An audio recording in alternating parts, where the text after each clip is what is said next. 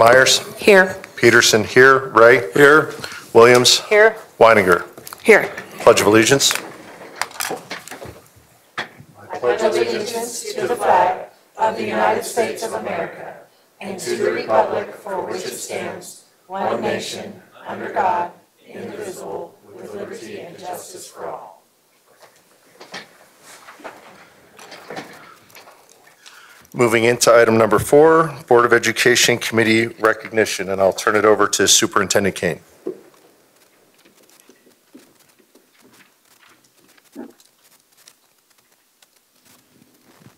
Good evening, Board Directors, audience. Um, We are here this evening where we want to recognize the amazing volunteers and community members who have served on our Douglas County School District Board committees. These individuals have completed their service, so most of them weren't able to be here tonight, but I still want to make sure we recognize them. We want to take a moment to say thank you to these volunteers who have served our district, volunteered their time um, to advise the Board of Education and to serve our district. We recognized outgoing members of the Student Advisory Committee last month, so tonight we will thank the outgoing members of the District Accountability Committee, the Fiscal Oversight Committee, Long Range Planning Committee, and the Mill Bond Ad Hoc Oversight Committee. So let's start with outgoing members of the District Accountability Committee. This committee, often refers to as DAC, meets monthly throughout the year.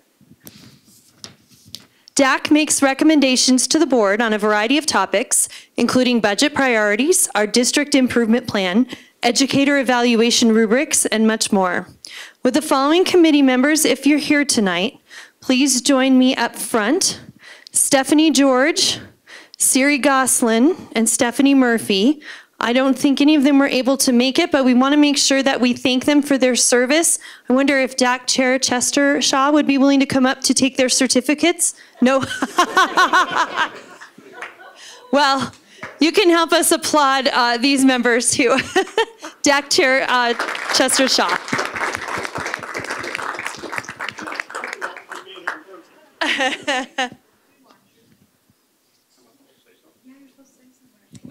You are welcome to say something if you would like to about your can do that. committee. Yeah, thank you. See who we got here. All right, great. So we have uh, three outstanding uh, DAC members here that have done a great job at their, their terms with DAC. Cannot say enough. Um, DAC works very well with the diverse group of individuals that we have. Uh, These three definitely will be missed, so just thank you for all their hard work. Thanks. And for your work, Chester, thank you. All right, next is the Fiscal Oversight Committee. The Fiscal Oversight Committee assists the Board of Education in fulfilling its fiscal oversight responsibilities. The FOC gathers information, reviews facts, and makes recommendation to the board in areas of budget, accounting, audit, and financial reporting, banking, and other fiscal matters as assigned by the board, and in fact, we'll be doing so tonight. So I'd love to have former Fiscal Oversight Committee Chair Jim Mars come join us up front so that we can thank him for his uh, dedication and service to our school district.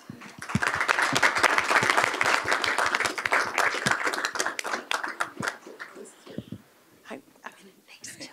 Thanks for everything. All right, you- wait, wait, picture? No, now you're stuck. Yeah, you get to take a picture. You're gonna stand in the middle of the girls. There we go. Perfect. Thanks. Thanks, Jim. Next is our Long Range Planning Committee. The LRPC studies school district sites, boundaries, and capacity needs. With the following outgo- outgoing LRPC members, if you are here, please join me up front. Bob Binder, Michael Formento, Kirk Harris, Jennifer Hewitt, Leah uh, Pirazzi, sorry, Stephanie Van Zant, Katie Wyatt, Sorry, I have so many pages. And that was the whole list after all the page turning. Um, so um, it, our LRPC chair is with us tonight? Not yet. Okay. All right, John, come on up if you wouldn't mind. Um, yeah. All right. Do you guys want to say anything about LRPC, or John? Would you like to say anything about your outgoing members? See, I'm not the chair, by the way. but I guess I'm here. So uh, definitely, it's been an honor to serve with each and every one of them. And we could, could not have gotten the work done you know, without each and every person's contribution. So thank you very much for serving. Sure, you certainly can. Yeah, we just definitely want to thank all of our board committee members. Um, They help the board do incredibly difficult work. And LRPC, really, they help put those puzzle pieces together for us. And the pre-work that they do that comes to the board is just invaluable. So we really want to thank them. The same with the DAC. The DAC has official duties that they need to perform with budget recommendations, engaging the community, engaging our school accountability committees, and we would be lost without those committee members, and we very much appreciate them. Thank you. All right, thank you, LRPC. And last but not least, we have the Mill uh, Mill Bond Ad Hoc Oversight Committee. The MBOC has been invaluable in serving as a citizen oversight committee for our 2018 mill levy override and bond. The MBOC has monitored the progress of the improvements and programs being implemented and worked to ensure that the 2018 MLO bond expenditures are in alignment with ballot language approved by voters. With the following MBOC members, please join me up front. Sabrina Daramis, Jim Mars, so you get to come back up again, Jim. Um, Mona Rojas, Barrett Roth. Come on up, Jim. and John is uh, John Freeman is the chair of MBOC, so come on up.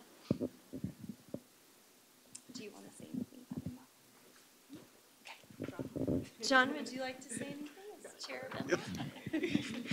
Well, again, it's been quite an honor to serve uh, with these individuals, and especially Jim. Always makes our meetings interesting. No shortage of that. Um, de- de- Definitely like to send a shout out to our, uh, our student representative, Mona. It- It's always amazing the, the- the different opinions and different facts and so forth that the students present. Uh, Always, always takes us down a different road and a, and a good road, uh, you know, to reach that better conclusion. So, thank you.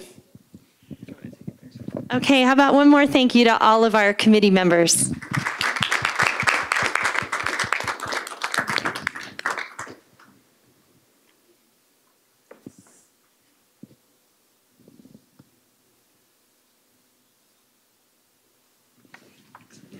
Thanks Jim. That concludes our recognitions for this evening. Thank you, Superintendent Kane. And now we move on to item number five, acceptance of agenda. The recommendation is that the Board of Education approves the agenda as presented. Do we have a motion? So I move to amend the agenda to remove item 31, the proposed revisions to policy KBB, parent and family engagement, and to add a brief discussion item related to the recent court ruling on the Marshall versus DCSD Board of Ed. Second? We have a motion as stated by Director Meek. We have a second by um, Director Ray. Do you intend for those to be voted on as one item? We can separate them if that's easier for everyone. Okay, and I'll take uh, individual motion and seconds as individual items. Any discussion? Uh, First one we'll take up is removal of item number 31, which is proposed revisions to policy KBB. Uh, Discussion on that item.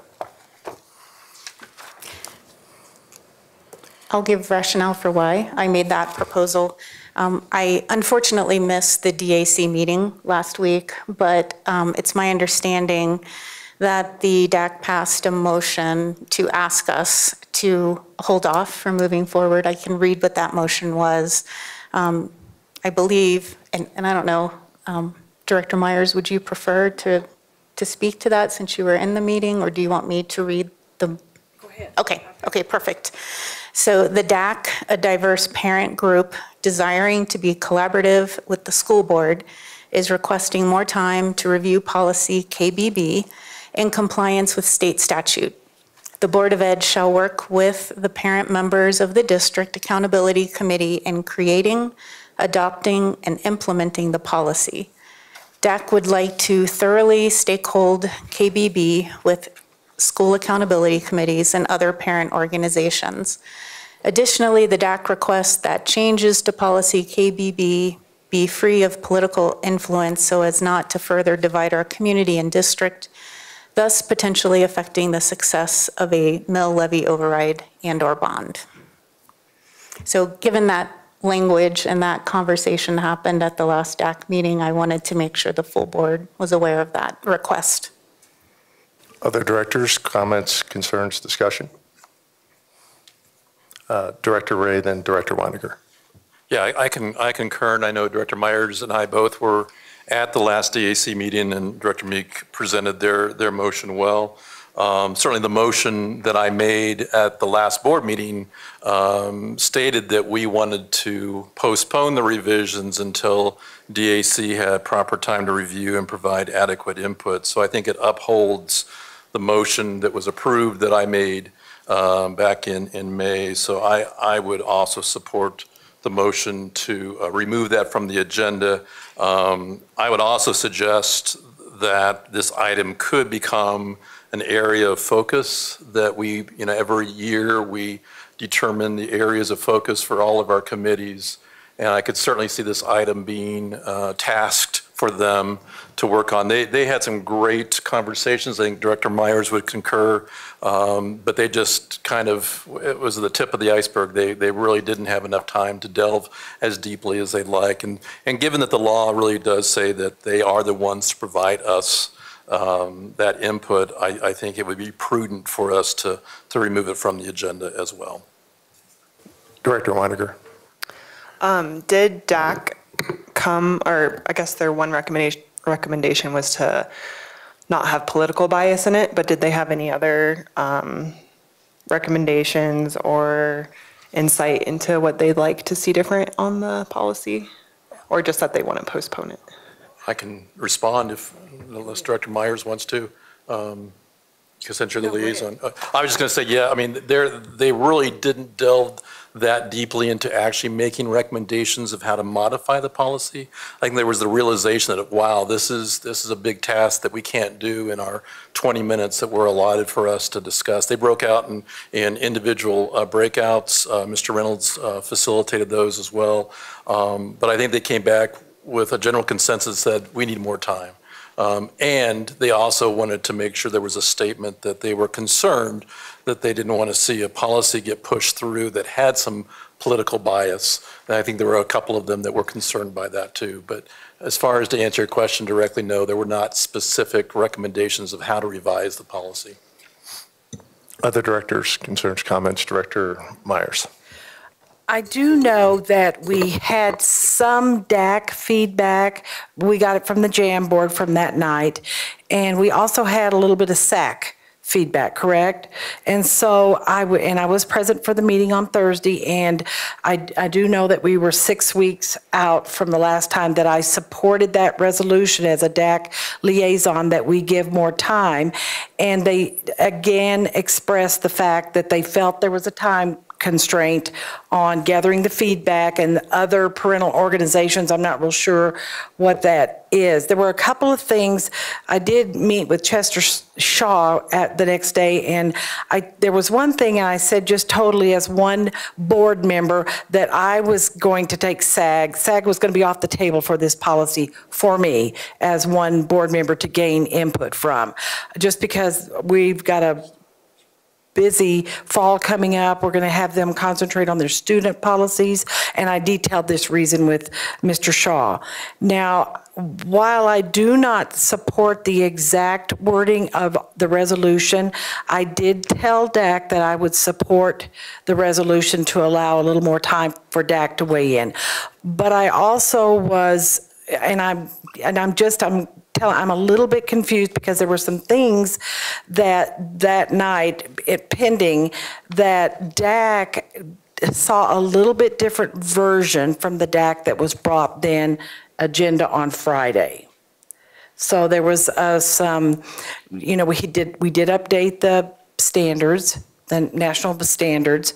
We did, I think we're looking at aligning with CASB. I don't know if we have a true CASB model, but there was very much support for parental uh, engagement, which was in that second um, um, paragraph about the district accountability, and there was a great sentence in there that was not at that one on Thursday night. So um, while I support the resolution with some changes in the KBB policy, I would still like to look at that, the KBB policy tonight. Any other directors' comments, concerns? Uh, Director Meek? Yeah, Director Myers, I'm not sure I followed. Are you saying we should still keep KBB on the agenda tonight? I, I wasn't sure I was following what you said. Yes, I still wanted to keep baby KBB policy on because I wanted us to, because of the changes that happened on Friday, the few changes and a little bit wording, we did get a little bit more feedback, so I wanted to address some of that. I'm sorry, which changes on Friday? Well, it was, the the one that was discussed on Thursday night during the, uh, the breakouts, and Di- Director and I- Ray and I were not part of the breakouts, but when looking at the uh, policy that was read Thursday night, and then the policy that came out Friday, I think with the second paragraph, the board recognizes the fundamental rights of parents and guardians to raise their children in accordance. And then I did see this part, I, I understand. I think I okay, understand now. So okay. what was posted on the board agenda on Friday? Yes, yes. Did reflect some changes? some changes. Is what I'm hearing. So I Yeah. think I felt like there, there needed to be discussion of that tonight, because after looking through the DAC feedback and some of the SAC feedback, which I do know there could be more of that, I felt that this, we could open for a conversation on that tonight with the KBB policy. Thank you for explaining. I wasn't following. So, so our, our board committee that we task with parent engagement, and they've been central with the development of this policy since its creation, has asked us to allow them to authentically engage in the development of the policy. So I, I still feel really strongly that pushing it through as a second reading tonight would not be showing the respect to the committee that we have asked to be engaged in this process. Um, You know, our policies are how we govern. It, it reflects our values. It reflects the voice of our community that we make decisions on behalf of. And we have a board committee that is tasked to really help us with that linkage. And if they are asking us to have more time to help them, I feel really strongly that we ensure that whatever policy we're passing, we have clarity from them on, on what they're telling us that they would like to include in that policy. Um, They're such a thoughtful committee. They, they provide amazing feedback. And just, just to be real honest, I've heard from that committee, and I've also heard from our student advisory committee, that sometimes they feel like they're just a rubber stamp. So we came to them, we, we showed it to them, and now we've engaged with them. And I think if we push this through, we're only furthering that concern that I've heard from our community at times. Any other directors? Director Williams? So I agree that we need to have our committees in, involved in all of these things. I also believe that all policy is somewhat fluid. Our policies change, sometimes year to year, sometimes every other year. And so while I think that, Director Ray, to your point, we can absolutely put this um, on the DAC's agenda for next year of, of looking at. I also think that we can make changes to give a good starting ground for, and then they can absolutely come back, and I think that that's fair as well. Yeah, and as one director, uh, when you look at the content of the changes here, the current existing policy on KBB uh, details six PTA, or national PTA standards that they have put forward. The standards that are in the current policy are from 2018, And the national standards were updated by the PTA in 2021, so they're getting almost a year and a half old uh, since that was passed. So at at a minimum, I'd like to open that and update that. That's not coming from our DAC, that's not coming from this board. We're simply reflecting um, linkages that we've already established in the current policy. Uh, The second part that would modify that policy in any way that's proposed for item number 31 tonight is around parent voice. And when we passed policy ADB, uh, it made a reference to the partnership between, uh, respectful mutual partnership between our staff, the educators, and our parents. And I think that's something, even earlier today in the, the previous meeting, we heard seven applicants for the open, uh, the vacancy in the Board of Education. And some of them talked about stakeholder voice and things. And, and that's something that, that frankly I ran on as a candidate a year and a half ago and something that I think is long overdue that we address. I agree with Director Williams here that this is not a, uh, an ending point, but especially parent engagement, many of our other policies, even, even ADB is a continuous discussion. And we should be committed to the board, as a board, to continuous improvement, that these, these conversations never end. Um, and, and I think if you look at the draft for this evening that the board may take under consideration, it explicitly codifies that the uh, DAC should review this policy and particularly on a periodic basis, and in fact, every time the national standards change. So, so for that reason, I'd like to keep the item on the agenda. Director Ray. Yeah, I don't, I don't disagree, again, Director Peterson, with some of your, your rationale, but I, I think, again, it goes back to process. And again, this process has been backwards. Um, When we have other policies, we typically turn that over to a staff liaison who then begins researching and, and bringing together people to begin helping us hear what recommendations need to be made. And this policy wasn't done that way.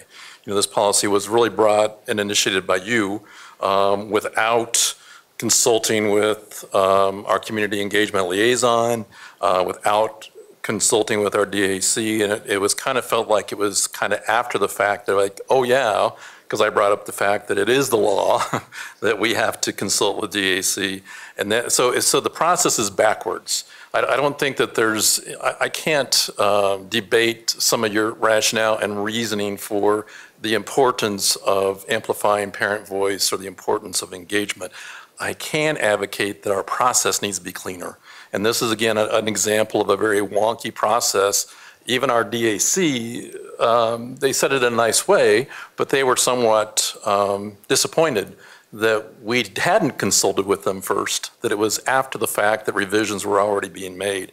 And it seems to me like it's just replicating effort if we try to make some revisions and then we say, oh, and DAC makes some more, why not just do the process correctly, which is to start with DAC, have our community engagement liaison also represent them in bringing forward their recommendations for revisions, and then we can insert whatever thing, whatever ideas that we want to add to those recommendations. So I just think the process is wonky, and that's why I would recommend that we remove it, clean up the process, do it right the first time, as opposed to doing this piecemeal approach.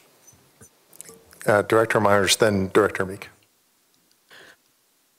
So I think what it was for me, which I spent all weekend and uh, in conversation with quite a few people, and I what I had pulled out, and I was a question when we were possibly going to talk about KBB is it says in there our district accountability committee serves to bridge the gap between SACS and the district and will conduct a periodic review of this policy at least by NLE or whenever national standards for family schools partnerships are updated.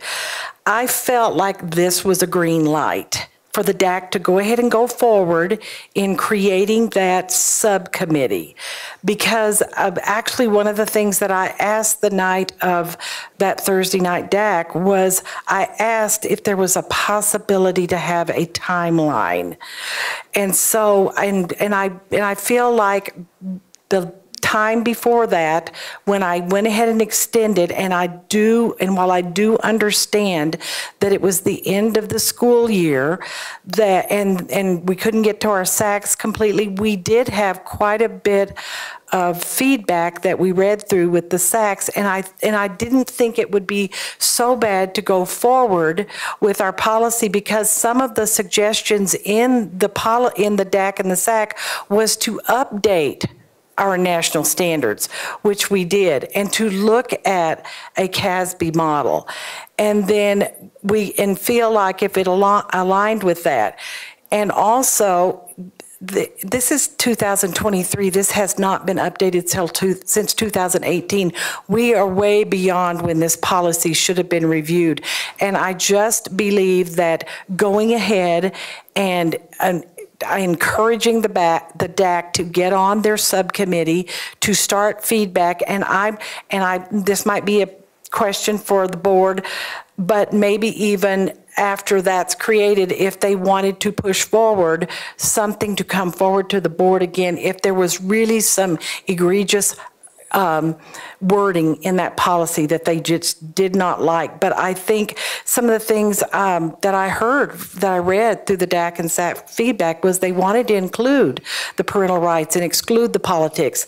And so actually, two actual quotes were to achieve parent, student, and school rights. And I'd love for this document to be a win for students, schools, and parents.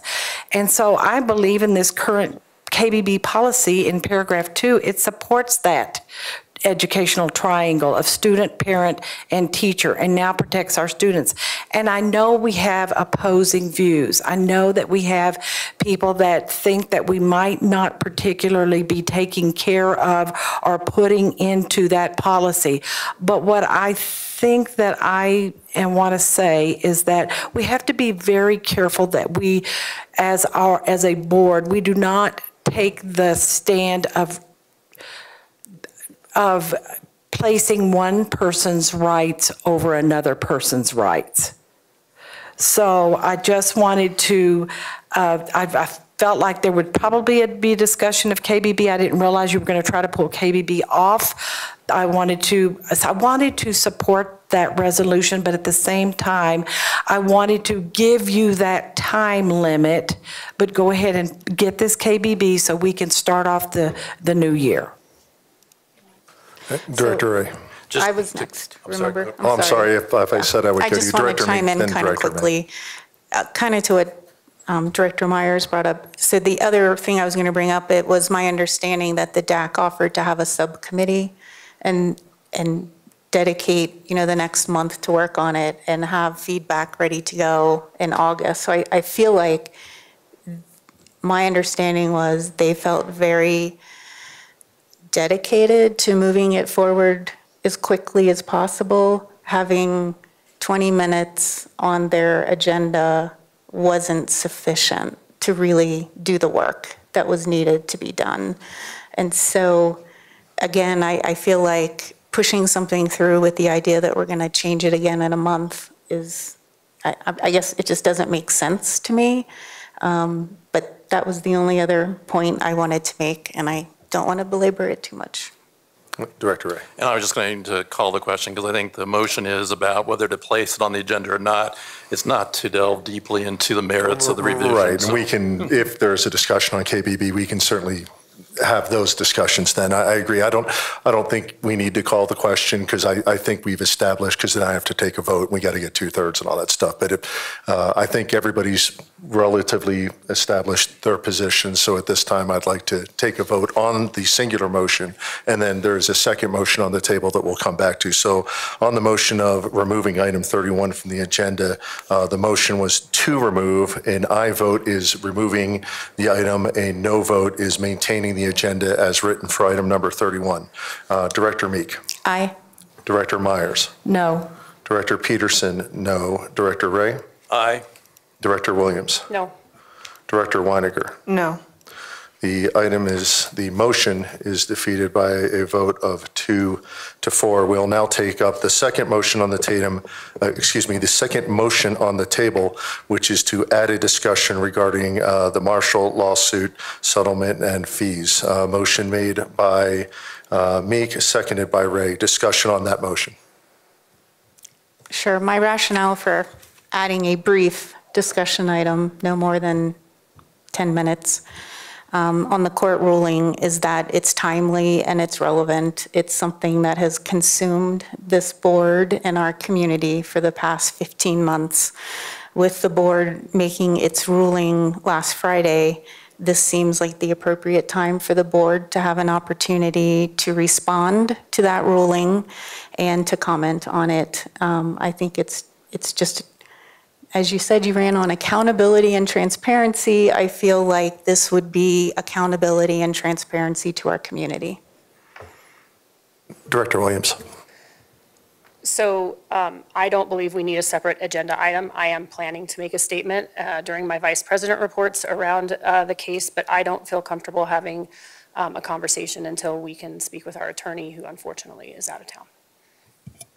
Yeah, I would echo um, Director Williams to caution that there are still some times for other motions, whether those be appeal, whether those be other motions. Uh, There's certainly the matter, uh, the matter of fees settlements. There is some, even though there was an order by the judge, and I'll be happy to make a statement at the end of the uh, meeting on that. I think we should be very careful of having open discussions while there are still some pending items to be cleaned up. Um, As a uh, matter of transparency, uh, Mr. Blue is unable to be here tonight, but I will plan on putting in executive session uh, for the board to receive legal advice on this matter and then go forward however we need to on the 27th. Director Ray. Just, it seems to me that everybody is ready to make a statement that it doesn't harm us to put all of those statements together on one agenda item. Um, I agree, we have to be cautious that we don't broach uh, legal vulnerability or discuss legal strategies, but I think all of us are probably eager to um, let our community know our reaction to what happened last Monday. And so it just makes sense to me to add an agenda item where all, all six of us can make those statements um, as, as Director Meek has, has moved in her motion. Any other directors, comments, questions? Uh, Director Myers. I'm also uh, uncomfortable about uh, putting it on an agenda, and just because in the name of making sure that I don't say anything incorrect per our uh, lawyer. And so I just would like to, if this is something we want to do next week on the, that's fine, but not, I'm not, tonight, I'm not comfortable with it. Okay, any other discussion or statements, questions? Director Ray. Just the only, only thing I would say, I think Director Peterson, you mentioned uh, many times that when there's blanks, people fill in the blank. And I think this is a situation where clearly there's a blank that uh, we ought to fill in at least with our statements. Um, And I think we owe that to our community. I think Director Meek's correct. Uh, When you spend hundreds and thousands of dollars on legal fees and it's a 15-month project, I think our uh, community deserves to hear from its uh, elected officials, even if it's a brief reaction. And, and I, I will help Director Myers in making sure she doesn't broach the uh, line of legal vulnerability. Um, I'd be glad to, to take that responsibility, but um, I just think we owe it to our community to um, respond. And it sounds like we're already prepared to do that. It sounds like Director Peterson, you were, Director Williams was, I know I was, Director Meek is, so it just seems prudent to put it all together in one agenda item.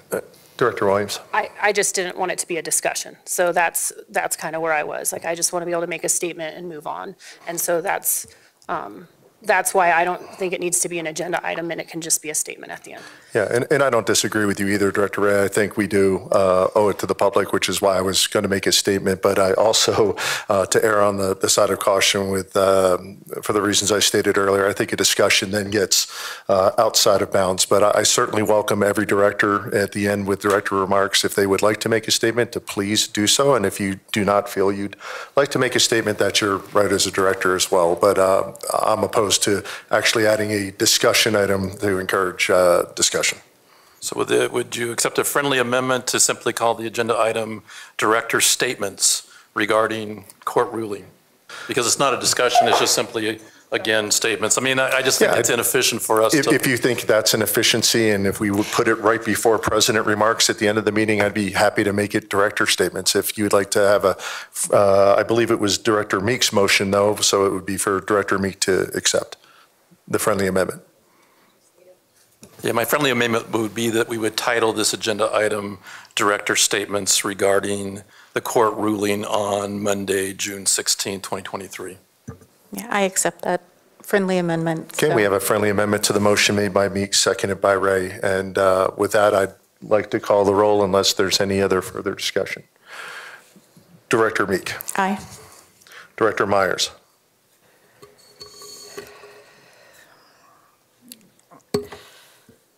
I'm going to say no. uh, sorry, Myers is a no. Peterson, aye. William, um, sorry, Director Ray. Aye?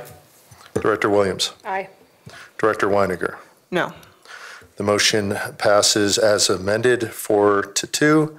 And with that, do we have any, a motion uh, concerning the rest of the agenda as amended? Director Pearson, I'd like to make one small agenda item revision, item number 31, since it appears we're keeping that on the agenda. If we could denote that as a third reading as opposed to a second reading, because we already have had two readings on this policy, just to help us keep track of the number of times we've discussed the policy. So I would motion to accept the amended agenda, uh, amending item number 31 to denote a third reading as opposed to a second reading. Do we have a second? Second. I'm sorry. Second. Okay, motion made by Ray, second is by Winegar as amended to retitle item number 31 with third reading. Uh, I will now take the roll. Director Meek, Aye. Myers, Aye. Peterson, aye. Ray, Aye. Williams, Aye. Winegar. Aye. Item passes six to zero as stated. Item number six, superintendent updates, 10 minutes.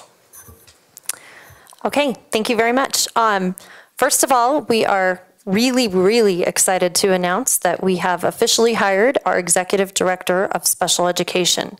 After a comprehensive search uh, process, it is with great enthusiasm that we announce Ms. Liza Meyer as the new Executive Direction, uh, Director of Special Education in our school district. Liza has worked in the education field for the past 23 years. Over the past eight years, sorry, my computer's suddenly restarting. Um, over the last eight years, she has worked in various special education district leadership capacities, including assistant director, director, and executive director for special education in a large metro school district. During the interview process, her skills and experience with a diverse student population and her passion for advocating for students with disabilities was clearly evident. She brings a wealth of experience, effective communication, consistency, a strong partnership with families, a student-centered focus, and a servant leadership approach to our community. While Liza recognizes the challenge that comes with this work, she is fully committing to ensuring that our students, families, and staff receive the support that they deserve. Um, so welcome to Liza. Um, also, you should know that our students continue to learn this summer. Our, extend, our extended school year program is in full mode, and many of our students with disabilities are learning from some of our amazing special educators over the summer. We have eight extended school year sites Cimarron, Pioneer, Flagstone, Mesa, Summit View, Mountain Ridge, um, Plum Creek, and Bridge. It is four weeks of programming for approximately 350 students in pre-K through 21. Thank you to all of our special educators and our staff who have been working this summer um, to support the learning needs of our students. Um, next, congratulations to our Thunder Ridge High School girls soccer team state champions and their coach, uh, Mike Parsons, who was also named Coach of the Year in girls soccer. Um, you may recall from the last meeting, it was a matchup between Thunder Ridge High School and Rock Canyon High School for the state championship. So congratulations to our Rock Canyon girls as well. Also, congratulations to our Mountain Vista High School students who recently competed in the national speech and debate competition. And finally, um, right hot off the presses, um, our very own Amanda Thompson has been selected as the Colorado Association of School Personnel Administrators for the Sandra Shrevey Award for 2023. This award recognizes a CASPA member who has gone above and beyond to benefit the work of human resources in all of our Colorado schools. Her work in helping host the very first um, Colorado-wide job fair here in Douglas County and helping it make a success is just one of the many reasons she was selected. Um, she's also been a past president of CASPA and a former board member of the American Association for Employment and Education. Um, so I just wanted to do a shout out to our very own Amanda Thompson.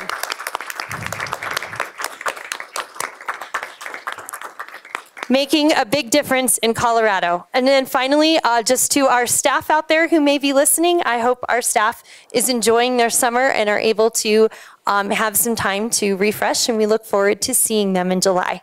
Thank you. Thank you, Superintendent Kane. With that, we'll move on to item number seven, public comment.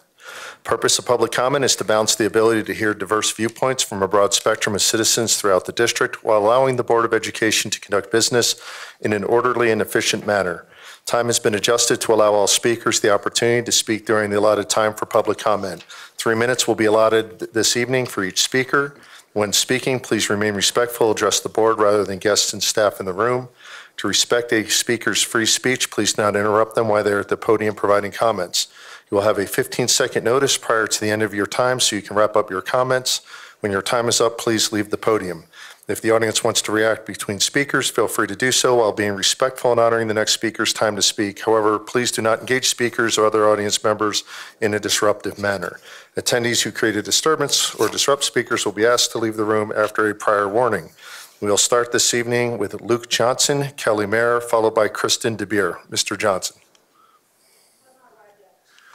Okay, he was at our earlier meeting, so we'll come back to Mr. Johnson if he returns. Uh, Kelly Mayer, Kristen DeBeer, followed by Jen Iverson.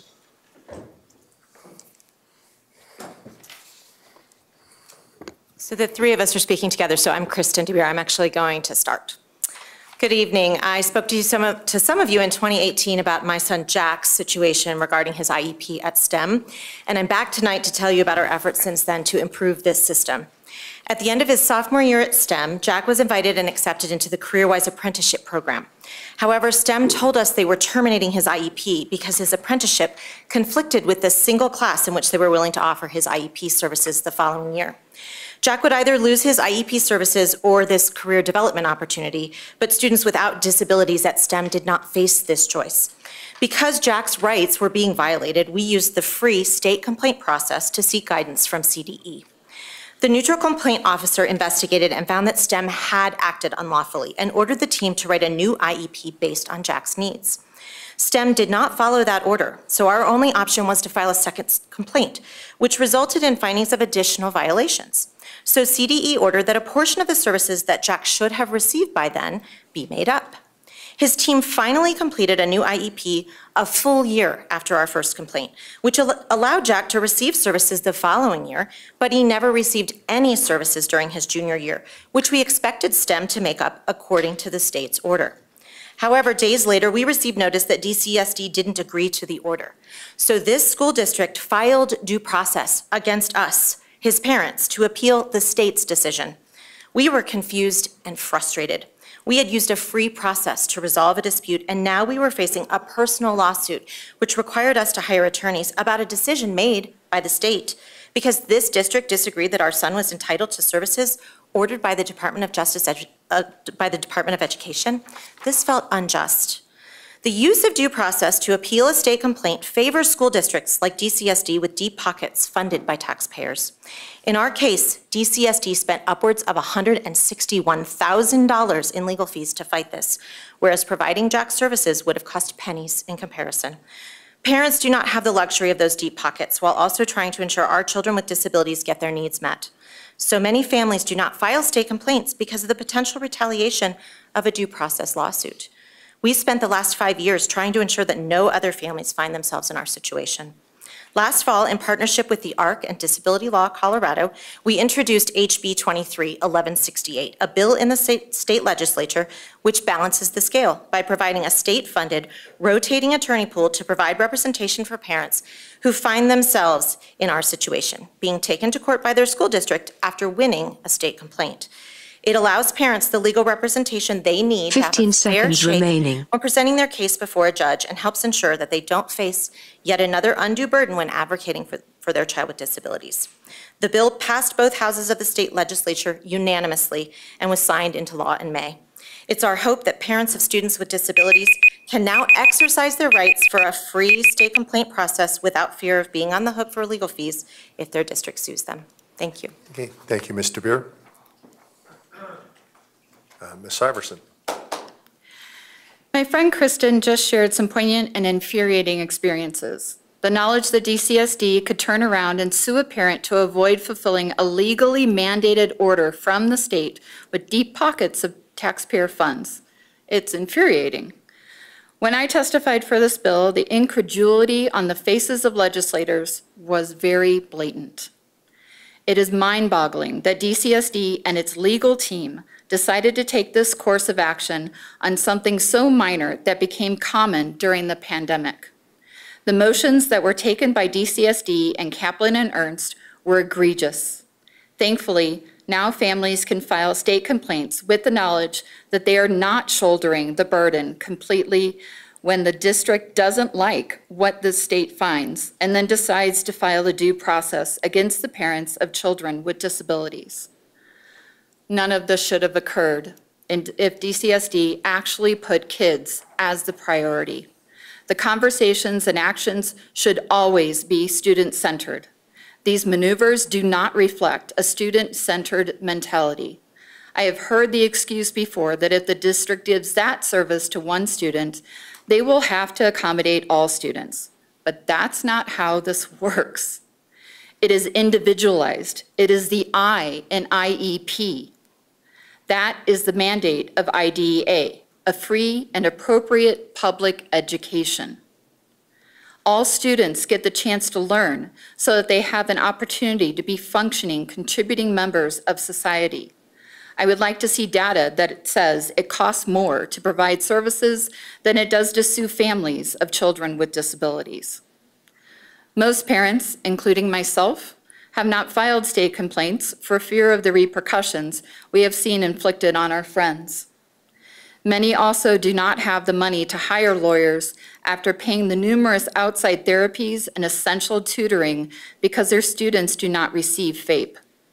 State complaints are meant to help school districts and parents resolve disagreements about how to support students. It is not meant to penalize. DCSD staff cannot resolve problems if they don't acknowledge they exist.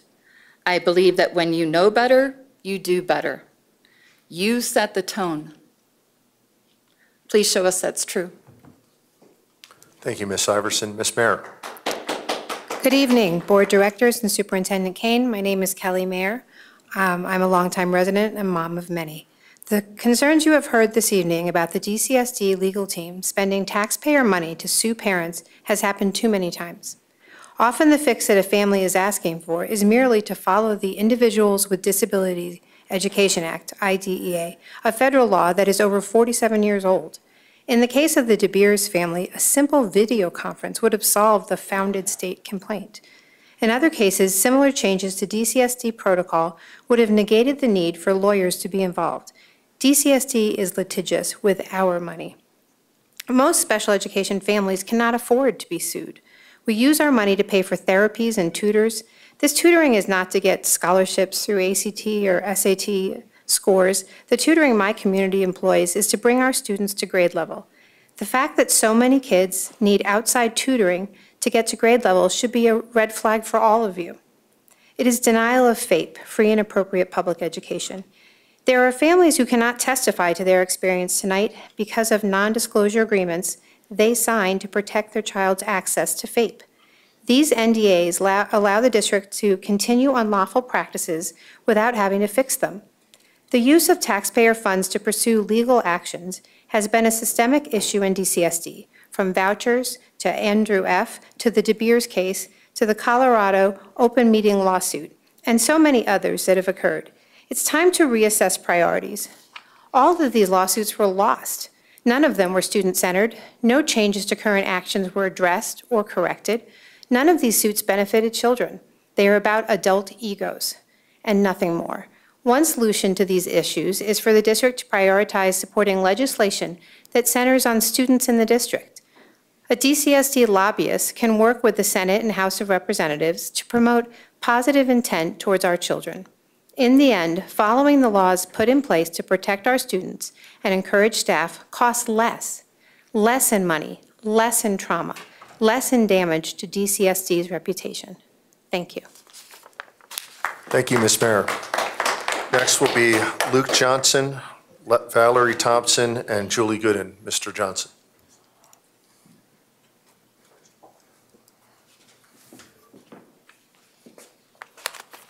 Sorry, thank you for your patience, was running late from another meeting. Uh, Good evening, Board Directors, Superintendent Kane, administration, and staff.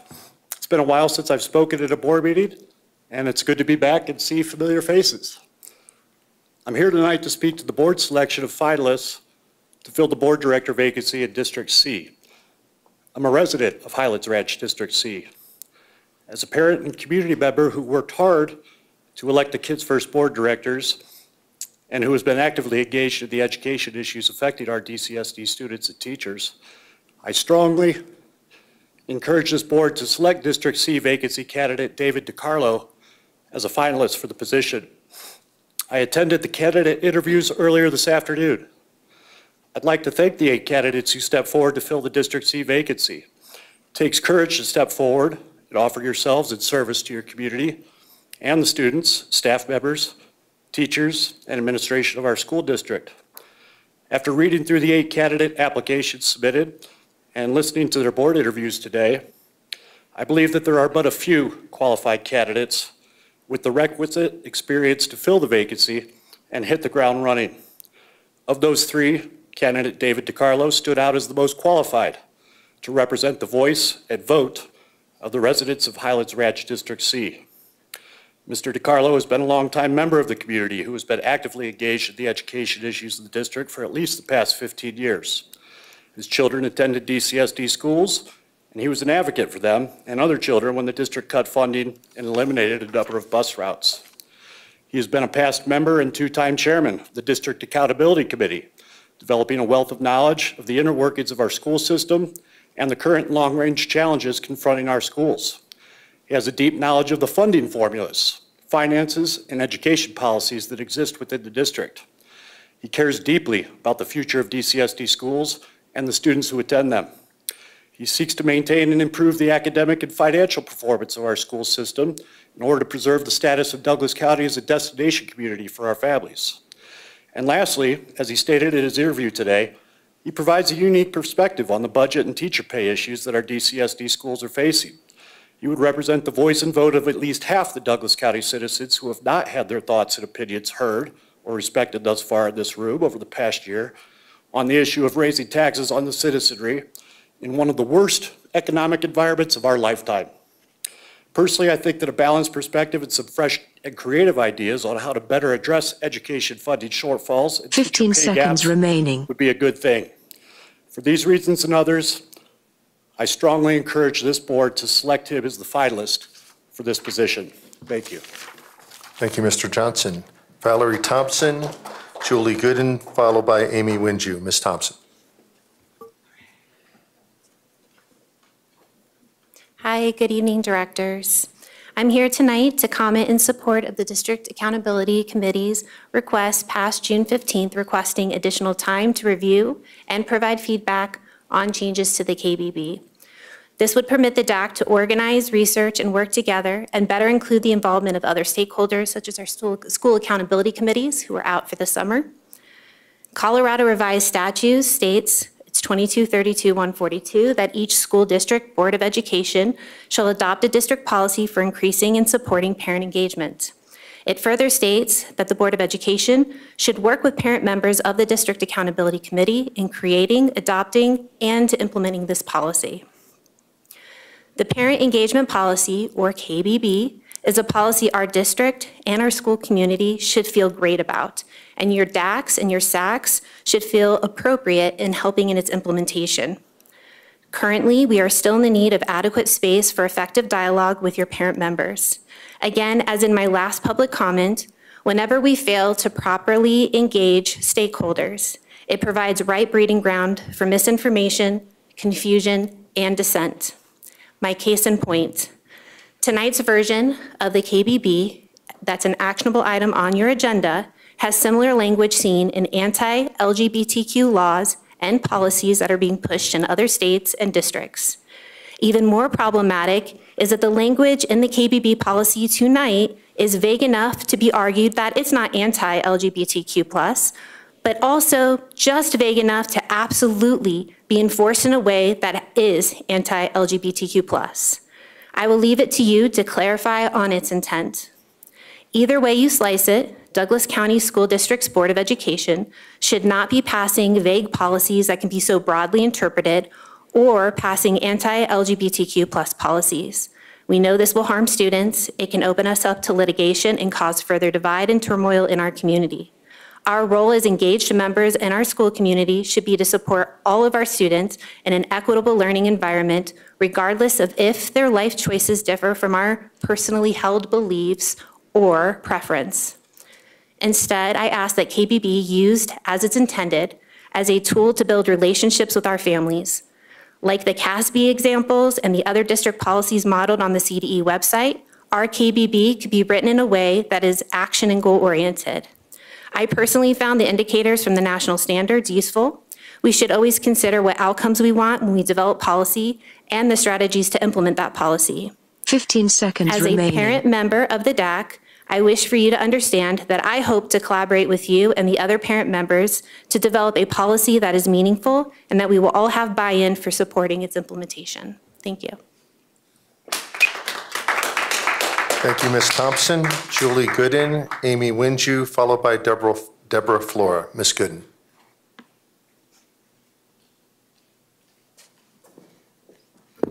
I'll be the first to admit I didn't write anything because I'm naive that you were actually going to go through with what you said.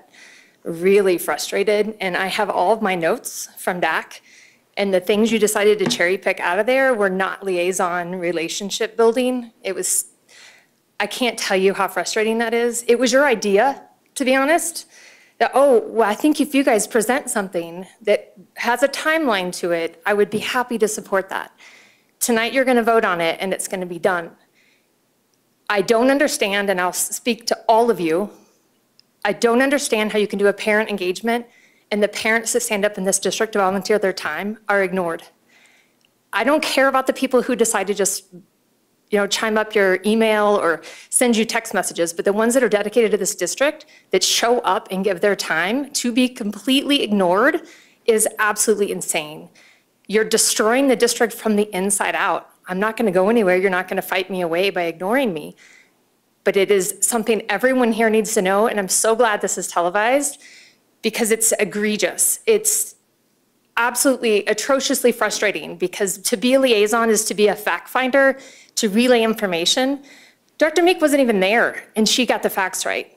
Director Ray stood up and said the facts. You decided on what you wanted. Nobody, nobody said these pieces are our favorite parts. That was that's junk. We didn't even have time to talk about that. We had documents people had commented on. Two different people from two different sides of the aisle offered their drafts. We had a ton of information. But to just pick what you want to pick to get on your soapbox and then turn around and backstab your DAC, it's not going to play well. And you really, really hurt the people that are here for the district.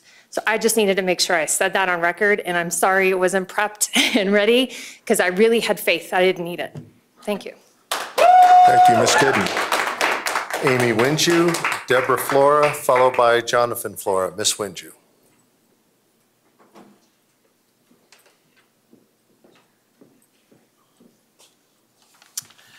Good evening. Um, I would like to thank all five of the board members for the hard work this school year, for what may have seemed at times a thankless unpaid job that took you away from your family and kids. You all are the very definition of a volunteer. I would also like to thank the board for the proposed updates to the KBB policy. I appreciate that the proposal mentions that it recognizes the fundamental rights of parents and guardians to raise their children with their own personal beliefs, particularly the statement to ensure students will not be compelled to share personal info that, con- that conflicts with personal beliefs. The option to opt in is also fantastic. As a parental figure who raised three teenage girls, I appreciate this very much. Maybe I missed it, but I noticed that the opt in mentioned selected resources and activities, but didn't mention testing or surveys. I would like to propose that state surveys and testing also be added with the option of opting in to the proposed KBB policy. The proposed policy update mentioned that the board supports the national standards for family school partnership, which comes from the National PTA org. The National PTA states that its mission requires that diversity, equity, and inclusion be central to their work. The National PTA's guide has resources for PTA partners so they can educate themselves about systemic racism, one of which states that ongoing institutional racism and deeply embedded injustices, prejudices, and inequities in the fabric of our nation have caused the violent deaths of innocent black and brown men, women, and children over the years at the hands of a percentage of police officers and ordinary citizens. It further states that the National PTA recognizes that African Americans have suffered from institutional racism for over 400 years. This is from the 1619 Project. I would highly recommend that the board reviews the National PTA standards for family school partnership further. Thank you. Thank you, Ms. Winju. Deborah Flora, Jonathan Flora, followed by Linda White.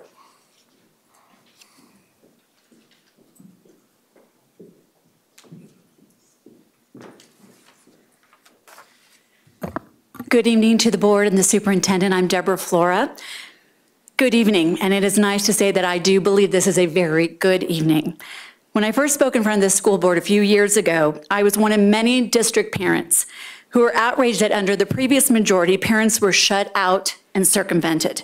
In fact, the linked Gemini CRT training for educators that was hidden from families actually referred to parents as dissenters and encouraged teachers to exclude those of us who know our own children best. That is why the Douglas County community elected a new board majority, one that would focus on education, not indoctrination, one that would focus on partnership, not partisanship, one that would focus not on right or left, but simply stand for what is right. And that's why I'm here tonight. I ask you to continue to stand for what is right and pass a new parental engagement policy without delay. This new policy rebuilds the trust that was lost, rightly referring to families as trusted partners, not dissenters. As the founder of Parents United in America, I represent countless engaged mothers and fathers who are extremely grateful that the new KBB policy recognizes this the board recognizes that the fundamental right of parents and guardians to raise their children in accordance with their own personal beliefs and conviction, and that this policy also protects students from being compelled to speak or act in a way that conflicts with their deeply held beliefs. There is nothing radical in this policy. It is for every single parent, every single student to live their life the way they see fit. These common sense principles are the key to flourishing of all students from every walk of life. This is parental engagement policy is very much needed as shown recently by what happened at ThunderRidge High School, where students were taught about pansexuality, how to get gender transition surgery, all without parents' knowledge or consent. In addition, when it comes to academic achievement, the thing that every single one of us wants for every single child, study after study shows when parents are full partners in their children's education, students' graduation rates skyrocket, their grades improve, and achievement on all levels increases. That's why I ask you to pass this KBB policy right away. so that we can fulfill and restore the golden triangle of education, which are teachers being supported, partnering with parents for the good of all children. Thank you so very much for the hard work that you've done leading up to this new policy. Thank you for passing it tonight, we hope. Thank you. Thank you, Ms. Flora. Jonathan Flora, Linda White, followed by Krista Gilstrap.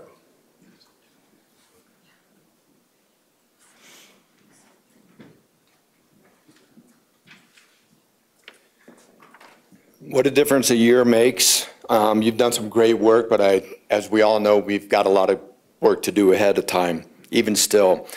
I'm a Douglas County School District parent. It was the anti-parent policies of the previous school board majority that not only got me engaged in the policies of fighting for parental rights, but also led my wife and I to create the movie Whose Children Are They that I directed. Whose children are they is the question that the previous board majority answered by authorizing a CRT training that was hidden from parents and referred to us as dissenters. I'm grateful for the new board majority answering the same question, whose children are they, by introducing the new parental engagement policy that I urge you to adopt tonight without delay. This policy rightly states the following. The board recognizes the fundamental rights of parents and guardians to raise their children in accordance with their own personal beliefs and convictions. That our children will not be compelled to share personal information or make statements about themselves or regarding others that conflict with their deeply held personal beliefs or circumstances. That this board majority, unlike the previous board, supports open communication and disclosure of information with parents concerning our children's health and education. And no one in Douglas County Schools will ever, ever instruct children, do not tell your parents. This policy includes everyone and is good for all. And speaking as a dad, I think of the studies that show when fathers are actively engaged in their children's education, children are far more likely to succeed academically with higher grades and graduation rates. That is why it is so important that we parents, moms and dads, are not circumvented. This new parental engagement policy will restore the trust that was not only broken but destroyed by the previous board and allow teachers to teach, parents to be partners, and students to flourish. I'd like to again recognize the new board majority members. Thank you for seeing a wrong and stepping up to correct it as you were elected to do. Thank you. Thank you, Mr. Flora. Linda White, Krista Gilstrap, and then we will go online with Sandra Brownrigg. Good evening, directors. My name is Linda White, and I have two comments on the parent engagement policy. First, please reconsider the PTA national standards. Douglas County can develop our own standards. As a board, your job is to create educational standards for K through 12 students. A teacher's job is to educate. Thank you for knowing your proper lane and recognizing that parents have a fundamental right to direct the upbringing of our kids, including their education. You recognize this fundamental right in paragraph two of the parent engagement policy. While researching and developing this parent and engagement policy, I'm sure you've had many experts advising you on what's best for students. I have a 54-year-old son, eight grandkids, two grandkids. As I look around this room, I bet I might be the most experienced person here when it comes to parenting. My length of experience tells me that we, the parents, are the experts in regard to our kids. Thank you for leaving parenting in the hands of parents, and please pass this policy tonight. Thank you, Ms. White. Krista Gilstrap, then online, Sandra Brownrigg, followed by Tiffany Baker. Ms. Gilstrap.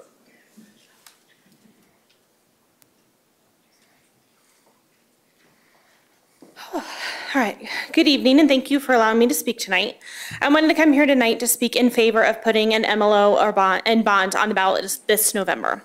I took a look at the staff recommendation presentation that will be given later tonight, and I'm in full support. I'm glad to see that they are recommend, recommending additional funding for enhanced security as part of the, of the MLO, and was pleased that they are keeping the needs of the bond ask the same.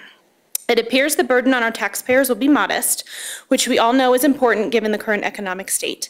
I look forward to hearing Superintendent Kane and her staff's presentation later with more details. I also wanted to let you know that the Invest in DCSD committee is still up and ready to support the effort should you decide to vote to place them on the ballot this November. We have a subcommittee that has been busy planning a private fundraising event this summer, and we will be working on additional fundraising and volunteer coordination efforts to make sure we are ready to carry the baton in August. If you are listening and would like to help with this effort, please reach out to us via our website, investindcsd.com. Tonight, you all heard from some excellent candidates for the vacancy, and you all have a hard choice to make. My only ask would be that you select candidates as finalists who will support our efforts to secure more funding for this district. Regardless of who you select, I'd like to invite each of the candidates who said they supported the funding effort to join the campaign efforts. Many shared they would like to help the campaign be more successful this time, and we would welcome their help. Again, they can reach out to us via our website, investindcsd.com, or email us at investinDCSD@gmail.com. Thank you, guys. Thank you, Ms. Gilstrap. Mr. Blair, is Ms. Brownrigg online? She is, sir, asking to unmute.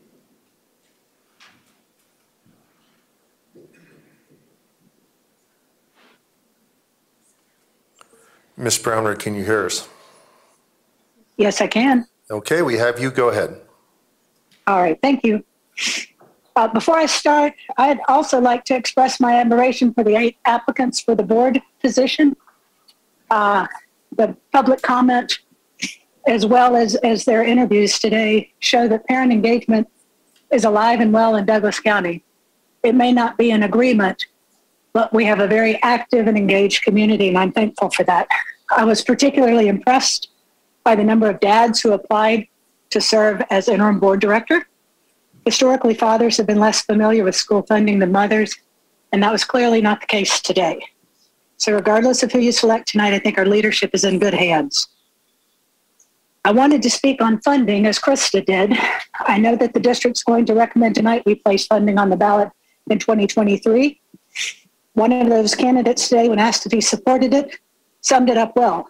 We should do it. We should just do a better job of explaining why we should do it. My friend and colleague Brad also summed up the why very well. Competitive compensation, new elementary schools for high growth areas, and expanded middle schools to relieve capacity challenges. Several candidates mentioned security and safety, which are paramount and good for everyone. One candidate disagreed. He said that 50% of the community had spoken last year and we should not revisit funding this year. I disagree with that perspective. The MLO failed by a scant one half percent in an astoundingly chaotic year. No one thought it had a chance because of the political turmoil, but we came that close.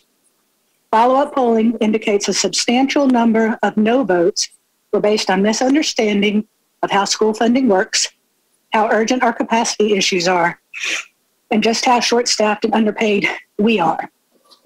Another candidate said we needed to place funding on the ballot repeatedly until we pass it. Our inability to reach and convince our community last year did not remove or reduce the funding shortages. Instead, they grow, maintenance alone at 30 to 35 million a year. No good outcomes emerge from chronic underfunding. Quality simply degrades. Employee turnover increases. Morale decreases. More bus routes are canceled because we don't have drivers or mechanics. Safety could suffer and schools can be not as well maintained. Most of all, we cannot cut our way out of a staffing shortage. Some of your candidates expressed a desire for transparency, and I am not worried about that. The financials are on the website, the master capital plan, the budget, all the remaining. details are readily available. And I also don't worry about fiscal responsibility from leadership. I've served on board advisory committees for 15 years. Those gave me direct access to the finance department, district, and board leadership under multiple administrations.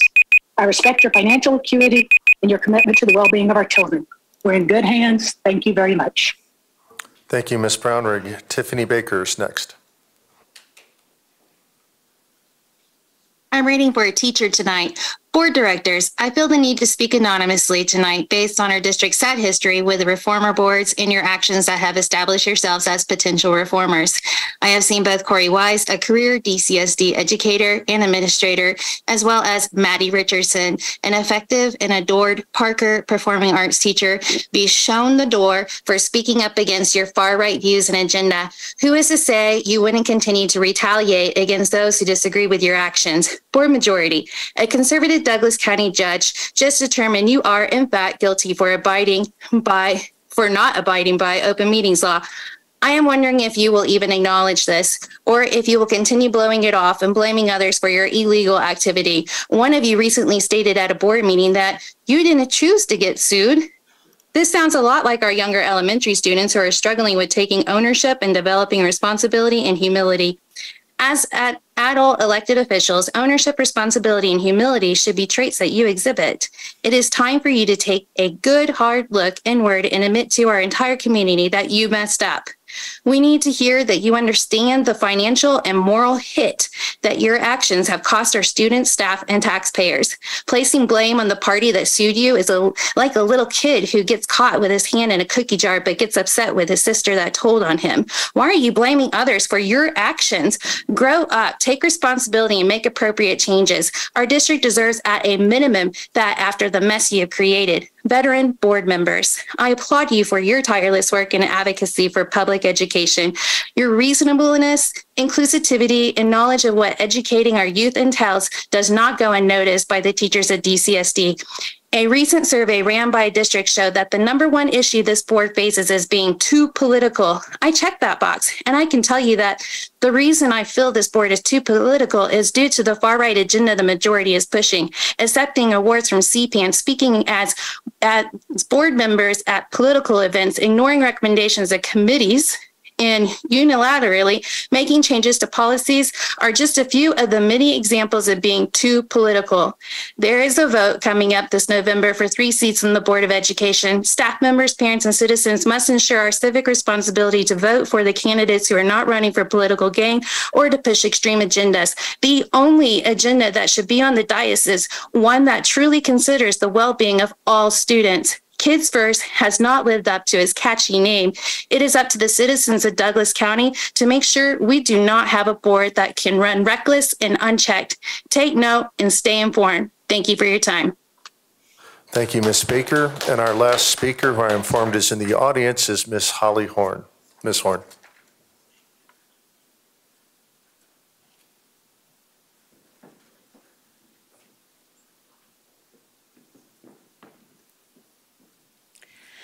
Good evening. I'm Holly Horn, and I'm here tonight to speak in favor of policy KBB. During the school board campaign in 2021, we had the opportunity to hear from a lot of community members from all walks of life regarding all things school district. The main conversation we had with stakeholders was surrounding one topic, parent engagement. Community members without children, parents and grandparents all agreed on one thing. Parents know what is best for their own children. The vast majority of this community wants parents to be involved in all decision-making surrounding their child's health and education. This policy helps to ensure just that. Parent engagement is a no-brainer, no process necessary to know that. If someone has a problem with that, then the problem is with them. Parents were not ignored. This is the accumulation of hundreds of parent conversations. I applaud you for listening to the DCSD community in addressing this policy and hope to see it pass with the unanimous vote from this board tonight. Thank you for your time. Thank you, Ms. Horn. That ends public comment. We will now take a 15-minute recess to 6:30.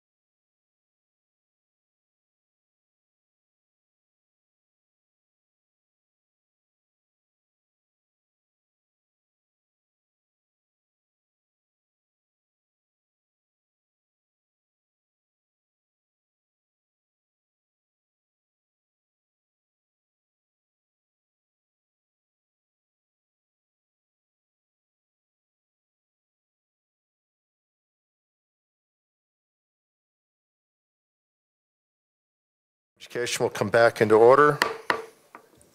We're now on item number nine, adoption of consent agenda, staff recommendations detailed in agenda items number 10 through 23 organized for board block approval. Do we have a motion concerning consent agenda? Motion to approve agenda items 10 through 23. Motion by Ray, is there a second? Second. I- I'll take Williams, quick on the trigger. I will now take the roll. Meek? Aye. Myers? Aye. Peterson, aye. Ray? Aye. Williams? Aye. Winegar? Aye. Consent items are passed by a vote of six to zero. Next is item number 24, adoption of joint motion agenda. The recommendation is that the Board of Education approve the board minutes as presented. The board minutes attached to this item are for the May 23rd regular board meeting and two special meetings on June 6th. Do we have a motion to approve the minutes as presented? Motion to approve minutes as Motion- presented. Motion by Myers, is there a second? Second. Second by Williams. We'll take the roll. Meek? Aye. Myers? Aye. Peterson, aye. Ray? Aye. Williams? Aye. Winegar? Aye. Passed by a vote of six to zero. We are now into study action items. Item number 25, adoption of the 2023 Master Capital Plan. We have a 10-minute presentation followed by a five-minute board Q and A. I will turn it over to the superintendent for introductions. Thank you. I would like to introduce the LRPC Chair, um, Larry Mugler. He's here to present the Master Capital Plan. It's all yours. Thank you, Superintendent Kane. Uh, Greetings, President Peterson, the board. Uh, As the introduction said, I'm the current chair of the Long Range Planning Committee. And uh, tonight's our item on the agenda here is the master capital plan for the coming year. Uh, Just some overview items, and then I'm going to plow through this presentation as quickly as I can.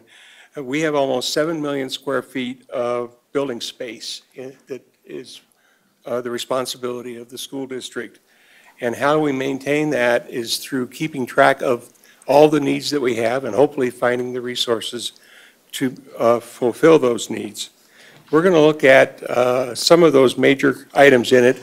Hopefully, you'll have a chance to look at the full report. I know it's many, many pages long, uh, and I would encourage you to um, particularly look at items that you're somewhat familiar with. I always turn to the schools where my granddaughters go, uh, either their elementary school or their Mountain Vista High School, so we uh, can see some of the things that, uh, that they are looking forward to. Do I get to push the button, or? I can push the button. Okay, go ahead. Uh, The outline for the master capital plan is pretty much the way it has been the last few years.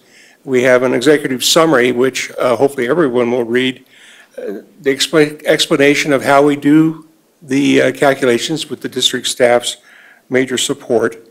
We look at new construction needs, uh, details for each of the district's buildings. That's where you can find the school that you're particularly interested in information that we obtain from the charter schools is included. Uh, They voluntarily provide that, and whatever they provide, we include. And then a number of appendices that provide some of the details. There were a few changes this year. We've added a Stone Canyon Outdoor Adventure to the master capital plan, and uh, the $24 million is to really bring that up to a full functioning facility my granddaughters were just there uh, as uh, high school assistants, uh, and I asked them, how does the facility look? And they said the buildings they used were fine, but there are a lot of buildings there that are not being used at this point, and it's going to take some resources to bring those up to need. We're also uh, trying to clarify exactly what's included in the capital plan. Not everything is uh, desks or chairs. Some of it are things that uh, wear out uh, computers, for example, we do include those in there, and the needs of our transportation staff as well. Uh, The opening and closing of uh, various sites are now included in here. You can find out the history of not just school buildings, of the other buildings that the district owns. A Couple of things for next year. Uh, On the next slide. Uh, We're, we have mentions of the Vale campus and the Legacy campus in this current document, but we have not included any of the needs because they're going through major renovations now. So watch for that in next year's master capital plan. We'll be looking at what things might be needed in the future to keep those facilities functioning well. The highlight, I think, this year is this. We have now passed in the uh, next five years uh, a need of over a billion dollars if you look at the high end of the various estimates for costs. Uh, These, and in addition, the six to 10-year capital needs, looking further out, is another billion dollars. So it, it John and I, before the meeting here, were saying if we just had someone who would walk in with that $2 billion check, we'd have this master capital plan covered for a while. But that's going to be a, a major uh, demand that over the next 10 years, we have to come up with, what is that, $100 million a year. Now we'll look at some of the details here. Uh, The schools here in red on the slide were ones that were in uh, the bond issue that did not pass. They have not gone away in terms of needs, and those are the needs that, uh, with inflation now, are what we anticipate that they will, uh, will have. But you can see some of the other major items that are on this list for um, the next five years as well. So a total cost in that of $392 million there. And then six to 10 years out, uh, again, it would be another billion dollars. The two big items in here are two joint middle and high schools, run, one in the Ridgegate area and one in the Sterling Ranch area. Uh, Sterling Ranch, at this point, has no district schools in it.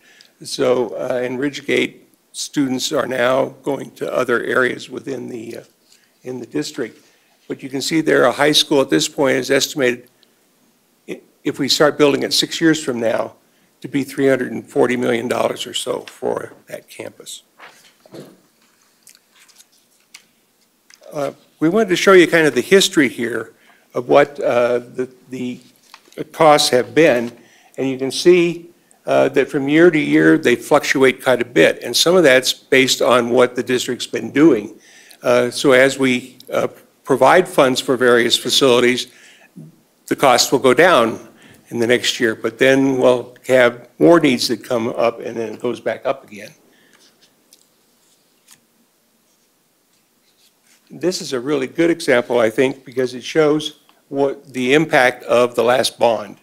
Uh, You can see the needs in 2019 when we started spending those bond dollars dropped from uh, the year before by uh, $10 million, only went up by $10 million. And then the next year, when we were fully into doing the, the items from the bond, uh, went down, went down by $58 million. So we actually did accomplish a significant event there, still showed up in the following year, but now in this year's master capital plan, the costs are starting to go back up again because we haven't had those resources to cover those particular items. So there's more work to be done. Uh, Most of what I've talked about have been big facilities, high schools, elementary schools, the legacy campus.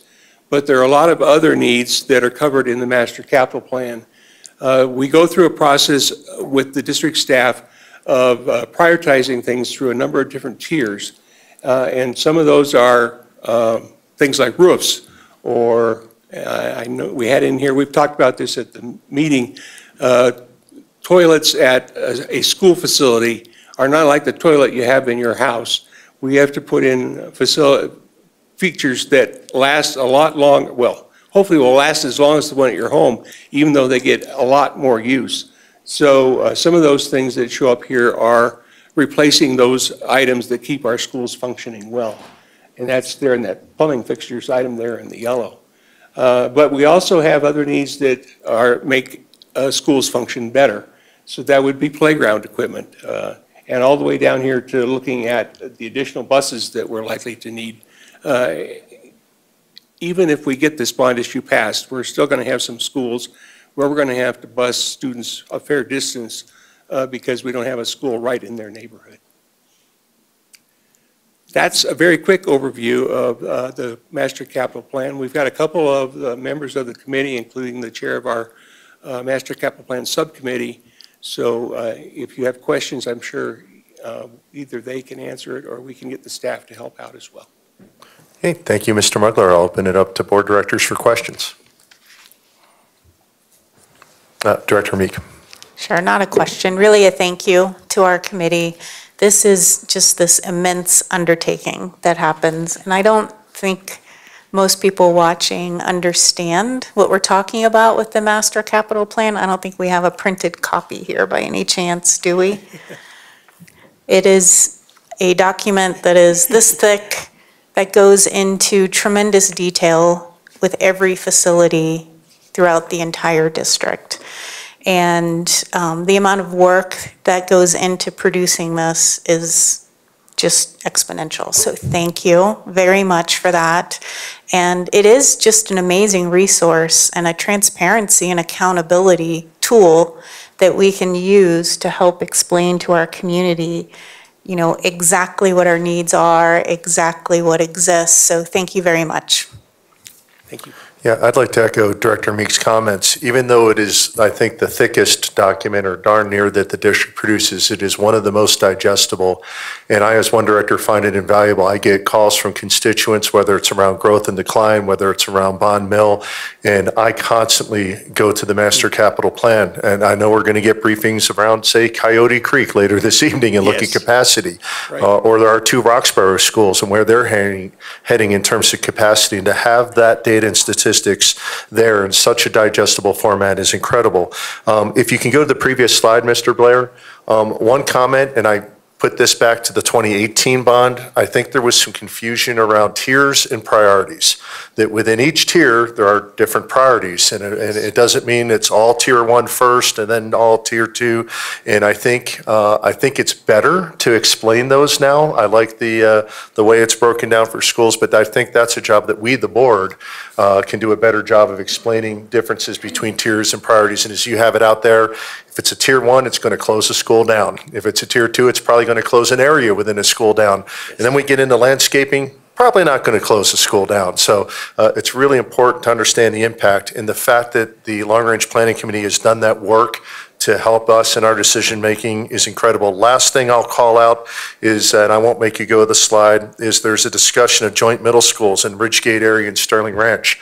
So when we look at potential bond measures coming up this November, and we look at three particular areas that are targeted, those are the down payments on feeders. Ultimately, what the Long Range Planning Committee is telling us is this is not a singular school fix for these areas. This is the first step in a down payment in feeder areas. And with every year that we delay that building, knowing that those initial schools are three years out, we really disrupt the plan to, to build those anchors of our community, which are our neighborhood schools. So uh, again, just wanted to highlight that. Thank you. Other directors, uh, comments, questions? Director Ray. Thank you again, and please thank the entire committee. As Director Meek pointed out, the work you do for us is, is incredible, and it's so clear. Um, I do want to just take a moment um, and acknowledge the addition of the Outdoor Ed Center um, into our master capital plan. I had the pleasure of opening the Outdoor Ed Center as one of the directors with uh, Denny Ingram. And- back then, we were uh, held to a enterprise program where we had to literally show that we could make the program work uh, and it to be self-funded. And to see it now being valued as a critical program for our kids in the district to the point of investing into the site um, just does my heart well right now. So I'm, I'm just kind of celebrating that. Could you talk, uh, and I don't know if this is Mr. Cosgrove or, or Mr. um, Mugler, if, what are, what are some of the anticipated improvements on that site? Um, I know we, we recently approved, improved the cafeteria and expanded that, but if you could just give a quick oversight of, a high-level oversight of what we're intending to improve with the $24 million investment. Mr. Cosgrove has those details. Very good, thank you. Director Ray, thanks for the question.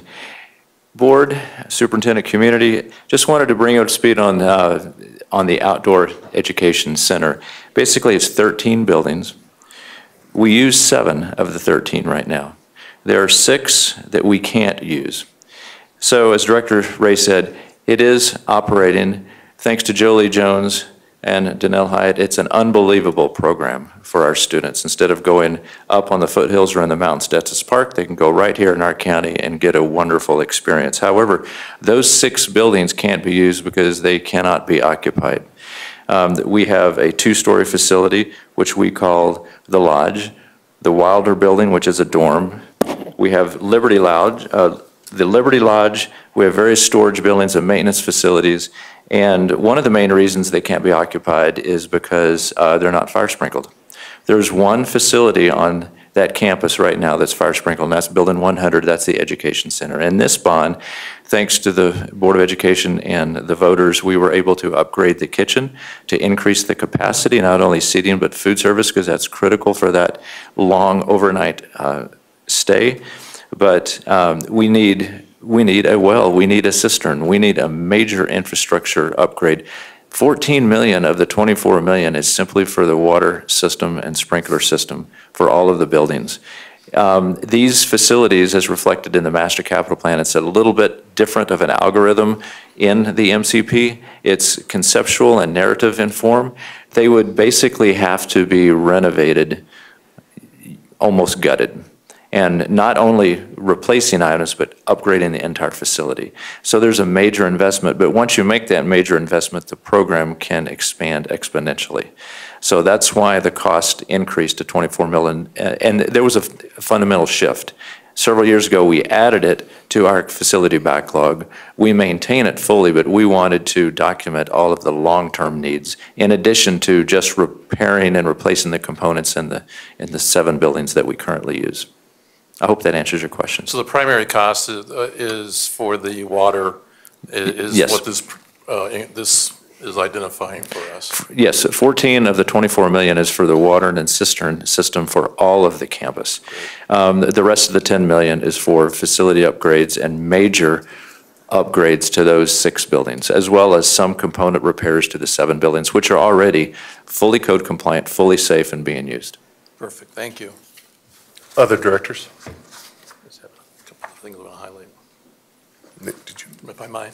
I, I do want to just highlight something out of the executive summary.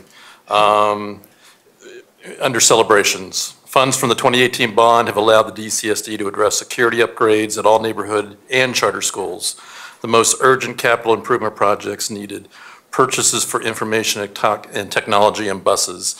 And I read that because I hope we can read that same statement three years from now, um, to be able to say that the 2023 uh, bond has, has done that. But I, I think, Mr. Mugler, you, you captured it well, the significant improvements we were to make out of that 2018 bond um, was incredible. And, and um, I think it just, again, just accentuates what we can hope for in the future should we be able to secure the funding for continued Yes. improvement. So thank you for that. Sure. One other thing we did add in this year was uh, where the district was able to raise some funds, like the sale of the Cantril School. So there's a se- a paragraph, I think, in there that talks about the various things that we generated revenue from, not just spent money on. Yeah. And one last, I'll go to Director Meek and then back to Director Ray. forget that you're my left. I think I'm cut off. Okay, it's working. Um, Has the committee ever brainstormed ways to use the document to communicate to the community? I know that's probably not part of the charge for the LRPC, but I'm just wondering, is that something that's ever been brainstormed with the committee? Um, We've not had a long discussion about it, but we have had some discussion about would it function better, for example, in two volumes, rather than one that's a a mighty tome? Uh, And if so, would that be more useful to folks? Or there ways that we could easily have packets that have those individual school sheets available to principals, so that they would have that available when they're talking to their PTA or their, uh, their school uh, funding committee. So we've had some discussion, but I think it's something that we want to continue looking at is, is this the best format? Uh, it- Now that it's electronic and on the website, it's a lot easier for people to search. Are there other ways that we can do that? Thank you. I asked that for us to think about as well as a board, just because we went through multiple interviews earlier this evening, and a common theme was, we need to do a better job at educating folks. You know, we need to help people understand. And sometimes it's great, we can produce materials, but thinking about how we make the most of those materials to help educate the community and to also explain, you know, if these costs continue to grow, right? And if we're not able to fund them, they come out of the operating costs of the district, I believe. That is how I think it's happened in the past when we were unable to pass a bond. And so then it is taking money that would otherwise be used to educate students in order to do maintenance and, you know, the most tier one urgent needs. And so I just think there are some ways that maybe we could utilize this to help advance how we're educating the community. And maybe that's something for us to think about as a board when we have a retreat. Director Ray. Just one last thing I want to, to accentuate and, and celebrate. Um, and John actually was, uh, I think, the catalyst of this, but, uh, and I think Director Meek is also alluding to this in terms of all the different resources we use to come to the decisions that we do. But um, specifically, the section that talks about the capital improvement plan versus the master capital plan versus the, the bond plan. And I think that was such a tremendous improvement that we did a couple of years ago. Thank you, John, for, for being persistent on that. But I think it really shows um, our community that, that there's different tools that we use to identify the tier needs. There, there's different tools that uh, Mr. Cosgrove uses to monitor capital improvements versus projecting out what are the capital needs. And so I, I just think that, again, I, I, I know we can discuss the format, but I love everything that's there in one place that really, to me, is an incredible reference tool for any community member what, that wants to understand the why of why we're asking for more monies. They just need to pick up that book and, and it's, and they see it. So, so thank you, John. Yes. Thank you, Mr. Mugler, Yes. um, as well for And leading the, staff. leading the group. Thank you. Any other directors? Okay, thank you, Mr. Mugler. I'll make a motion if we want. Uh, You may make a motion. and I'll we move, do I'll want- move that we accept the master capital plan as presented. Motion by Ray, Second? second by Meek. Without discussion, I will take the roll. Meek? Aye. Myers? Aye. Peterson, aye. Ray? Aye. Williams? Thank you, LRPC. Aye. Winegar? Aye. Passed six to zero. And thank you again to our LRPC. Next, uh, uh, actually, uh, approval of boundary changes for Coyote Creek Elementary and Trailblazer Elementary. So Superintendent, uh, whoever you'd like to introduce for this round. Planning Director Siobhan Caldwell will be presenting this one um, with, with some help from COO Rich Cosgrove. Okay, we're looking for 15 minutes and then five-minute Q and A. Thank you. Good evening, directors. Um, I want to start off by acknowledging our new planning specialist, Chris Meehan, in the audience. Our planning department went from one to two this year, so getting this done on a quick timeline, he was very instrumental in. And we also have on the line our uh, consultant from Western Demographics Incorporated. He's our school planning and demographics consultant. So I'll give the presentation, but he'll be available for any questions. He has a very long history with this uh, project in this area. Um, So we're going to start with the, the agenda. I always like to provide an outline of what we're going to talk about. So we're going to talk about why there's a need for this additional overflow elementary school and boundary assignment, the additional overflow elementary school and boundary assignment that's being recommended by staff and the district uh, planning consultant, why we're recommending immediate action, so why we're recommending that we act now, the outreach and engagement that we've performed since the need was identified, um, go over and acknowledge that there are impacts uh, to this decision, but that we've done our absolute best to engage with our stakeholders and accommodate any input and requests that they've had. And then go over questions and considerations um, that were posed primarily by the LRPC, but also by the builder and development community members we met with. And then we have a lot of data to refer to in the appendices if there's additional question. So the need, um, why is there a need for this additional overflow school? And what is that need? In short, Sterling Ranch and Solstice developments continue to generate students. And the current overflow elementary school, which is Coyote Creek for these new developing areas, um, is exceeding its ideal capacity. So you can see from the table that next year Coyote Creek will be at 115% of its facility capacity Two portable classrooms will be added this summer to provide the needed seats. Um, But by the 2024-25 school year, and then especially by the five years out, um, we are projected to be 210 seats short at that school, even with all the mobile pads occupied. Um, So with the need for a new neighborhood elementary school in this area identified in the MCP, uh, but funding unknown at this point, uh, and the soonest that a school could be open would be 20, the 26-27 school year. Um, This is a immediate need. Uh, As you can see from the table shown, there is available capacity at Roxborough Elementary Schools, um, but we're not recommending boundary assignment to those schools at this time uh, for a few reasons that I'll just go over right now. So primarily, Roxborough Schools are not being recommended as the additional overflow location um, because the developments most adjacent to those schools are about only one half of the way built out.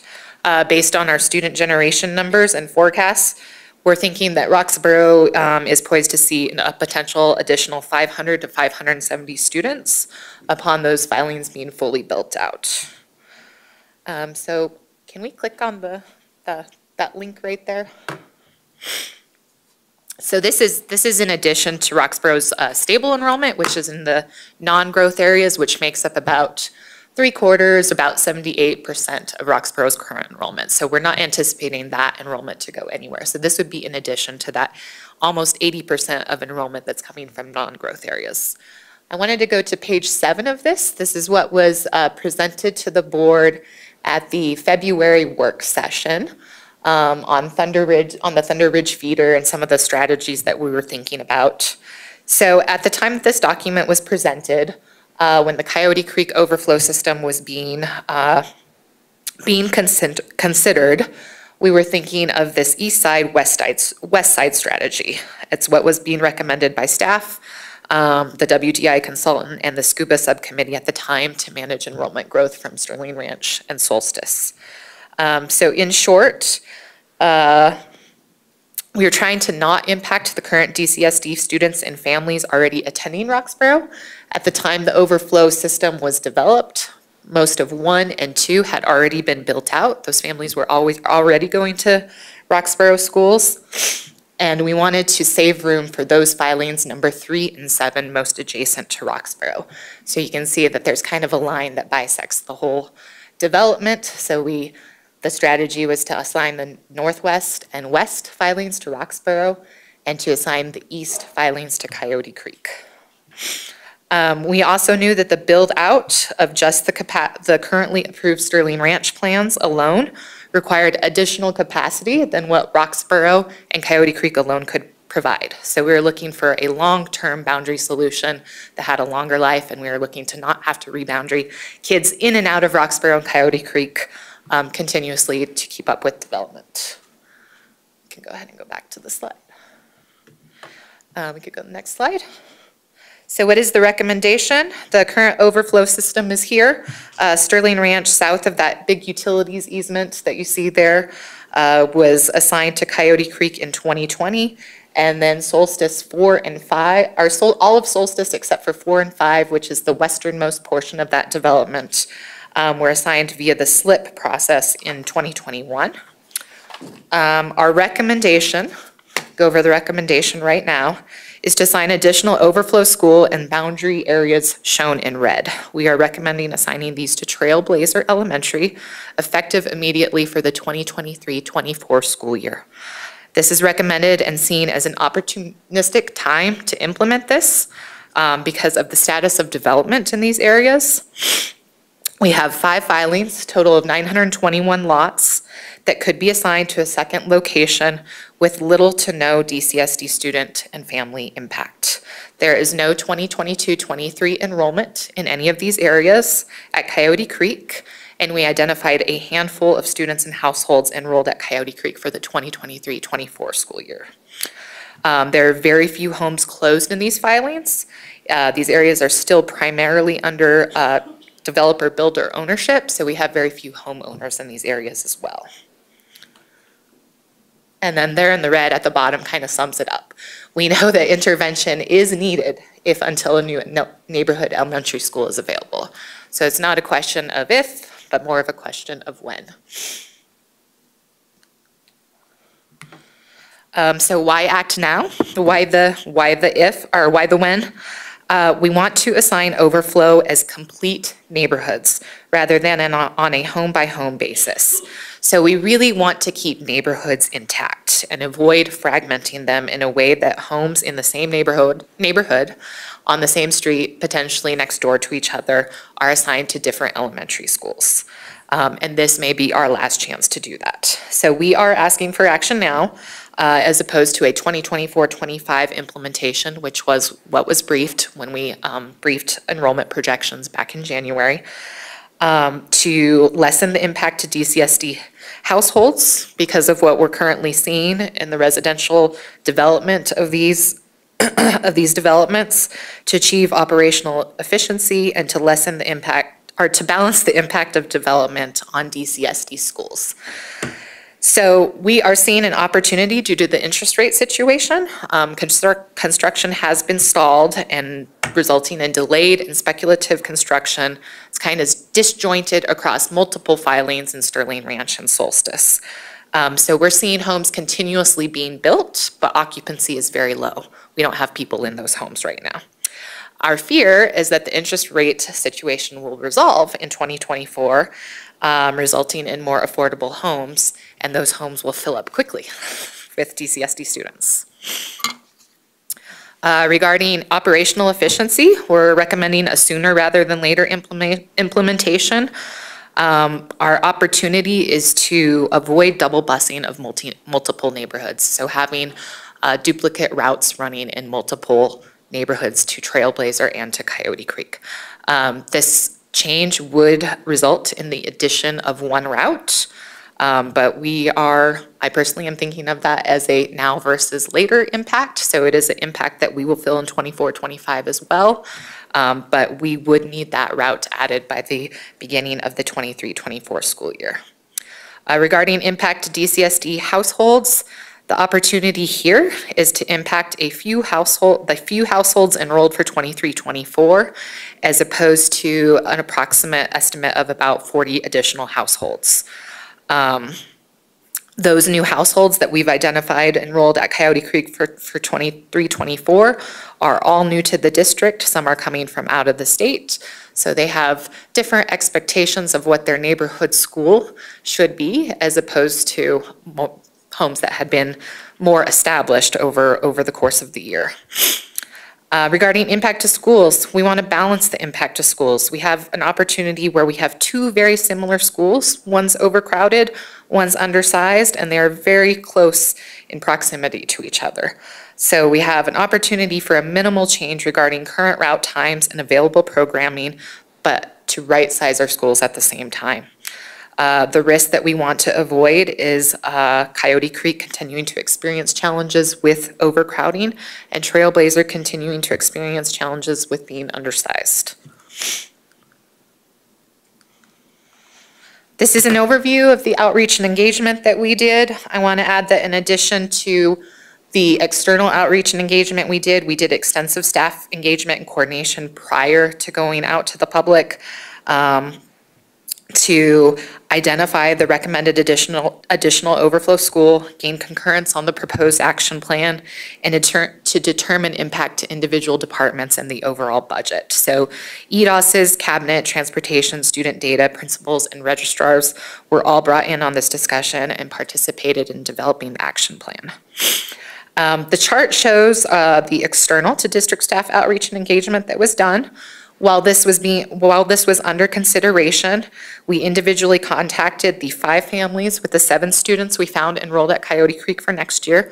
They explained the proposal, given opportunity to engage, given our personal contact information, and they were um, asked what their school of preference was and if they had a need or desire for DCSD transportation. So you'll see in the next slide that some, of- some of these households that were contacted actually preferred or didn't have a preference and are going to be going to Trailblazer instead of Coyote Creek.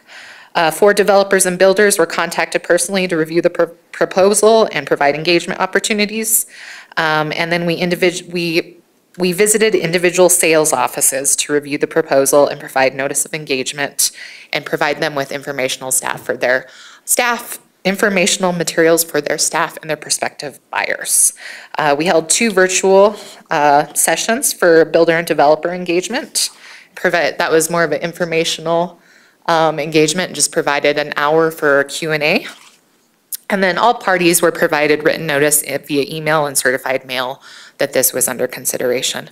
Um, And we will do the same following tonight's decision. We'll be following up personally with those families that we found, doing an additional sales office visit, and notifying everybody via email and certified mail. Uh, The LRPC was a big part of our outreach and engagement and considering this. I want to thank them as well for hurrying and attending uh, a special meeting and then the June 7th meeting.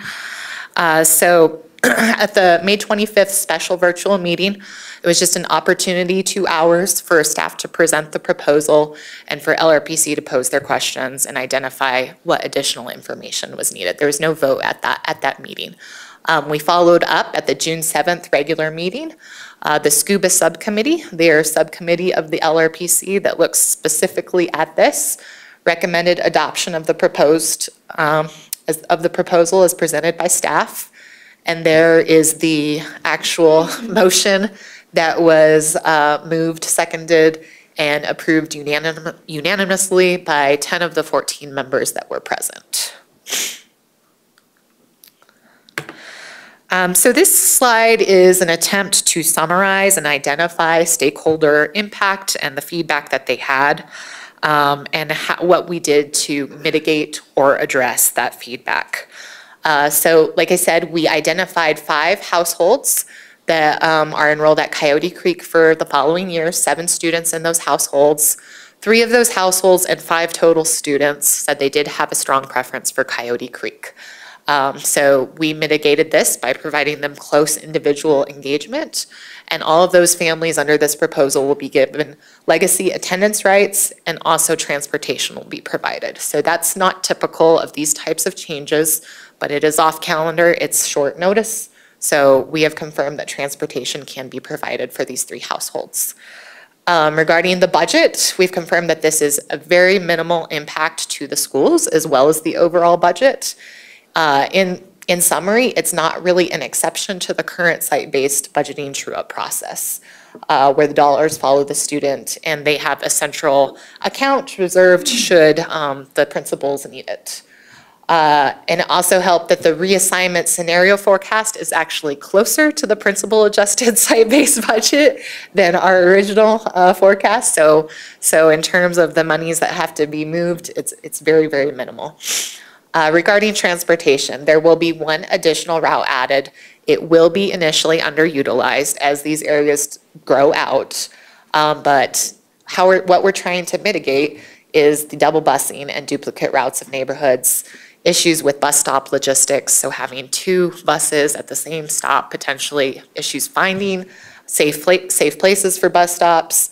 And we have an opportunity where we have confirmed that there's really no difference in the existing route times between the current overflow location and Trailblazer. Uh, The builder developers, the four builder developers impact, impacted, we did thorough engagement and provided opportunity to respond to all their questions and provided resources for their sales staff and prospective buyers. I will go over, um, from one builder developer, we had a question that we had to have about three meetings to, to work through why, why it wasn't a viable alternative, but we have their support now and they're, they're fully on board. Um, so that's, uh, that's Shea Properties. So they are, they're fully on board right now. So property and homeowners, 14 homeowners were identified. We did individual engagement again with those that had DCSD students enrolled next year and thorough notification and opportunity for engagement via certified mail and email. So these are some of the additional questions and considerations that were posed by LRPC and the builder developer community. Um, The main question was, why now? What's the urgency? What's the, what's the call to action? Why are we in a rush? So we are responding to unprecedented residential development environment that we have not seen before.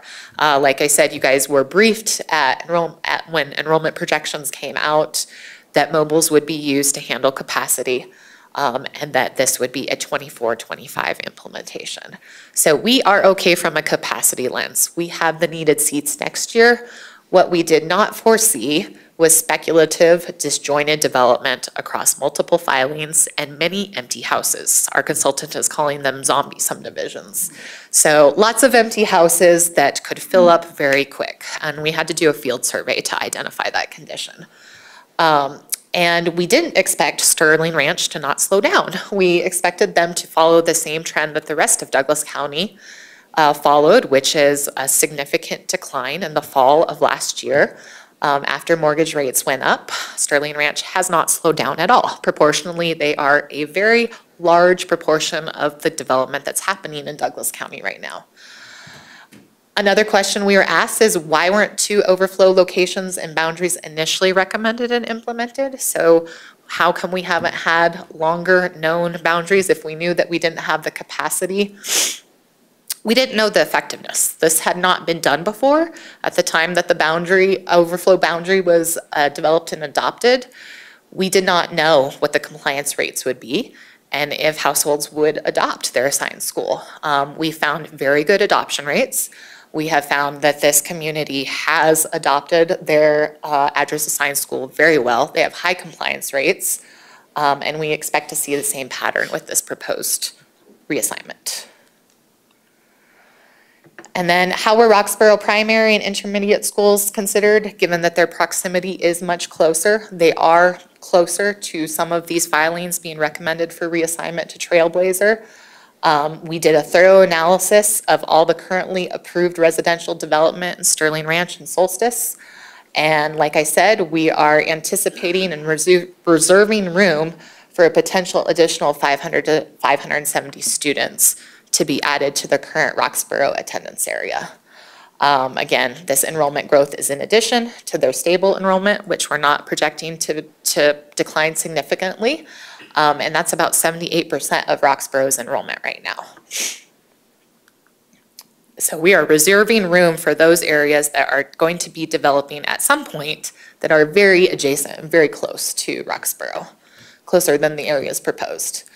Um, so we were asked if this is a long-term solution, can adjustments be made so all of Solstice goes to Trailblazer and all of Sterling Ranch goes to Coyote Creek? That's the question we got from our builder developer community. Um, preferred to keep Solstice intact. So our explanation was that this is possible, but that we prioritize reducing and avoiding, uh, if at all possible, disruption to DCSD students and families. So this would be prioritizing developers' concerns above our DCSD families and students, and that's our top priority is to not disrupt their educational career.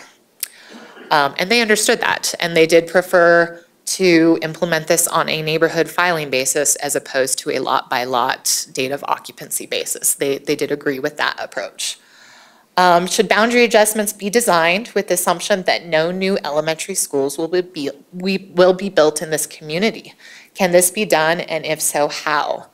This can be done, um, but this would require students to be permanently bused across Highway 85 and further into Highlands Ranch to schools with capacity. So this would be a permanent change to our service model of providing neighborhood schools where needed. So this is not only a solution that would be addressing this area, but a permanent change into what we recommend in the master capital plan, the LRPC previous recommendations, Board of Education approvals, and it also does not align with the initially proposed growth and decline plan. Um, This alternative may not, als- may also not be feasible from a transportation perspective. We don't know if we could uh, staff and transport all those students. Boundary adjustments should be designed so that students are not moved more than once, so their educational career is not interrupted regardless of whether or not a new neighborhood school is built. Can this be done? That is what we're trying to do. That is the number one priority of this recommendation, is to have longer lasting boundary changes and to not interrupt uh, DCSD students' educational career. So we are trying to avoid imposing multiple changes to individual students, and this is our top priority when considering, considering overflow designation and boundary adjustments. Uh, We do still believe that the ultimate resolution of this overflow system is a new, new neighborhood school in the region. Uh, We believe that disruption of movement to a new local neighborhood school would be minimal. In the words of our planning consultant, who's, who has done this across the nation, across the state, they all come home willingly. So students all go, go, when the new school is built, they all go to the new neighborhood school willingly and, um, yeah, without issue. Will DCSD continue to be faced with the same tough considerations and requests for recommendations? This is from an LRPC member. Uh, Wouldn't grade reconfiguration, moving sixth grade to Ranch View Middle School, provide a longer lasting and less disruptive solution that doesn't require constant evaluation and overflow reassignment?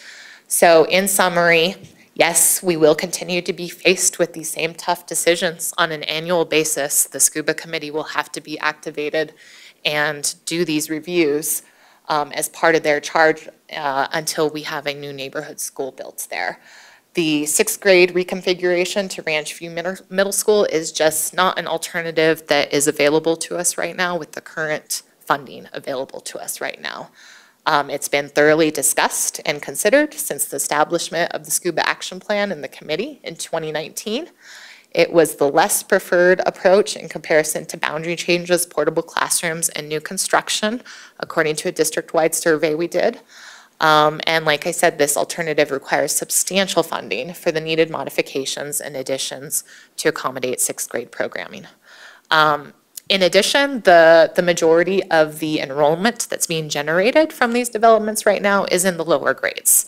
So this would provide just a portion of the uh, capacity that's needed, and you would still have overflow busing on top of that at that cost. So it's not it's not a preferred alternative. Um, and then again, this alternative may not be feasible from a transportation perspective. You still have to transport all those overflow kids, and then you have to transport the sixth graders to Ranch View. And then we have, so I have a lot of appendices. If anybody's interested, I will end there and let, let you guys ask questions of me and the uh, consultant Shannon Bingham.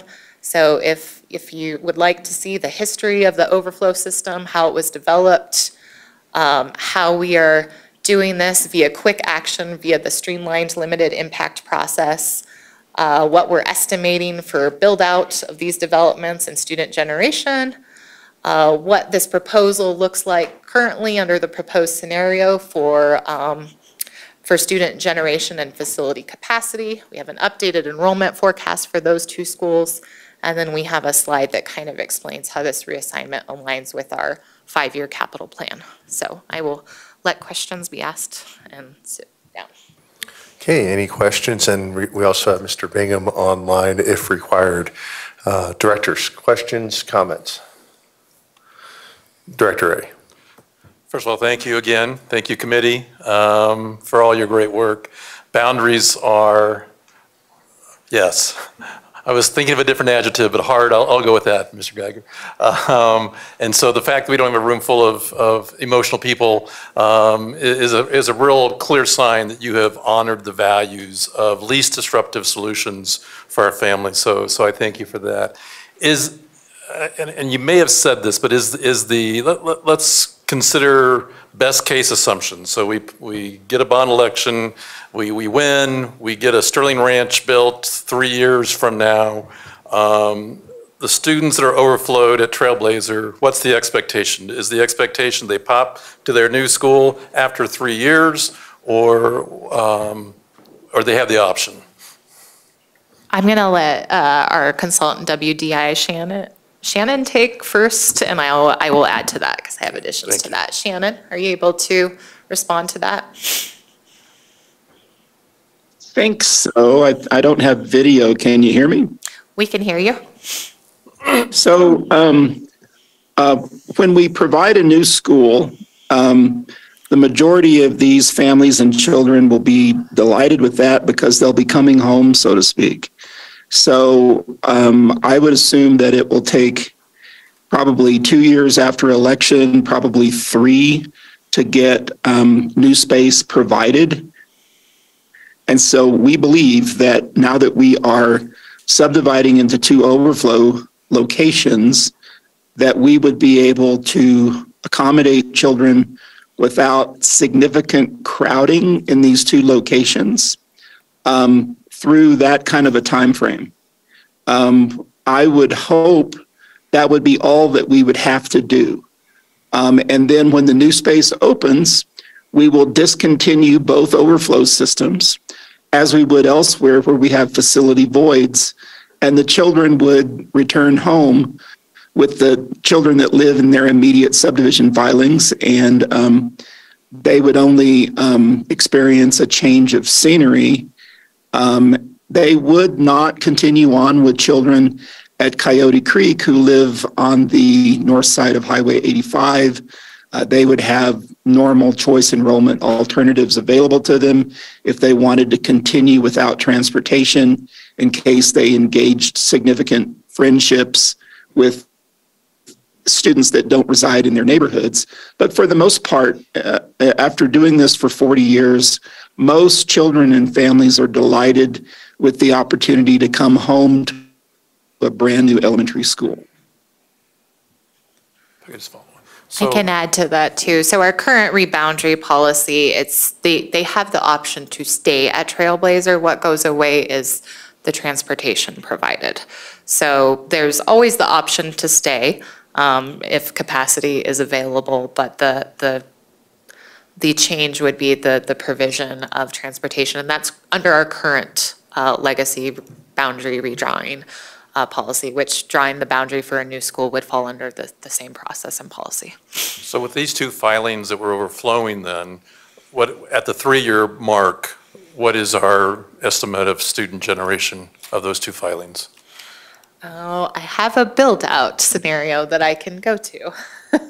So for all the, is that what you're asking? I was For just all wondering, yeah, the At that three-year mark, how many students would then be going home, as Mr. Bingham said, or have the option to, to remain at their Can we current go school? to the um, enroll, the projected enrollment slide? The updated forecast scenario? I will. So I think this is. Sorry, no, keep going. That link right there. So this is an updated forecast for Coyote Creek and Trailblazer. Let's go down to the bottom. Um, the, oh, let's go to the middle, sorry, just shows us the delta. So by year three, 2025, um, there's an estimated 84 kiddos that this reboundary is, is reassigning. Thank you.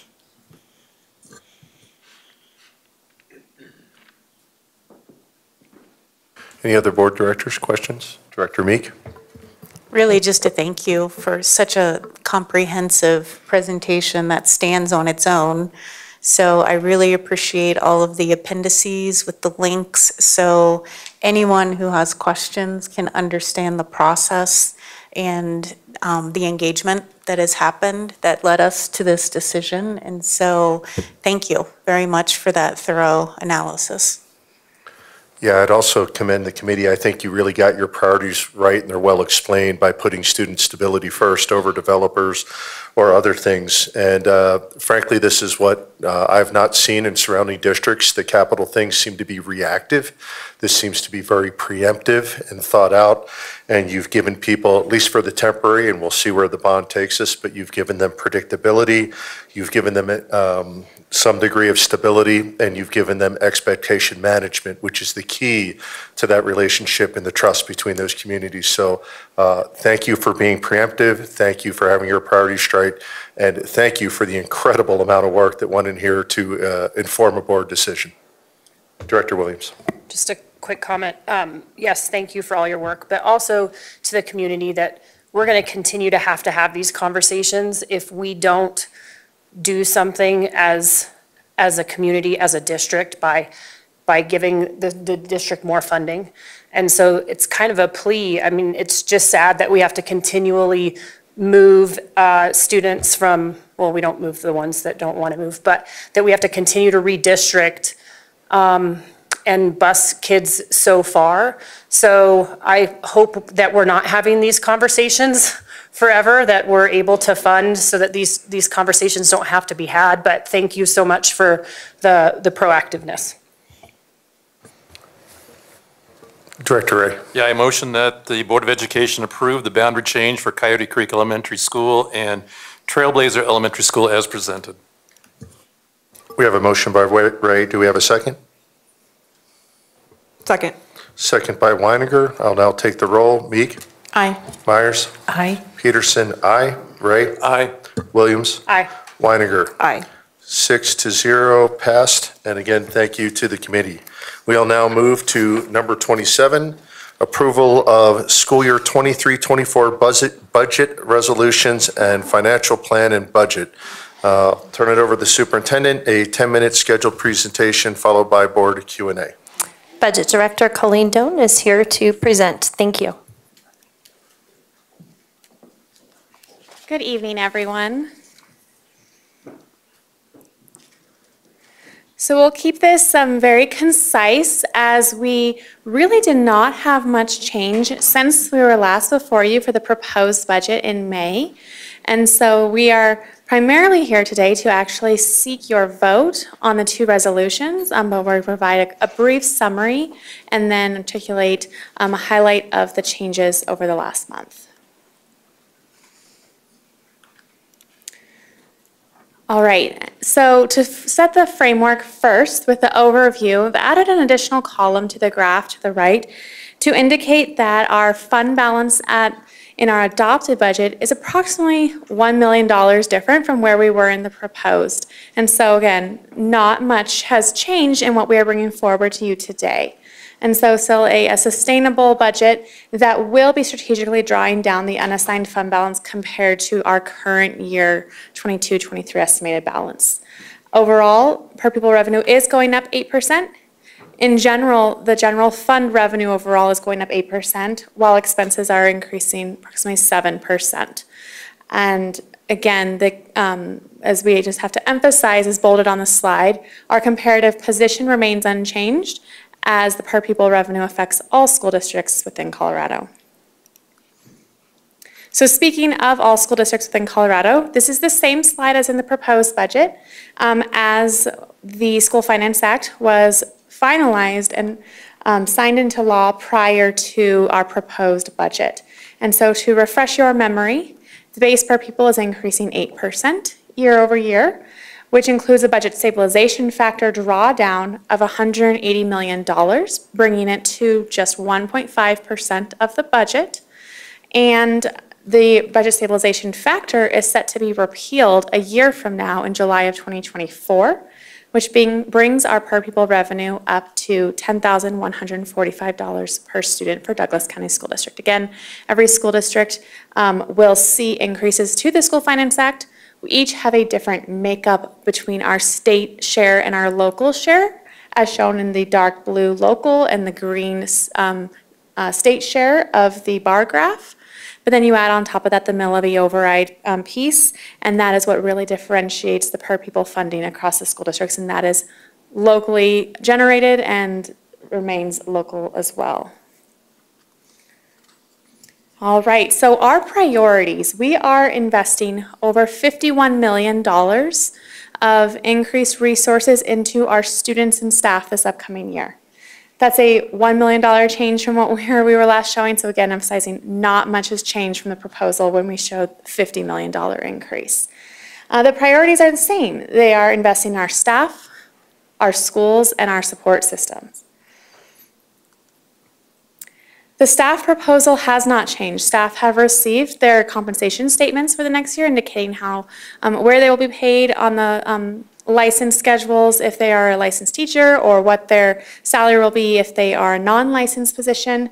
And these are the increases that uh, the Board of Education has already um, supported for the year. So compensation increases for all of our employees, um, benefit costs remaining flat, Retention stipend is actually out of this fiscal year, not the 23-24, but that will come in September. And then all employees will receive the additional personal day. So enhancements in schools, this is where we actually see an addition compared to our proposed budget. So in our proposed budget, we showed increases of $9 million, and they were in mental health, special education, gifted and talented, and then maintaining the school's purchasing power within their discretionary funds to cover for cost of living. The enhancement here is additional substitute support. So our schools are um, budget out of their non-discretionary funds, meaning they're given in a prescribed manner and they do not carry over resources to pay for substitutes when teachers are um, out for um, absences due to sick or personal day use. And we have found since the pandemic that with the shortage of subs and increase of illness that we have been exceeding that budget and schools have been on the hook for that difference. And so we listened to our principals. Our principals um, had a great conversation in May and we pulled together um, an increased proposal um, that uh, Superintendent Kane's cabinet recommended um, to increase the support um, financially for substitutes within school budgets. So it doesn't change the rates for substitutes, but it increases how much money is held within each school budget to cover for substitutes. And then investing in support systems. This total um, is the same as it was within the proposed budget. Um, a little um, small shifts in some departments, but really um, nothing um, to a financially material level uh, changing the support systems within our proposed budget. And so all of that detail um, at the amounts per department is included within the actual adopted financial plan and budget that you have within your materials today. So as we look at the summary um, here with, uh, within a pie chart, um, we are seeing that shift but from district managed student programming to school managed student programming, but overall the pie of dollars is um, slightly increased as we um, did invest those additional dollars into substitutes. And so 72% of the combined general fund will be budgeted directly within schools. These are the dollars that are um, under the financial ownership of our school principals. So what we're actually asking for today, like I mentioned at the beginning, is your vote on two resolutions. The first one is our appropriation resolution. This is the authority to spend money. This is really important because we are not authorized by law to spend any money July 1 until we receive a vote of the Board of Education. We are not allowed to exceed these dollars, um, even by a single dollar on over $800 million. And so this is what we are asking for you to approve. And if there's a zero by the fund, that just means that we will not be utilizing that fund um, in the upcoming year. And then our second resolution that we are seeking um, your vote on tonight is the use of fund balance. This is indicating that we are intentionally drawing down or using our reserves across a variety of funds so that our ending fund balance will be less than our beginning fund balance. And so the funds where we are intentionally drawing down the reserves are our general fund, our capital projects fund, the transportation fund, our pupil activity fund, the child care fund, our certificate of participation lease payment, the building fund, and short-term disability. Um, again, these are all intentional. None will create any long-term financial stability issues. So then finally, um, to assist you in your um, decision-making on the vote, as well as to provide additional clarity to you and our public, we've included within the board agenda item all the supplementary information. So our full financial plan and budget um, is comprehensive review of all things financial related to this upcoming school year. It includes the fund level financials on all school districts. It includes a three-year forecast um, on each of these same funds to provide that multi-year perspective. It includes five years of financials on every single school, neighborhood alternative and charter, and every single department. Um, and then there are the resolutions within there as well. So this does need to happen by statute um, by June 30th. That is the legal deadline. And then later this summer, we will be releasing our full uh, budget book, which will include a bunch of uh, non-financial information that is pertinent to the budget as well. So that wraps up this presentation, and now happy to take any questions on our 23-24 budget. Director's questions, comments. Director Winegar. Um, Thanks for the presentation, Colleen. Um, Just for the board's benefit, the FOC did view this presentation at their June 8th meeting and provided a memo with their um, comments, which I'm sure you all saw because it was attached. And just a very quick summary, they um, recognize that our spending is more than our revenue due to us investing so much in our teachers, which we should, and our staff, and all the other great things that keep our schools running with the people. Um, and they just had comments around how that is unsustainable um, in the long term, and, you know, funding is needed and other um, changes would be needed in the long term. So um, just want to thank the FOC for putting that all together and thought they had some great ideas and recommendations and things to look closer at, um, maybe for this next year. But I, I think this is a great job well done, and thank you for your presentation. Other directors? Yes, Director Winegar. Director Ray? Yeah, Director Winegar, uh, a question about that, and I'm, um, I'm wondering about how we pace our timing with FOC, because I was a little surprised that FOC is giving these recommendations, and I agree that certainly they can be worked on for next year, but kind of my understanding has always been that the FOC um, is kind of the, um, they see this first, and then they give us recommendations regarding approval. So I'm just wondering, is there, is there a reason why FOC is making this recommendation so late before staff have had a chance to really respond to it? Or, and should we be looking at a different timeline where we get the FOC's recommendations before we're asked to approve the final budget? Does that make sense? I believe it has to do with staff's um, workload and getting the final budget put together.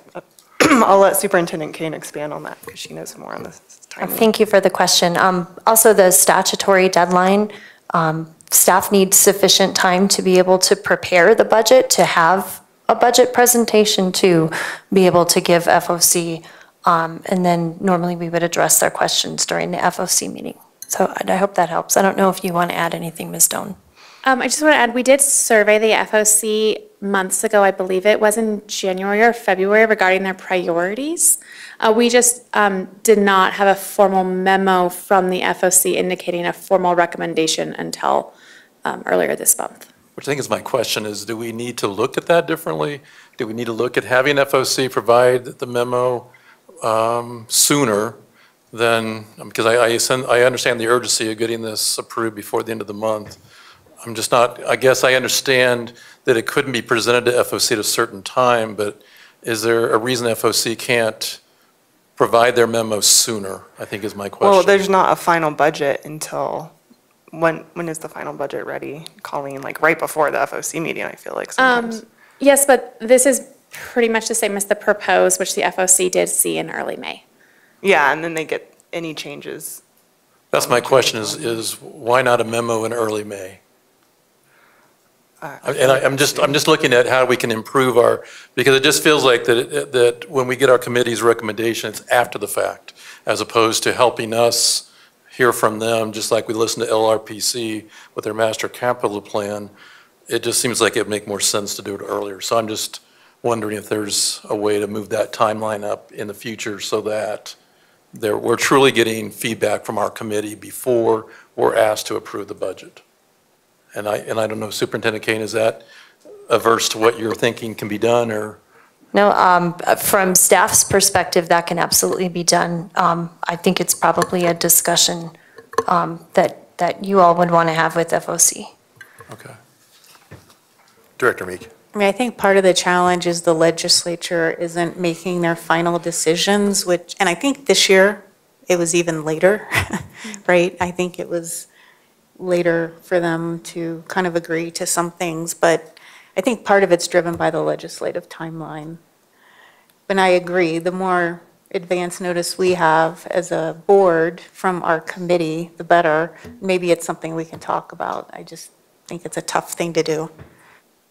Yeah, the one question I would have, and maybe it's for Director Weiniger and, and, and for others, there is a recommendation in the FOC memo of using in the future some of the undesignated reserves to create designated reserves for operating and capital improvements. And the, the FOC said that would provide greater stability for the board to adapt uh, to the unknown financial needs in the future. It's just wondering if you could expound upon the committee's thoughts on that, or maybe get a superintendent comment on that recommendation for future budgets. Yeah, from my understanding, um, the discussion at FOC was, um, wow, we have all these unassigned reserves, um, and it was building up, like, why don't we use that money maybe to build schools or maybe to do this? And I think they, um, felt like it was kind of like, okay, why do you have all this money in savings? You're not doing anything with it. And there is, um, it's good to have a healthy balance of cash that you're holding for just in case, but I think they, their thoughts were just labeling those more um, specifically than what we have them. Superintendent Kane, thoughts? Well, as um, Director Doan mentioned, we are strategically planning to draw down fund balance so that we can hold on to our people. So that is, um, that is a, a significant piece of it. But certainly if we are unable to get any capital funding, that is where we would have to look um, in order to be able to meet our capital needs. While keeping in mind, I do want to also remind um, the board that part of our financial stability is our credit rating, and our credit rating does depend on um, a certain amount of reserves. So there's just a really, really careful balance there, because if we lose our credit rating, um, that's, that's a significant impact on not only the district, but our taxpayers as well. So um, it's just a delicate balance. Thank you, Superintendent. Director Ray? So is there a concern? I, I, I mean, since we are kind of in the deficit, spend down the, the, the fund balance, is there a concern that our rating would change? Uh, I'm sorry if that's what I communicated. No, no, there is not a concern. Again, uh, Ms. Colleen has shown, um, in her last presentation, she showed the fund balance um, being strategically drawn down and then how it will be all right. Um, In a few years, it'll be back to where it was. Um, My comment was with respect to the idea of spending all of the unreserved fund balance on capital projects. Um, That's the balance that I was referring to. We're absolutely not in any danger of our credit rating changing anytime soon. But if we spent everything we had on capital, um, that would be a different situation. Thank you, Superintendent. Other directors? Director Ray? So- So one of the things, and I, I know I've talked with Ms. Doan and also Ms. Leishner about this, I think one of the things we don't celebrate enough in, in your financial plan is how we differentiate funding for needs of students. And, and I would love, you know, I, I know we're not prepared to do that tonight, but one of the, th- the, the moments I had as I was looking through the, the financial plan was just really seeing the variation and really seeing equitable distribution of funds um, in a very concrete way. And, you know, that's something we've worked on for a long time, where we don't just say every, you know, you get your $10,000 per student and good luck. We, we listen to uh, whether or not there's a highly impacted school, or whether the school has extraordinary circumstances that requires additional funding beyond just the, um, the, the standard amounts of sometime, not now.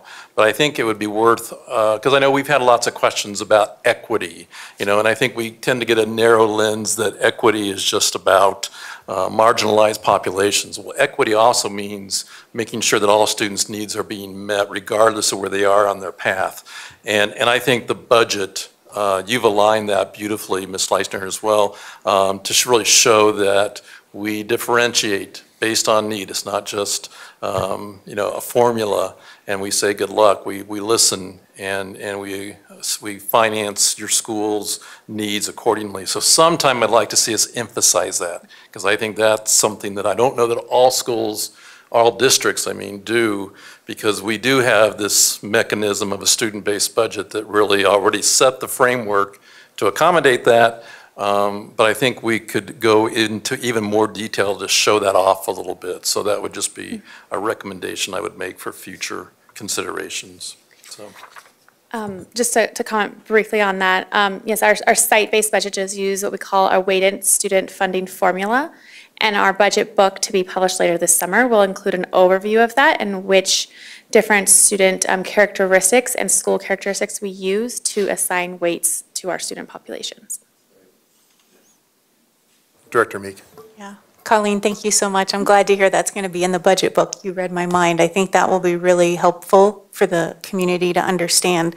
And really, I just wanted to commend you on all of the work that your small but mighty team does to pull this together. And I know it's a, it's a heavy lift at this time of year. So thank you. Thank you. Any other discussion or questions by directors? Director Ray? Yeah, and um, I also brought up the notion, this, the board at our last meeting approved a $10 increase in student fees across the board. And that's an increased revenue stream that we didn't anticipate. My understanding from your budget team is that we'll see that reconciled in the January 2024 report. But if you can just kind of give our community an overview of when they're spending that additional $10, where does that revenue show up? Where will it show up in our budget? And how will schools benefit uh, from that additional revenue? Uh, Yes, instructional material fees, which I believe is what you are referring to, um, are site-based discretionary funds, and so they'll be retained with the school. So um, that would be something that would be recorded at the individual school's cost center and um, can directly offset any materials or curricular purchases made by that school's budget in that year. And should the revenue exceed the expense, um, it is eligible to carry over within the school's balance. And we estimate that to be somewhere between 400 to 600 600,000 additional revenue for just that increase in Um, fee? I'm not prepared to answer that right now, as I haven't done that analysis yet. Okay, very good. Thank you. Okay, seeing no other questions or comments by directors, I'll call the roll, the rec, or sorry, I'll entertain a motion, then call the roll. The recommendation is the Board of Education approve the school year 2023-2024 adopted financial plan and budget as presented. Do we have a motion? I'll motion that we approve the financial plan, which also includes the op- appropriation resolution and the use of fund balance resolution. Thank you for the clarification. As motioned by Director Ray, do we have a second? Second. Second by Myers. I will now take the roll. Meek? Aye. Myers? Aye. Peterson, aye. Ray? Aye. Williams? Aye. Winegar? Aye. Passed six to zero. Thank you, Ms. Stone, who was already seated. Um, Item number 28, funding options to meet capital and operating needs. Uh, This is an info-only item scheduled for 15-minute presentation. You have the, um, the outgoing chair and the incoming chair of the Fiscal Oversight Committee. Gentlemen, I'll have you introduce yourselves. Thank you. Thank you, Superintendent Kane. Uh, My name is Jim Morris. I'm the outgoing chair of FOC. Um, I'll introduce my, been my vice chair for a number of years and will now be, as of July 1st, the chair of FOC going forward. So um, I just take a couple minutes to say that the five years I've spent on FOC has been an incredible learning experience. And, you know, with the board changes and staff changes, there's been two faces that I've seen at every meeting for five years, and and that's the two ladies sitting back here. Where- Where did Jana go? There she is. Um, Jana and Colleen. So I want to thank them for um, all their information and, and taking time uh, to work with FOC and, and putting up with some erroneous questions sometimes from me. So um, I'll just cover this real briefly. Um, So when we started the school year last year, uh, the board uh, gave us a list of things they wanted us to do this year. This was one of them. To look at, you know, what else can the board do to increase funding for the district? And so this information literally comes right from the um, CDE website. And we've taken it and put it into memo form and then given you a little bit of FOC comments um, on the discussion that we had on this memo. So obviously, number one, uh, as the district has used in the past, bonded indebtedness to raise money to do things. Um, And obviously, it takes a, a vote of the voters in the district uh, to approve that. And of course, then, you know, the district's required to pay principal and interest going forward. Um, The district is limited to outstanding bond indebtedness of not in excess of 20% or 25% for rapidly growing districts. That's not an issue for us here. Um, District shall invite charter schools to participate in the discussions regarding possible ballot questions. And so again, our comments here on the bottom of, of number one is this is historically how DCSD has used bonding authority. it involves significant issuance costs. So based on the information, you know, you can look at the, the 2018 approval and the bond that was issued in 2019 and see what kind of issuance costs were involved. And based on staff discussions with FOC, you know, they're estimating that a $450 million bond, for example, would have about a $25 million issuance cost. So that's the people you're paying, what I call the players, um, in the environment that it takes to issue bonds, okay? Um, The second item I want to talk about is number two on the list here, the Special Building and Technology Fund. So again, the district would have to hold an election, get voter approval, and you could levy up to 10 mills for no more than three years. Money generated by this levy could be used to purchase land, construction, purchase, and maintenance of facilities, purchase and installation of building security, instructional, and informational technology. So again, pretty broad, just like a bond, very broad. So again, it's similar to though, like an MLO where it would be, you know, annual money for a certain period of time. In this case, up to three years. So 10 mills. So prior to the, you know, what's coming with property tax valuations, one mill here in the district, I believe, generated about $8 million. And the projection, um, based on comments from staff, that with what we're seeing coming down the road, unless something happens, um, one mill would generate about eleven and a half million dollars in revenue. So that would be, you know, if you did ten times eleven and a half for three years. So it, you know, it's a, uh, where you issue a bond, you get the money up front. Or if you issue the bond in two issuances, you would get some now and some two years from now. And then you'd repay that bond for twenty years with interest. With this fund, like the MLO, it's annual money. There's no issuance costs but you only get the money for three years. Okay? All right.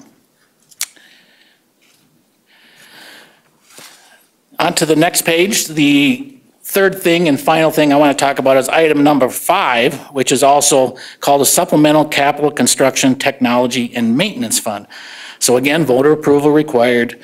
You can expand your tax revenue, providing ongoing cash funding for capital construction, new technology, existing technology upgrades, maintenance needs of the district. So again, uh, you have to ask the charter schools to have those discussions with you.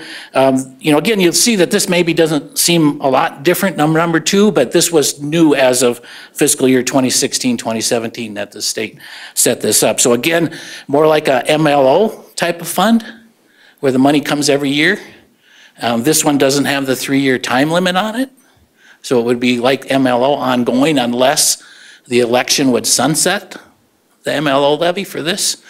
Uh, And so again, you know, the one mill would, you know, be the eleven and a half million dollars estimated based on the new valuation. So again, this recurring funding source would not involve any issuance costs or interest payments because the money would just come each year with tax revenue. Uh, This funding source could also more closely, uh, closely match the period over which, you know, shorter-lived assets, you know, would be used. So, for example, you wouldn't necessarily take 20-year bond money to buy computers, uh, that you're going to pay that money back over, you know, a longer period of time potentially, so. So, um, data from the CDE for school year 21, 22, which was the latest data that I could get, said that six districts in Colorado use either the Special Building and Technology Fund or Supplemental Capital Construction Technology and Maintenance Fund, MLOs. Cherry Creek, Littleton, Boulder, and Denver are nearby districts that have these sources for funding. And I will open it up for questions. Thank you, Mr. Maris. Uh, Any questions from directors? Director Winegar and then Director Meek. Thanks for coming and presenting, Jim. I actually um, asked to have Jim present on this. And just so you know, this isn't to talk about this year's funding. Um, I think we put in a lot of work to, well, the staff has put in a lot of work to figure out what to um, do on the ballot this year. This is more for future years and just another way of thinking, hmm, maybe this, these ones are more appealing to our taxpayers if, if need be. Um, And then also, I just want to note, the reason Jim skip number three and four is because we're not eligible for those ones, correct? Right, so, so the loan program for capital improvements, there's no districts in the state that use that option right now.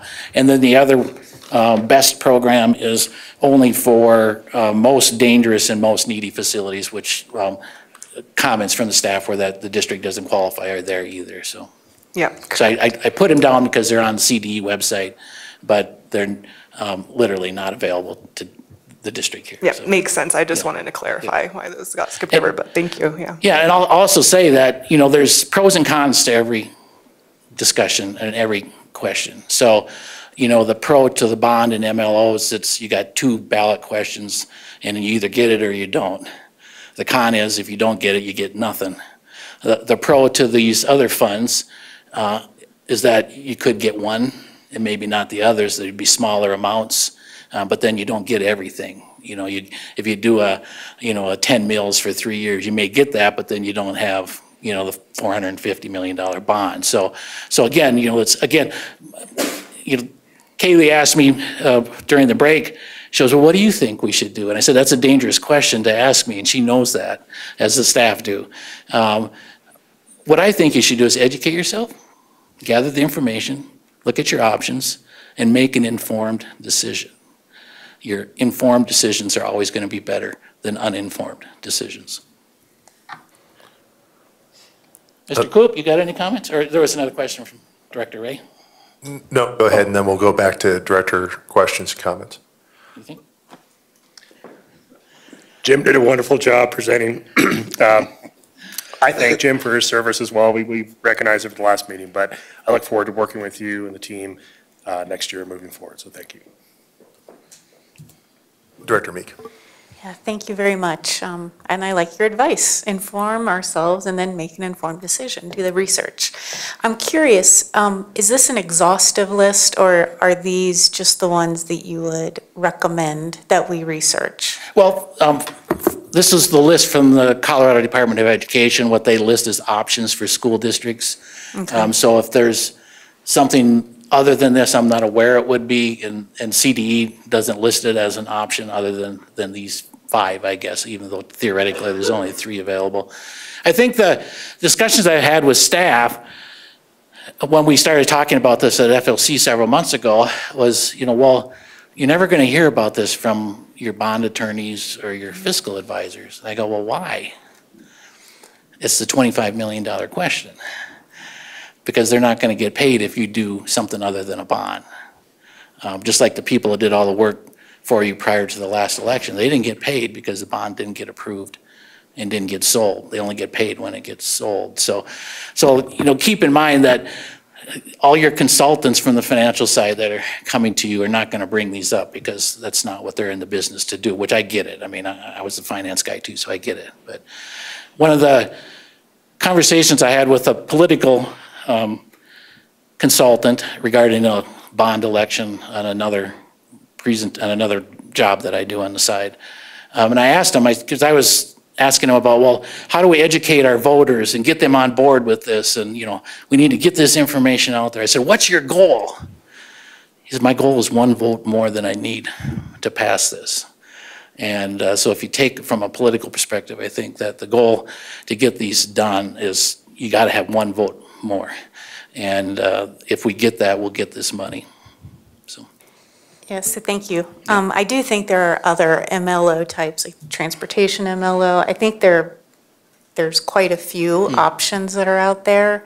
And I think the Colorado School Finance Project actually tracks every district um, and the type of bond or MLO.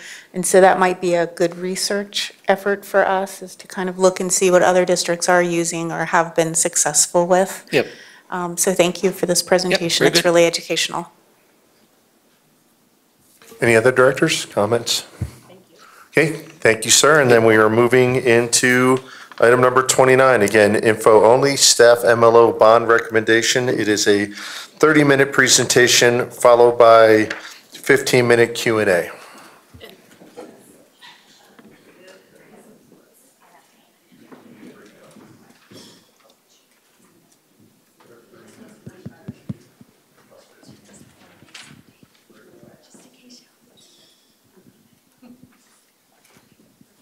Okay, 10-minute recess right now, sorry. And uh, then we will have our presentation, since it is scheduled for 30 minutes with 15-minute Q and A. It is, uh, we'll just call it 8 o'clock. We'll reconvene at 8:10. Thank you. Sorry, staff.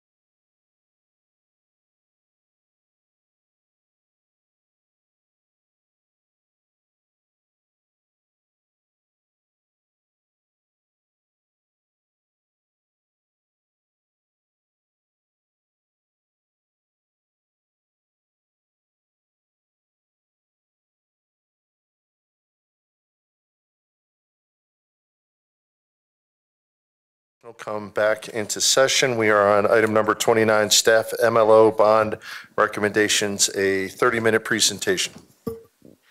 Okay, take two. All right, um, this is our uh, staff recommendation on a 2023 bond mill levy override. And before I start, I want you to see that um, all of cabinet is sitting here behind me. While I'm presenting the majority of this recommendation, um, this was a team effort. Every detail in this recommendation, and if you've had a chance to look at the details behind it um, in the plans that have been posted on the electronic school board, um, the amount of work that has gone into this by um, everyone on cabinet and their staffs has been remarkable and outstanding work. And so we do this together as a team. Um, and so I wanted to make sure that we made that part clear. Okay, I'm pointing it over there. See, I got it. All right. He said, don't point it at the slides, point it over here, um, which is a little backwards. Okay, so we are going to talk about our continued funding challenges, um, the changing tax environment. One of the things that was mentioned um, by the FOC chair um, was needing to make an informed decision and making sure that you have all of the latest research. Um, and so we'll talk about the changing tax environment, including um, our most recent polling that we did in response to the changing tax environment. Um, our 2023 mill levy override recommendation, the bond recommendation, an analysis of the impact on our taxpayers, which is very different than it was last time, um, proposed ballot language, and then a question and answer. Um, you don't need to decide anything tonight, of course. This is just an informational presentation, but we hope getting all of this to you now will give you a lot of time to do your own analysis. As always, we are focused on the board ends um, of academic excellence, outstanding educators and staff, safe, positive culture and climate, collaborative parent, family, and community relations, and financial well-being. All of these ends are touched by our proposal. Okay, so let's start with our continued funding challenges as a school district. Um, the impact of local taxes on comparative revenue. So you saw this from Budget Director Doan um, a little while ago, that the comparative revenue with other districts is still a significant challenge for our district. Um, and in particular, that light gray on the top is the uh, is mill levy override dollars per student. That is where our disparity is. The black boxes are the state dollars. Um, Ms. Doan actually showed an updated version of this graph for um, the 23-24 school year in terms of the local and state balance. So when local funding goes up, state funding goes down. State, state funding always makes sure you get to the top of your box, um, but no further. And uh, so our neighbors in Cherry Creek and Littleton Public Schools receive $2,000 per student more in mill levy override funding. So I'm going to say that again, $2,000 per student more in mill levy override funding for Cherry Creek and Littleton, which equates to a gap of about $130 million. This is why we can't pay competitively. Looking at this challenge over time, and I know the board has seen this before, but for our community, looking at this challenge over time is really important.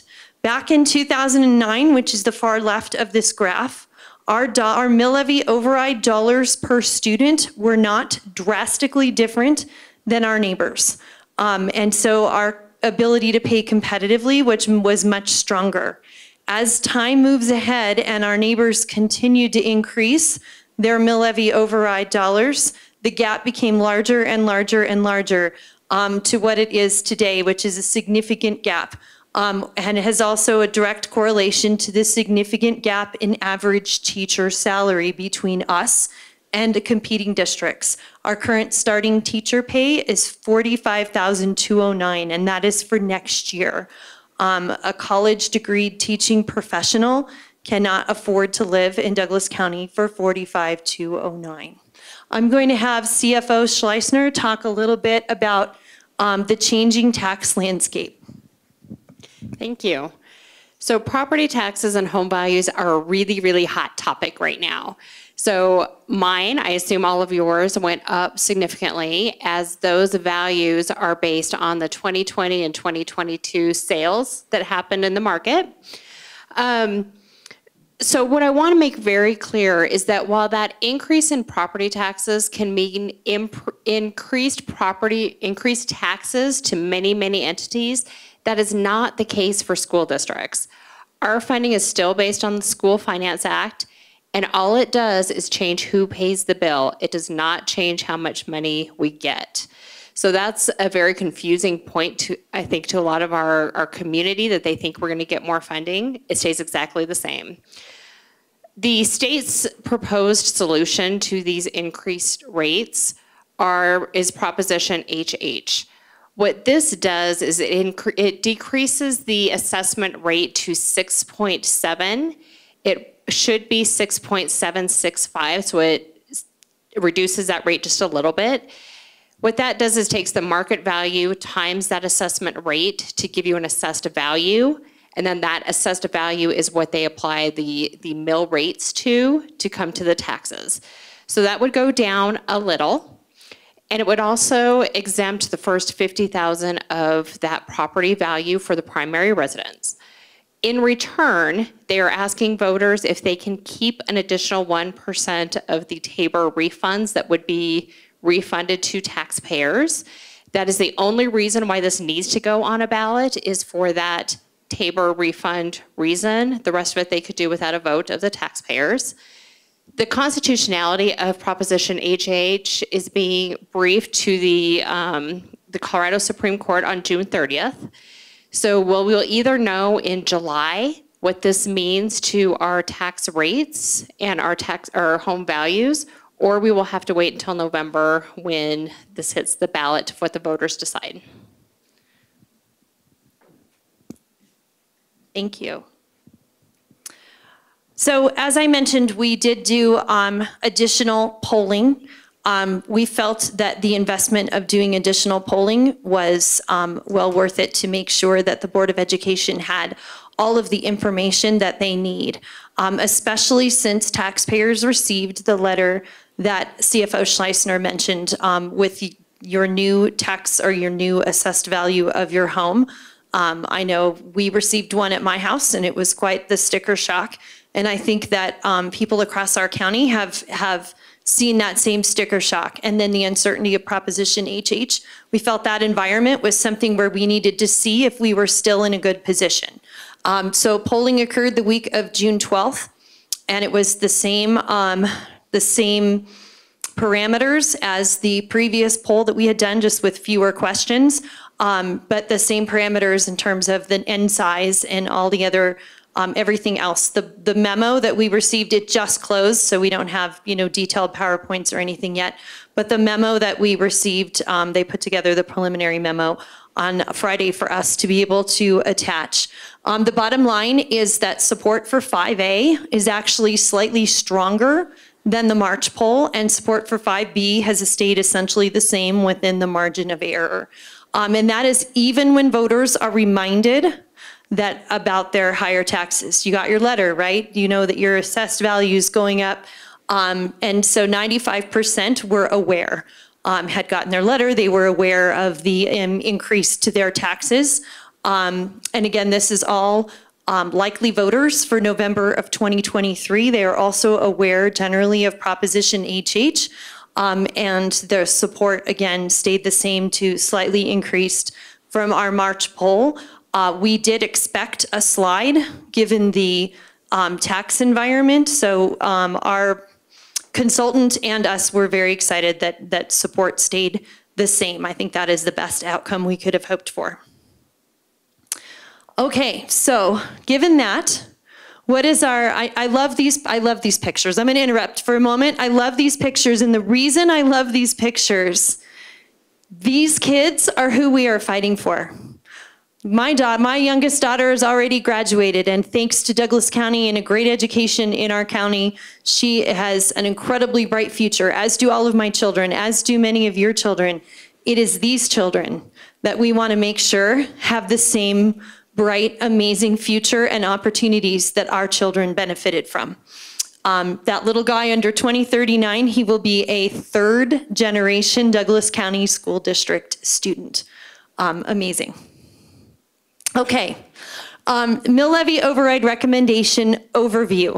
So staff is recommending a $60 million from the mill levy override for competitive compensation, very similar to last um, November when we made this recommendation last summer. And a $6 million um, part of the mill levy override for enhanced security staffing. So we've talked to the Board of Education that that would be coming. Um, so it is a total of a $66 million mill levy override. Um, as always, we share our mill levy overrides with our district authorized charters. Um, and we share those 100%, so they receive a per student share for the same purposes. So our charters would use their uh, share of the mill levy override money for the same purposes that the district um, would be using them. So you can kind of see the district allocation and the charter allocation. A quick note about charter schools that are residing in Douglas County that are not authorized by our school district. The School Finance Act included a commitment that um, starting next year, all CSI schools would have equal mill levy override share to their local districts.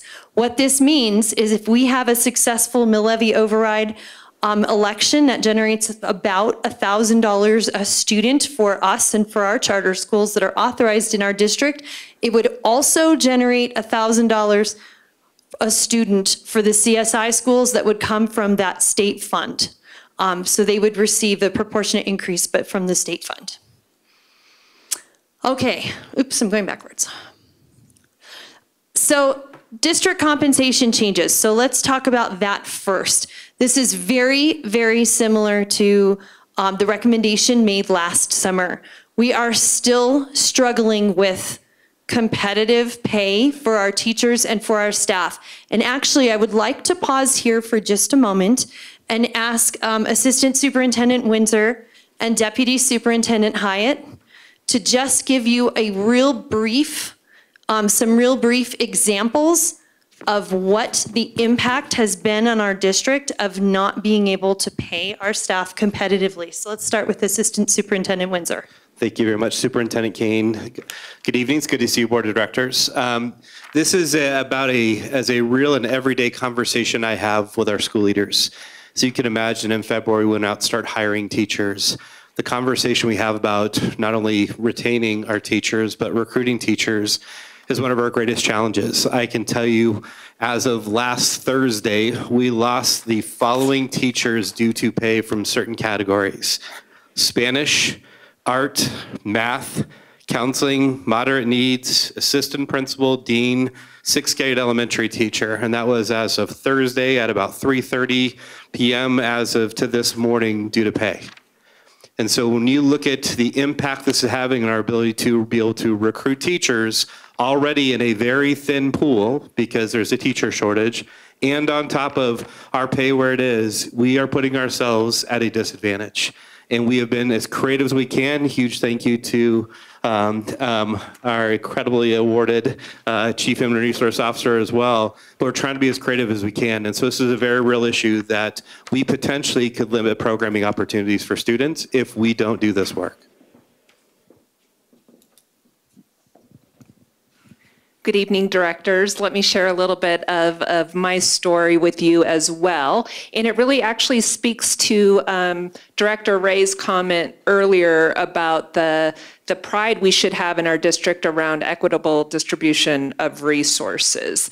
Um, and through our weighted student formula, we acknowledge that we need to support our students with different uh, staffing um, and positions to support their individual needs. That becomes increasingly difficult to do in our very hard to hire and hardest to hire positions. So all of the special education related positions, mental health, safety and security are all positions right now that we are struggling uh, with filling our vacancies. And so so many good efforts on behalf of all of us to do what's right by our students in supporting what their individual needs are in our schools. We need to be able to compensate our staff in order to um, attract and retain the incredible folks that are working with our students. Um, one I hear frequently, and I'm sure you do as well, is our educational assistant for um, positions. Those positions are our folks, our educators who support our students with disabilities. And there are often pleased in our schools by our principals as well as our staff around what can we do to help increase their compensation. We increased their hours this year to be able to give them time for development and planning. What can we do for compensation? And so there definitely is such a need in supporting all of the individual needs of all of our students around compensation. Okay, so what would we do about it if we won um, a mill levy override? Here's our recommendation. Our teachers, licensed staff would receive an average of 9.2% increase. Um, you can click on this link, anyone in the public can click on this link and see the salary schedules as they would look if a mill levy override was successful. Um, the salary schedules are also contained in our MLO bond plan that is posted on the electronic school board and will be posted on our website. Um, the, we would, uh, all teachers, for teachers, again, it's a 9.2 average increase, a minimum of 7% for our regular teacher, our regular employees. So um, those who are oversell, et cetera, everyone would, there would be a minimum of 7%, an average of 9.2. Um, we even would do a 3.5% increase for our post-retirement 110 employees because we need them too. Um, they have been so critical to our system and we want to make sure that they um, stay around as long as we can keep them around. Our support staff, um, so Danelle just gave a specific example of our support staff would receive a flat 9% increase. Um, so that's for support staff, including EA4s, custodial, kitchen, um, folks in front offices, registrars, et cetera, who are supporting the needs of our schools and our students and are critical to the success of our schools. All other staff would receive a flat 7% increase um, because we are struggling to be competitive in every single aspect of our school district. Um, Assistant Superintendent Windsor just mentioned how many assistant principal candidates we have lost. Um, we have recently hired principal candidates. That's been really challenging um, based on our pay being so much lower than surrounding districts. Um, we have information technology professionals, et cetera, that we need to try to pay a little more competitively as well because we have major staff staffing issues in those areas as well. All the increases would be retroactive to July 1st. Um, the January 2024 payroll would contain a lump sum um, payment for the retroactive part of the increase, and then their new rate would begin in February. So um, that is a little bit of what the compensation changes would look like if an MLO passed. Um, if the board so desires, we could put a resolution, a proposed resolution before you all that would solidify these compensation changes in advance of a mill levy override going on a ballot so that there is assurance to our staff and our public exactly what the compensation will look like instead of guessing. Um, so what would this do for, um, what would this do to make us more competitive? Because that's what we really need to be is more competitive. So you can see here, if you look at um, a starting teacher pay, for example, which is the first line, um, last year, starting teacher made 43,680. Um, next year, starting teacher will make 45,209. If we pass an MLO, our starting teachers would make 50, um, 50,182. So we would finally make it over that $50,000 threshold.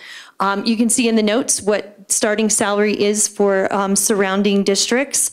Um, so that would make us much more competitive in terms of our ability to get starting teachers. Education assistants um, would go up to 1921 an hour. Bus drivers, we would actually be um, very competitive in the area of bus drivers for like five minutes. I also don't want to set expectations high. We would be competitive for five minutes, but the minute we're able to put our rate at 24.92, everyone will everyone else will go up to 26. But still, 2492 is a great rate and can really get us um, some bus drivers. We have 60, 60 bus driver openings in our district, as you all are painfully aware of, and our public is, um, as we've been unable to provide the kind of transportation that people have come to expect in Douglas County security, campus security specialists, custodians, et cetera. So you can see how we would get more competitive in some specific examples. Um, a few important notes about the mill levy override in terms of compensation. Once um, we would rerun the data on July 1st to make sure that we have the most accurate data possible. The comp, if you, if the Board of Education passes a resolution for compensation, if the election is successful, that resolution will automatically kick in and the changes will automatically be made. Um, upon finalizing and, and once the board has decided to put something on the ballot, our employees would actually receive a statement in September that would tell them exactly what their individual compensation would be post MLO so that there aren't any surprises. The um, other component of the MLO is for safety and security support for our schools and our students to make sure that we are doing everything in our power to keep our schools and students as safe as possible. So that includes a couple of things here. First of all, um, we want additional school resource officer support. We are so grateful to our law enforcement jurisdictions for partnering with the school district in terms of school resource officers. Um, our district has incredible access to school resource officers. We have an SRO in every middle school and high school, and we have SROs that share our elementary schools. However, we would like to increase that coverage across all of our jurisdictions so that um, as our set SROs take um, time off or need to be off for training, we can fill in those gaps with coverage and we can um, increase the coverage in our elementary schools. We would also like to be able to hire a campus security specialist for each of our district-run elementary schools. Again, charter schools will get their share of this security money to be able to do the same for their schools if they choose to.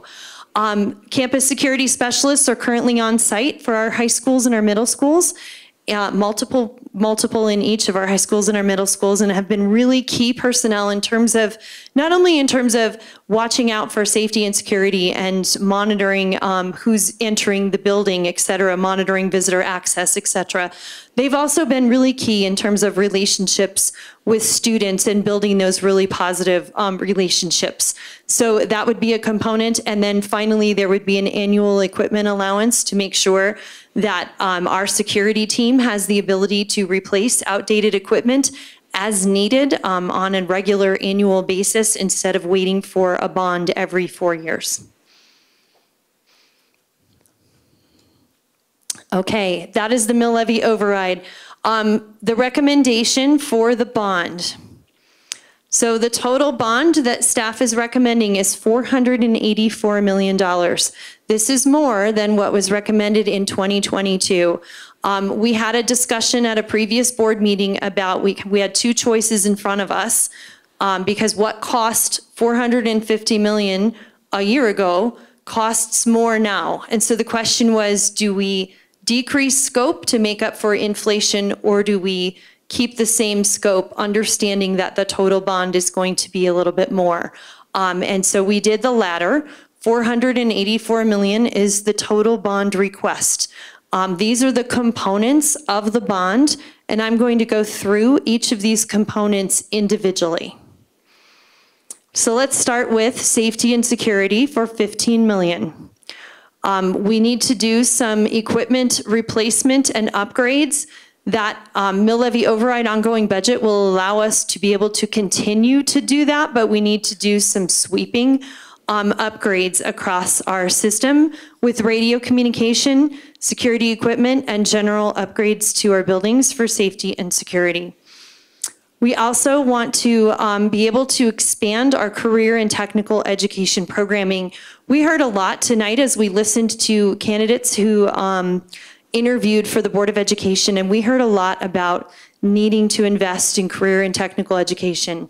Um, this would allow us to complete phase two of the legacy campus, which will allow us to include a lot more of the trades. Um, uh, in career and technical education would also allow us to have an automotive program in the Highlands Ranch area.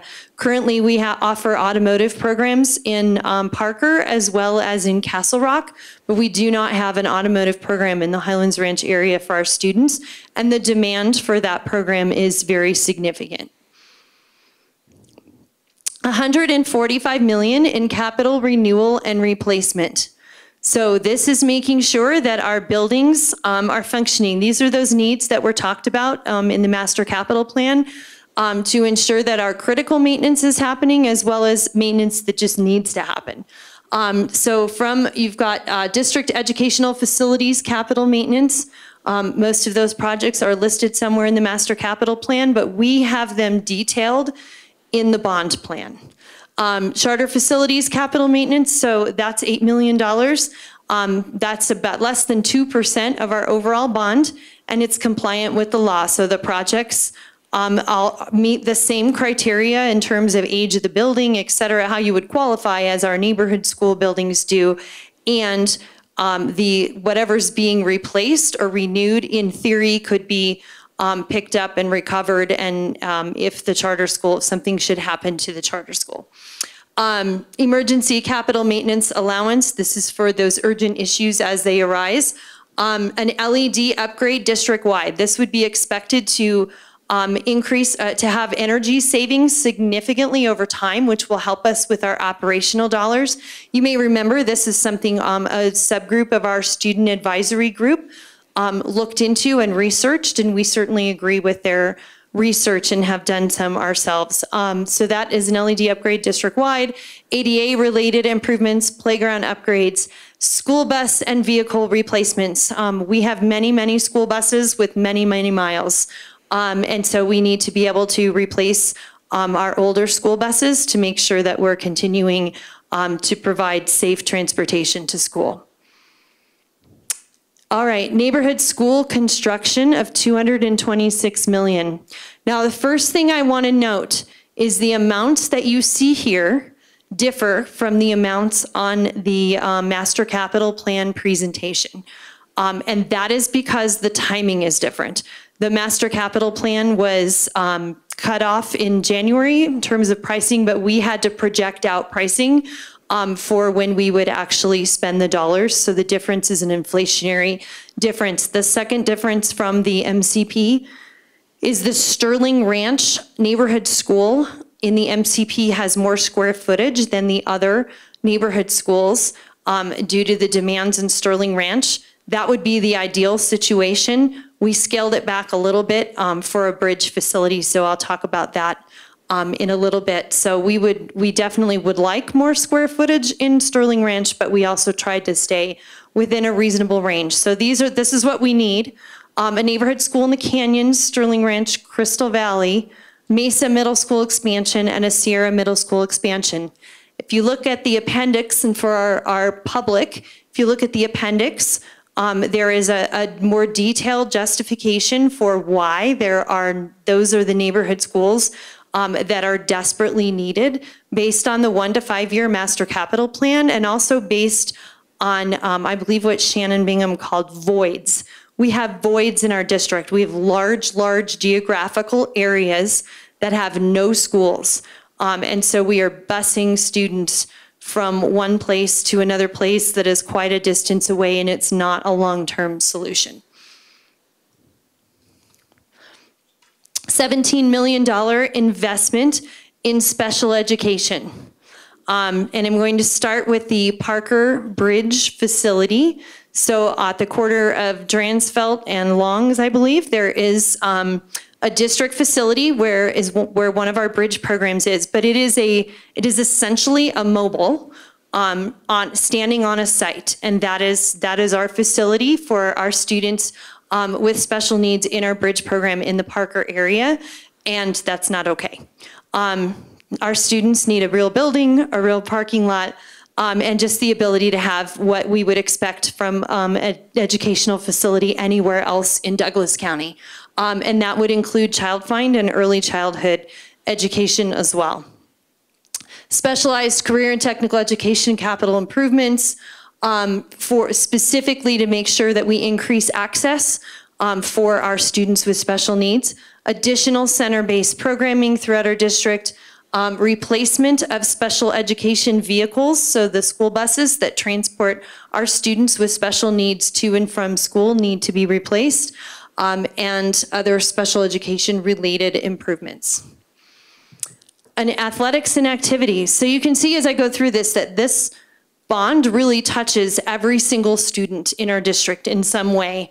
Um, our athletic facilities need some upgrades where we need to do um, replacement of tracks and fields because they are old and have degraded.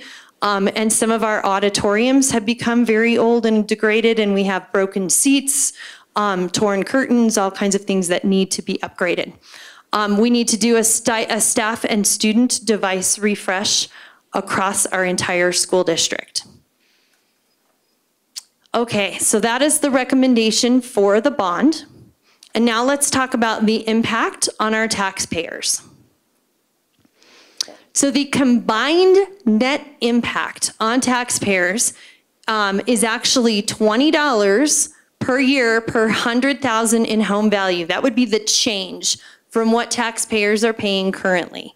Um, and so that's about $100 a year for a $500,000 house. And again, that's a change from what the taxpayers are currently paying. So here are some of the details. For the new mill levy override by itself, the increase is $40 a year for $100,000 in home value, so about $200 a year per $500,000 home. Um, but the existing MLO, the impact of the existing MLO on taxpayers is about to go down. If you remember, our mill levy overrides are fixed dollar amounts. And this means as we have more residents moving into Douglas County, the impact on any individual resident decreases. So our existing MLO will actually cause um, a decrease about $16 per year. So the overall effect of the new and existing MLO when netted together is $24 per year per 100,000. So this is just the MLO. And then the bond, if the bond passes, it would save taxpayers $4 a year per 100,000. So even if that bond passes, taxes still go down on the bond, the mills still go down from 6.7 mils to 5.75 mils. If the bond does not pass, we would drop all the way to 5 mils, which would save taxpayers about 11.50 a year per $100,000 home. So when you net the $4 savings with the uh, per 100,000 with the $24 increase for the mill levy override, the net of that is $20 per 100,000 per year. Um, in, in home value. So it's actually a, smaller impact than it would have been last year um, by quite a bit. And a lot of that is the, the, the um, number of homes changing and of course um, our tax structure changing altogether. Okay, and then finally I just want to show you ballot language. So we've done a lot of work with our consultant and in response to polling and the focus groups. I can't even tell you how helpful the focus groups were in terms of um, working on our ballot language and making it as understandable as we possibly can while making sure, of course, that it is compliant with the legal language that needs to be in the ballot language. So the mill levy override ballot language has actually been simplified quite a bit from last year. Um, and so I will read it out loud. Shall Douglas County School District taxes be increased $66 million annually, commencing in collection year 2024 and remaining at this amount, amount each year thereafter in order to retain and attract excellent teachers and staff by increasing salaries to be more competitive with neighboring districts, and increase and maintain school security support such as school resource officers. Um, and shall such tax increase be imposed pursuant to and in accordance with Section 2254108 COS, CRS, and shall the district collect property tax revenue previously approved by the voters notwithstanding any mill limitation. Um, And shall the district's expenditures be subject to oversight by a citizens committee? So this is um, a lot less words and a little more compact and a little more clear. Um, So that's the mill levy override language. The ballot, uh, the bond language, um, as mentioned previously, um, what taxpayer, what, what people really wanted to see from the bond language was providing safe and adequate facilities for staff and students and reducing overcrowding. Um, so the, the bond language starts out with, without any expected increase in the district's current debt service mill levy of 6.7 mills. So I'm going to stop there for a moment.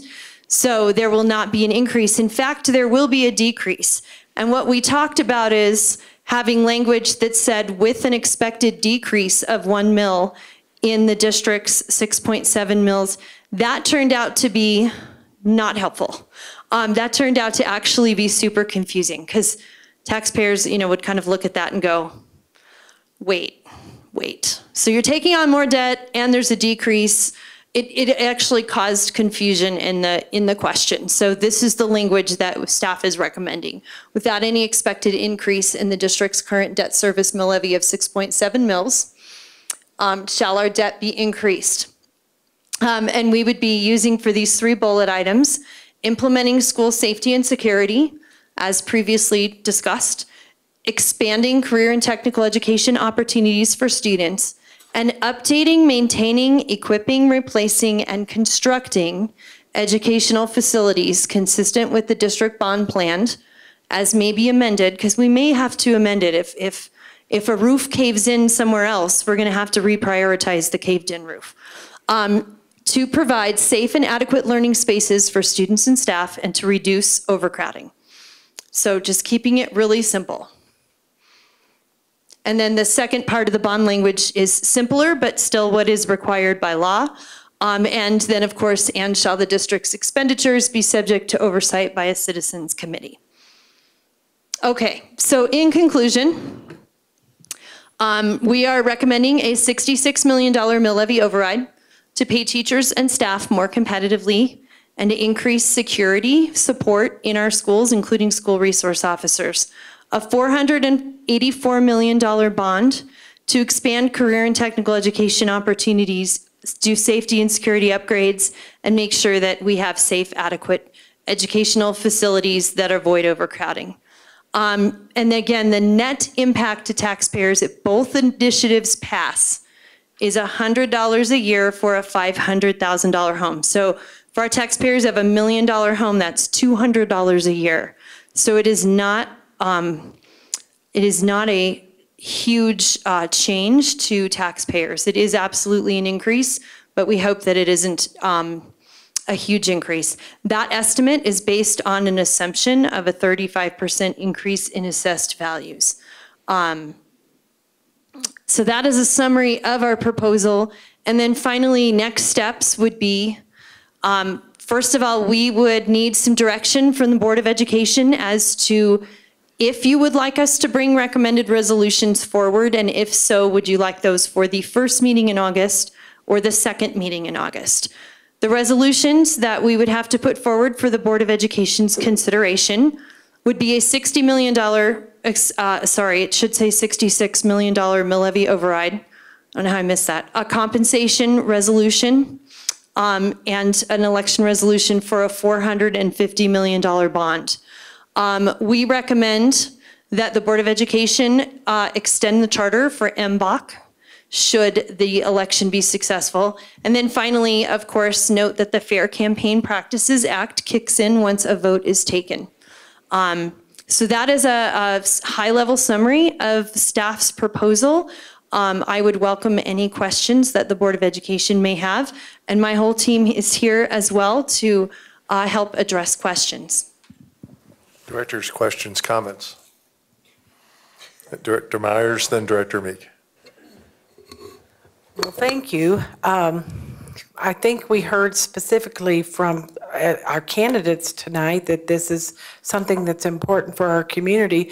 We've got our work cut out for us, but um, All I ask is that I not walk with Matt Reynolds this year because he walks too fast. So, but otherwise, I'm, you know, I just think this is what we need for our teachers. This is what we need for our community. And did- clearly, clearly, I, we just really have to communicate the importance of this. Thank you. Uh, Director Meek, then Director Williams.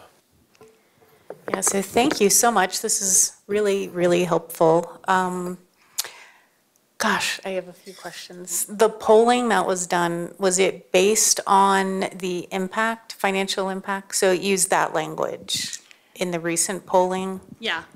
Um, the, the, yes, it used the financial impact language, but the dollar amount was a little bit different. It was a higher dollar amount. Um, and that's just because we didn't net out the decreases. Um, so it was a, a slightly higher dollar amount. So I was kind of shocked to see the difference now from before, and I think that's going to be um, important to be able to explain, and I haven't had time to digest it, but basically it's because we have more people, right? And because of our fixed MLO amount, it would be going down because we have more individuals moving into our county. Is that the main reason, or are there other reasons? Yeah, that's, that's a good part of the reason. And last time we weren't on a reassessment year. So it was much easier to make a lot of these calculations because it was just plain growth. Now we're in reassessment and now we have all these significant increases in property values. So it makes it very different atmosphere this year than it was last time. Thank you. Uh, Director Williams, then Director Ray. Actually, I just, first of all, thank you. I know that was a lot of work.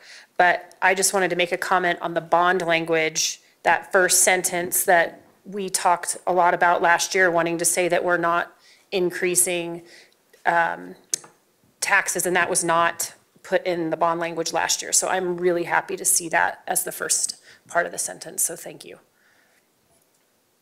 Director Ray. Uh, Can we go to slide 16? I think is, is the breakdown. Um, So I heard you say we're sharing some of the bond proceeds with charters. And my understanding is that $8 million goes to, for them for capital renewal and mm-hmm. replacement. Is that included already in that 145 million itemized? Yes, it is included already in the 145. So one, out of the, here's the, here's what totals up to the 145. Right. And part of that is the 8 million for charter school facilities, which that- equates to about 1.6% of the overall bond. And then you also mentioned that they would also be getting um, the same amount for security, or, or an amount for security. Where does that, where is that reflected in that itemized list? Um, that's a very good question. So in terms of safety and security upgrades for the bond, um, that does impact every single educational facility, including our charter schools. Um, so as new cameras or um, whatever other upgrades may be needed over time, um, that is something that we take ownership of and look at as a district-wide, um, as district, a district-wide issue. So that 15 million that you have itemized on that previous slide includes making sure that all buildings, neighborhood charters meet that standard for security? Correct. Okay. And then on the MLO, same question with charters. You mentioned that the charters will get um, a slice of the MLO for security purposes. Sorry, I'm going, I went the wrong way. For some reason, this is backwards from how it should be, at least in my head. Yes, so for the MLO, so if you look at the security component of the MLO, um, our charters would receive a per-student share of that. And then um, the expectation would be that that per-student share, they, the expectation of our charters is that they are consistent with the ballot language, just as we are. So um, the ballot language doesn't break out exactly what dollars need to be for security and what dollars need to be for compensation, but it is expected that they would follow the ballot language. Um, It is my assumption that they would use this um, 1.4 million for security, but they, they, as long as they follow the ballot language, they're fine. So the ballot language has such as security resource Mhm. officer. So I guess that's where I'm going with this, is Yep. that I know we've always prided ourselves in, in standardizing our security standards in all our buildings, that we don't just say, you can be an anomaly and you can decide what kind, you know, whether you have an SRO or whether you have some guy that's, you know, a, a campus specialist. So I'm just wondering, that's my concern, is how are we standardizing that so that all schools are meeting the same standard of security? Thank you for that question.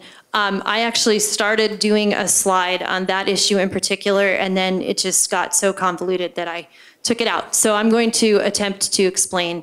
Um, for, for school resource officers, um, the district has IGAs with our um, law enforcement partners for us to get school resource officers from them. In the case of our elementary schools, where the school resource officers um, patrol multiple elementary schools, that includes our charter schools. So our school resource officers, as you said, we have um, that coverage. And then the charters pay for that through their purchase services contract. So when we get additional school resource officers through this mill levy override, and they're covering our entire district, including our charters, the charter schools' um, purchase service for school resource officers would go up appropriately. So part of this money, they would turn around and spend on purchase services to send back to us. I start, like, as I said, I started to put that in a slide, and, and that's when I stopped, Yeah, that because makes it's, me feel it's bad. I very mean, confusing. Like I said, I mean, I'm just concerned about Yes. anomalies and us, you know, having some schools as a one-off. Um, You know, we had the tragedy of STEM that I think um, we saw an example of that. And so I just want to make sure that uh, we're taking care of all kids regardless of what roof they're under. So thank you for that. I hope that helps. It does. Yeah, relative to the ballot language, if we can bring up the MLO language, Mr. Blair? I think it's,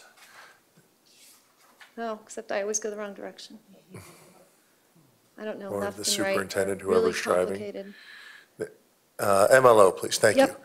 Um, Neither of the ballot languages mention charter schools, and Director Ray just mentioned that. Uh, And I know that shorter is better. Um, Do we expect to potentially modify this or uh, at least explain in the Tabor guide or the, uh, the taxpayer's guide um, how that would work? Uh, I know last year, the MLO, there was a discussion on sharing or not sharing with CSI authorized schools. As you mentioned, that has completely been mitigated by actions of the legislator, the legislature. In fact, it's even better than what was asked for because that sharing would come, or that match, rather than sharing, I guess match is a more appropriate term. That match comes from the state and does not dilute our funds in terms of total per pupil from neighborhood schools and district authorized charters. So do you think we, I guess what I'm looking for is a recommendation, should we add explicit and district authorized charters to one or both of these initiatives? Or do we think we just explain that uh, in the, the voter's guide? It is um, explained on our website and in our bond mill levy override um, uh, plan that we put together. Um, And in our communications, I think that's the place where um, we explain it in terms of what my recommendation would be. And as you know, it isn't staff who puts together the Tabor guide um, in terms of picking that language. That comes from citizens, but it would be great if that were in the citizens guide, including the fact that CSI schools um, also have a benefit from the, um, from the mill levy override due to matching funds from the state. Yeah, just wondering out loud, I wonder if Citizen King could write that response. I don't know if that's prohibited as an employee. Um, In, uh, along with that, the, um, if we can just go to slide seven, Mr. Blair, uh, I think that's where we have the buckets. And it discusses HH and, and where we are. So just to be clear, uh, sorry, back to the, well, I guess that was, You want the right bucket? there. Thank you, Okay. just the buckets. I guess it's slide five. Thank you. Um, If HH should pass, and in exchange for a slight reduction in rates, um, ultimately, the taxpayers give up a, a extra percentage in withholding in Tabor. And my understanding is assessments go up, that black outline does not change at all. property taxes next year could double, assessment rates could double, and all that would happen is we would see a much bigger blue portion of that and a much smaller green portion. So as local taxes stay here in the district, which I think is a good thing, but the state green bar goes down, down, down, less and less, where does that state money go? So if our local share goes up and then the state share decreases, if the state share is decreasing um, across the board for, for all school districts, it means they would have more money in their K-12 education fund um, to be able to either increase the black box for everybody um, ultimately, or to be able to allocate to other places. Okay, so it doesn't necessarily, it could go to education, but it could go to general fund, other things. Obviously, we already heard the proposal to eliminate the rest of the um, uh, budget stabilization factor next year. It could go to that, or any other non-education related purposes, correct? That is a complicated answer, I think, that we would have to research based on what statute currently says about the K-12 education fund. Yeah, last thing I'd, I'd like to bring up is, uh, last year, this board took, I don't know, 45 minutes messing with the MLO language to try to make it more and more and more restrictive. Right now, it says in order to. I would even propose exclusively for whatever we can to let the taxpayers know that the MLO can only go for those purposes. However, I do appreciate for Mr. Cosgrove and everybody else's sake, the flexibility that is intentionally left into the bond language, because as you stated, we don't know over the spend and the life cycle of that bond what unknown priorities may arise. So uh, I think the board should um, maintain that very tight exclusive language that frankly doesn't give us any wiggle room. And I also support the superintendent's recommendation of uh, ideally, as one director, and I'd like other directors to weigh in, what I heard from our MBEC is first meeting in August would be preferred.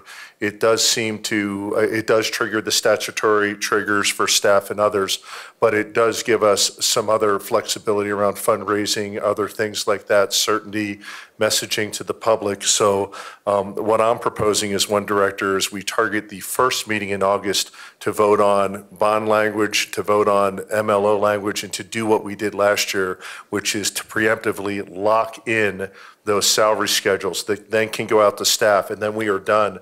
We have committed to staff exactly how uh, that money is going to be spent, and frankly, not leaving ourselves any discretion. I think that's key to trust building internally with our staff. So if board members would just like to comment on that, does anyone disagree with the first meeting for votes, and does anyone disagree with also including a vote on fixing schedules that would automatically trigger? I'll go to Director Winegar, I think you had your hand. Um, That's what I was about to mention is, um, I agree we should bring forward those resolutions you had listed on the last slide. And I, I think the first meeting in August works, yeah? I'm not opposed to that. Other director comments on the timing of vote and uh, including schedules? Director Meek. Yeah, I was going to say slide 17 with the language. Um, I, I agree being able to make it explicitly clear that anyone can come to the district website and see exactly, you know, the salary schedules. I think I, I don't know what the right language is to do that, but under the first bullet, you know, retain and attract excellent teachers and staff by increasing salaries as indicated on wh- whatever. the- Similar to with the district uh, plan. Okay. Yeah, something, Understood. something to that effect, so it's absolutely clear. I mean, I, I do think we have, and, I mean, we have trust issues with our public as indicated in polls and everything else, and I, I think the more we can be explicit, the better. Um, I also wonder, you know, does it make sense for us to wait until August? Is there a benefit to, you know, voting on this earlier? I know MBEC discussed this quite a bit. I remember election night where people were saying, why didn't we go out earlier? And so I know there are pros and cons and it triggers, you know, certain requirements, but I think it's worthy of a discussion. If we are ready sooner, is it worth going out sooner? Yeah, just to reply to that, I, I think I specifically call the discussion or the recommendation with the MBAC, and then really the dis- discussion was, do you do it the first one in August or the second one? Um, As one director, I believe we would want to wait until August because too early um, does trigger statutory restrictions on our staff, uh, not just our superintendent cabinet, but all our teachers, uh, other staff members, and their ability to advocate uh, for that measure uh, once we vote. However, they can always, after hours, not on school time, continue to do what they need. Director Williams. So you're right, we did have this discussion, I think, about whether or not we should put the ballot on and the, and the pros and cons. I hate to call you out, Krista Gilstrap, but um, since she has kind of taken up running the campaign, do you mind speaking to that? Okay.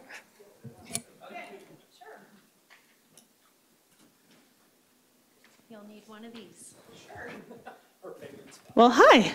Um, honestly, um, it's a complicated question. I think my preference from the campaign perspective would probably be early August. I don't think we get a, a huge benefit of going earlier than that. Um, what I learned last time is we're not going to have ballot numbers until September, early September, regardless of when you vote because of how the county works.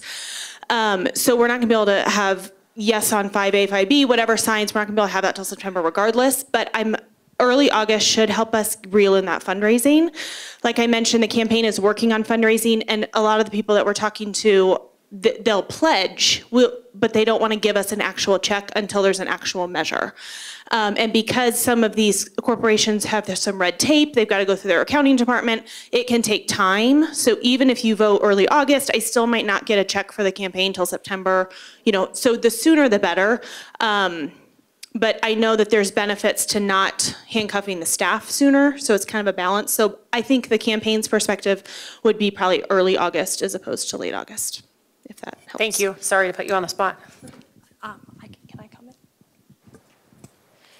The comment that I would make is that um, staff is working over the summer to make sure that we do everything we can to communicate with our community um, about why we are making the recommendation that we are making and, and um, the details behind it. And one example of that, similar to how the county sent a letter to taxpayers um, explaining your new assessed value and, you know, where the money is going and all of that, um, The district would like to send a letter, an actual hard letter to taxpayers um, that talks about um, our funding and um, our, the impact of assessed value changes on the school district and why we, the staff of the school district, made the recommendation to the Board of Education that we did. Um, And that it would be nice for that letter to be able to um, go to taxpayers prior to a vote. Okay. Director Ray. Wanted to talk about the explicitness of the, of the language, and then I'll, I'll throw the suggestion out, but then I'm going to back away and just say, I know that you guys have worked really hard with bond counsel, and so I'm not an expert.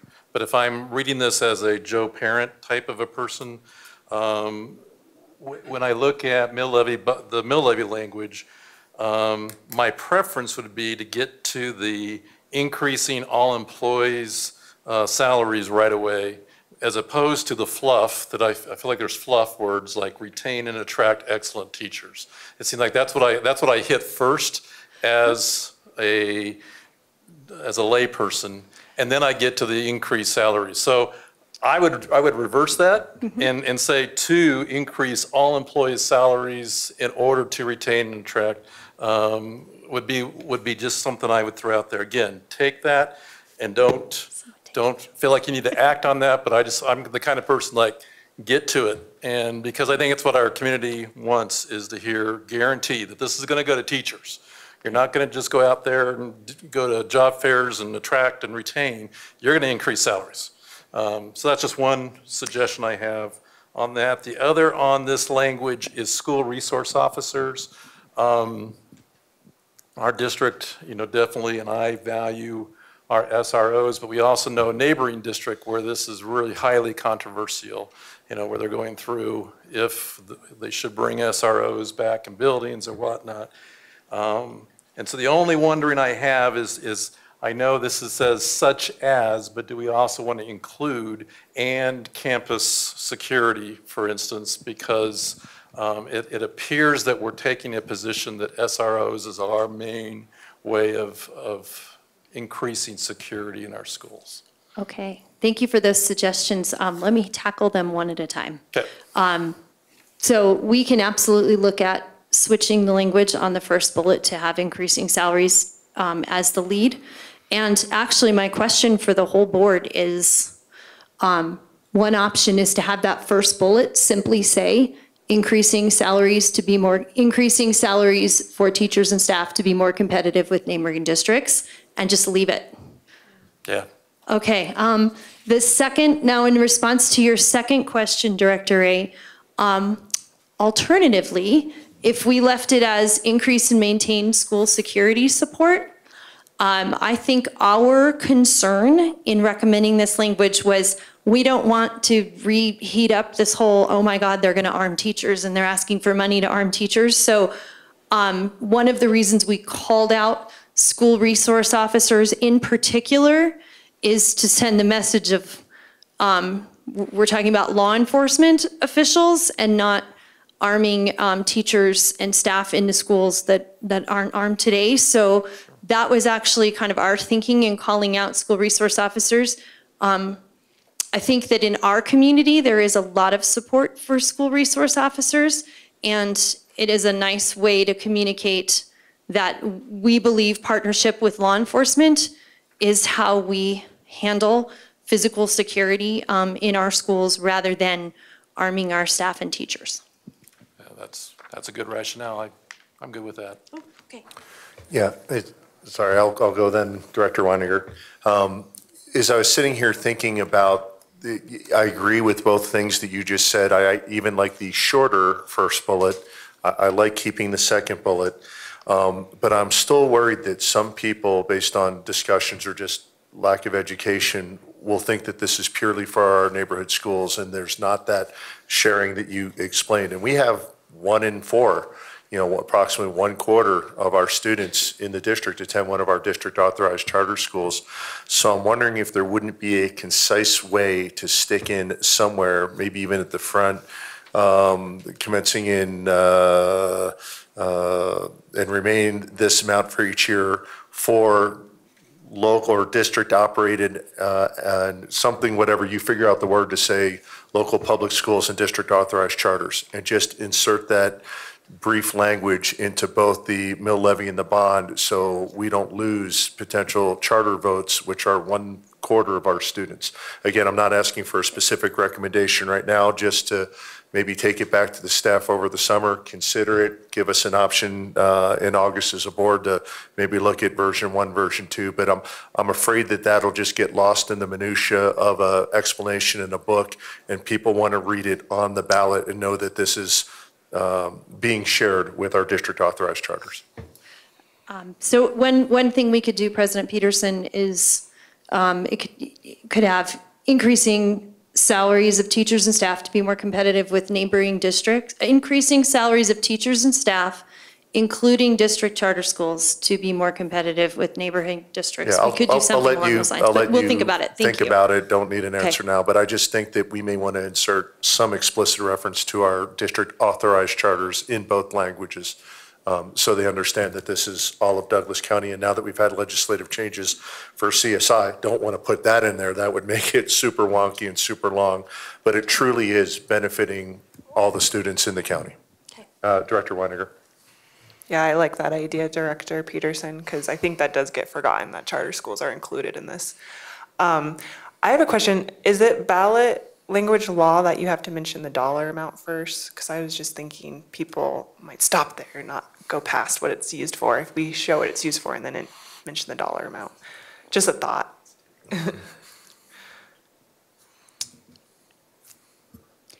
Uh, I'm, I'm not going to answer that question. Um, Okay, well, if- we If can- the board wants to seek into it. legal advice, that is um, something we can do separately, but um, I don't have an easy answer for that outside of executive session. Okay, that's fine. We can figure it out another time. Thank you, though. Director Ray. On the uh, bond language, we could look at that for a second. Yeah. So again, as I was reading through this, I was really trying to put the hat on of the, of the ultimate uh, critic that's like looking for reasons to say they're, they're going to try to uh, sneak one in. And, and so from the first sentence, without any expected increase, um, that word is, you know, that for me, Joe layman says, ah, but that isn't that, they're going to increase it though. Uh, they- They're saying they're, they're just covering their bases by using the word any expected increase. So one of my questions there is, can, do we need to have, have that in there? I understand that probably from the bond counsel's point of view, it covers our bases just in case. It's a safety net, I get that. And then the other phrase, and I think you addressed this, was as may be amended. And I, and I get the rationale that if we have a collapsing roof, we may need to amend our bond plan. Um, I guess I would hope that we could stick with the bond plan and use other funds to take care of the emergency roof. Um, Whether that's contingency funds for emergencies or whatnot. Because when I read that as a layperson, it's, it's slippery again. It's like, you know, it's not definite. They may amend it, you know, and we even heard that even after the 2018, you know, they went and bought the legacy campus and we didn't approve the bonds for the legacy campus, you know. So my question is, those are two words that struck me as something we may want to look at if we can. Um, Thank you for that question. We will look into the second question. Um, Our bond plan, our MLO bond plan also states that those individual capital projects may be amended from time to time. So perhaps that is sufficient, Um, but we- will look into that. On, on your first question, um, the theory, in theory, in theory, property values could crater. Um, And if property values crater, then that's why it says expected, without any expected increase. Um, Because if property values completely crater, there could, in theory, there could be an increase. Um, And so that's, that's the reason for that language. Um, I don't feel like there's a lot of flexibility on that. Um, However, the second, um, let us look into. Thank you. And I'm sure all the bond counsels out there listening hate this board, but uh, we are, we are just trying to convey intent. Um, Any other directors, questions, comments? Okay, so to summarize, that although this is not an action item, uh, what I believe I heard from the board was we'd like something uh, for the first meeting in August. We will plan three items to vote bond language, you know, post-modification, MLO language, and the salary schedule. So we'll expect all of those three items to be ready um, for that meeting. And then there's been a couple recommendations by various directors for consideration on some potential language changes, which of course you'll have to look at with staff and, and the lawyers. Did I miss anything, other directors? Okay, thank you Superintendent Kane. Thank you. And I, again, I want to say thank you to my entire team. Even though I was up here doing most of the talking, um, this amazing team of people have put together all of the details behind this um, and have been amazing. So, um, and then President Peterson, in response to the language, um, we will come back with revised language based on the feedback from the board. My suggestion would be that um, we be careful about um, changing language on the spot. So hopefully I can, hopefully I can deliver to you um, based on your feedback what will be satisfactory. So thank you so much for your time. Okay, thank you Superintendent Kane. We're moving on to item 30, proposed new policy JLCDC, medically necessary treatment in school second, uh, school setting. This is a second reading, and the recommendation will be that the Board of Education consider adopting proposed new policy JLCDC, medically necessary treatment in a school setting. Thank you, Mr. Blair, for, for having the red line version available to us. And I believe we're going to have some preemptive remarks by Director, uh, excuse me, Assistant Deputy Director Hyatt. Got to get my two uh, superintendents. Thank you, Director, uh, Deputy Superintendent Hyatt. Thank you. Thank you, President Peterson. Let me give you a few overview remarks uh, as you consider the second reading of policy JLCDC. Um, As stated at the last Board of Education meeting, uh, Colorado State Law, House Bill 221260, which was signed into law in June 22, 2022, requires school districts to adopt a policy that addresses how a student who has an order or a recommendation from a qualified healthcare pro- provider for medically necessary treatment receive such treatment in the school setting as required by federal and state laws. The district, school districts are required to have a policy in place by July 1st, 2023. The intention of JLCDC, the medically necessary treatment in schools, is to ensure our students have meaningful access to medically necessary services in schools. So the first reading of this policy was at the June 6th Board of Education meeting. This policy was developed by a district team, including special education directors, health, wellness, and prevention directors, um, our coordinators and leads, legal counsel, and was based on CASB's policy. After the first reading, we collected additional feedback on the policy from community members, from staff, and our community partners. The themes from this feedback included such things as clarification about how this policy is different than previous policy. And I just want to reiterate, this is a brand new policy. So there wasn't a redlined version that compared a previous policy to a new policy. So there was some questions about that in the community feedback form. So this is not a change to an existing policy. Um, better clarity on what types of services are being discussed in this policy. So as I stated at the June 6th Board of Education meeting, uh, the law does make mention of treatments that include such things as behavioral health treatment for our students um, who have autism spectrum disorder um, and may receive such um, treatment as ABA therapy in the school setting. So that is specifically stated in the law. This is not just solely based on that, but that is one example of medically necessary treatment in the school setting. Some, um, some questions and concerns by community members included that this is going to replace what our obligations are um, under to provide a free, appropriate public education for our students with disabilities. Um, and I just want to again reiterate this that this still, we are still obligated to provide all services and supports for our students with disabilities, including related services like occupational therapy, physical therapy, et cetera. There was also some feedback and confusion um, that was mentioned via the feedback form about uh, medical treatment versus prescription medication. And um, this does not change any of our current policies. JLCD, which is administering medi- medication to students in the school setting. So this is not a replacement of those policies. Those policies also still do exist. Um, and then there was feedback about parent and guardian involvement and notification if medically necessary treatment is to be provided in the school setting.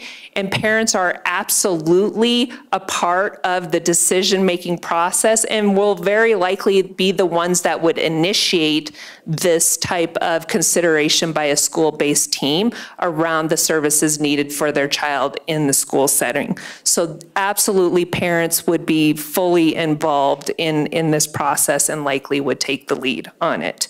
Um, and then um, what we did uh, in terms of um, suggested revision with a second reading is we um, we broadened the team-based decision-making process for a student beyond just solely an IEP team or a 504 team because there may be a circumstance where a, a parent um, wants to um, initiate a consideration for medically necessary treatment by their medical provider that doesn't have an IEP or a 504, and therefore we broadened the team to include IEP and 504, but not solely um, those two teams specifically as were in the original first reading of the policy. One of the things that a lot of um, feedback came about and questions were really on the operational aspect of how we actually apply the policy. And so it is staff's intention to um, compose a regulation, a superintendent regulation um, to this policy. Um, CASB has drafted a sample regulation for this policy, so we will use that as a basis. Um, but the regulation will provide more specific information around who the members are of the decision-making team, um, also around the procedures required for private providers in the school setting, including background checks, um, fingerprinting, assumptions of risk, confidentiality agreements, and so forth. Also, the regulation would speak more specifically around the appeal process and define what a reasonable time period for appeal would be because it's just generalized in the policy, as well as who the decision maker is in, in the appeal process. So a regulation will have more of that detail. Um, And then um, we will be required to, um, to develop a system to track um, the request for this medically necessary treatment in the school setting, and then we will be obligated to provide that data um, to CDE on an annual basis. And so that information, and it will be presented publicly by July 2025. That's the overview. Yeah, thank you, Deputy Hiatt. I, you actually cleaned out almost all of my questions, so uh, I appreciate that. I'll now open it up to the other board members for questions, comments on the proposed changes to JLCDC.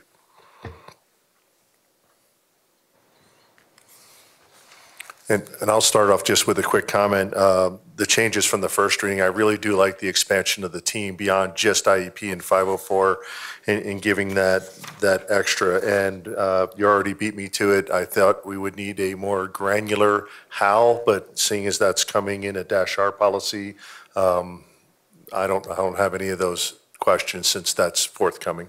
Other directors? Director Ray? When I was reading the feedback to um, Superintendent Hiatt, I um, think some of the concern too was the actual ABA therapy in terms of whether it's a safe practice or not, that there's some controversy out there. I know it, the law certainly says it's recognized as an appropriate intervention. I see in the policy that there is kind of a a liability clause that says that we are not liable for any of the costs, but who is liable should something happen when an outside, private therapist is in our building providing therapy and the student, something happens to the student during that time? What is your, and I know that's kind of legal counsel, so I, I see you looking at Ms. Klimesh, and I, I apologize, but who is liable for that kind of circumstance? Thank you for that question, um, Director Ray, and I apologize. I'm lose, I've lost my voice today. But in any event, I think the question you're asking really requires some legal analysis, and it really would ask for us to provide you with a response to a legal question, which would be inappropriate to do in an open meeting. So we're happy to respond to that. But I do want to remind the board that we have insurance that handles a variety of circumstances in our schools.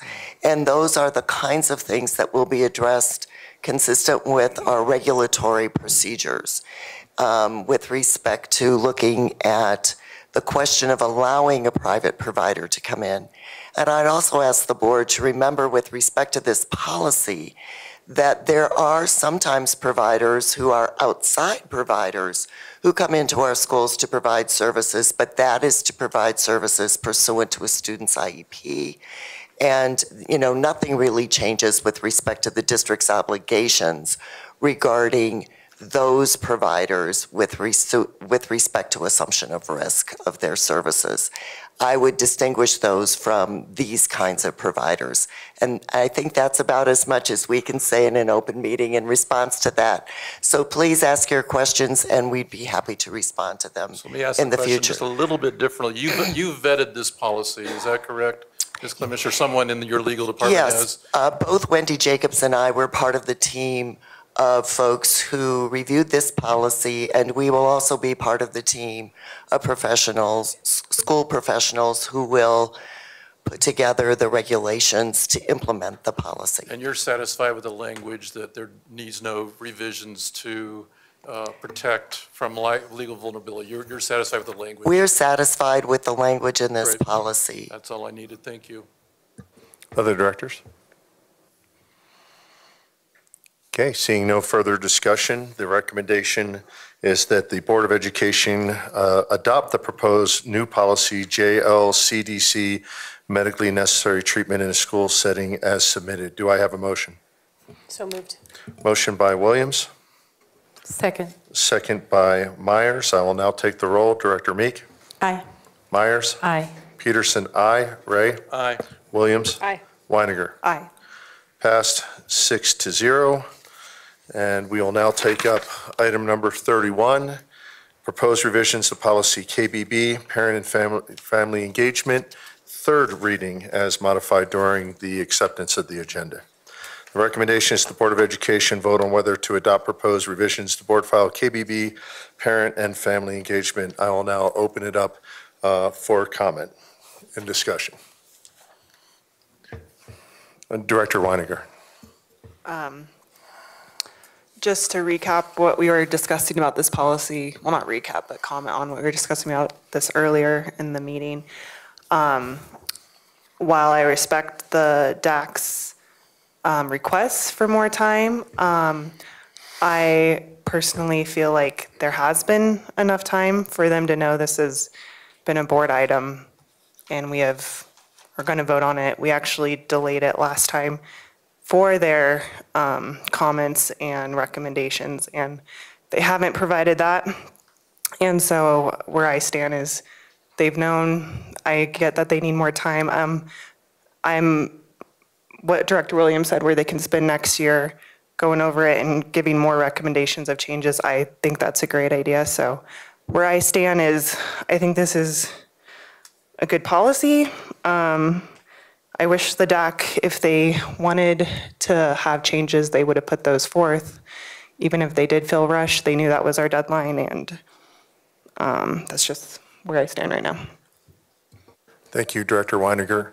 And one of the things that I did see from the DAC, and I believe it was supplied to both Director Myers and um, Director Meek, was there was a proposed revision uh, that someone was socializing at DAC that broke out, uh, I think I saw eight to 10 bullets underneath each one of the national standards for family school partnerships. And I actually thought it was uh, very well written. It would break out things like under the community, um, you know, collaborating with the community. It would talk about uh, partnering with law- local law enforcement for safe schools. Uh, Under the first one, welcoming all families in the school community, it talked about uh, having our ELL students and their families uh, uh, uh, communicated with, with culturally and ling- linguistically appropriate languages. It had a lot of really good stuff in it. And I looked at that, and uh, just like we talked about in the last policy, where there was a dash R needed for granular interpretation, uh, I think that there was a lot of good work, whoever put that together for the DAC, but I also think that it probably oversteps the level of guidance that we should look for in a board. I think it would be outstanding recommendations if the DAC would like to take it forward to the superintendent for a dash R regulation version, because I saw almost all of those as being either interpretations or some type of metric or KPI or measurement. It really bordered into the how. Um, So while I was aware of those, thank you, Director Myers, for, for forwarding that uh, as part of the input. I just, as, as one director, thought that it was an overstep into, the- from the board into the superintendent's lane. But I would personally, whatever's done with this tonight, um, like the last policy, I would encourage the superintendent and her staff to look at a dash R interpretation of this. Now, uh, I will say, we have a KBB-R. It is very specific. It is around Title I and things like that. So if we go forward, one of the proposals right on the first line is to rename this KB. And so it would be a KB dash R as to not conflict with the current KBB-R, which is already um, a policy that we approve and maintain. Uh, With that, I'll, I'll reserve further comments uh, after Director Meek. Sure, again, I just, I regret that I was out of town on business last Thursday and unable to attend, so I'll do my best to advocate for the committee that we select to give us feedback specifically on this area, and we have the law asking us to do that as well. And to see the level of emotion that we saw in here tonight from those individuals that serve on that committee.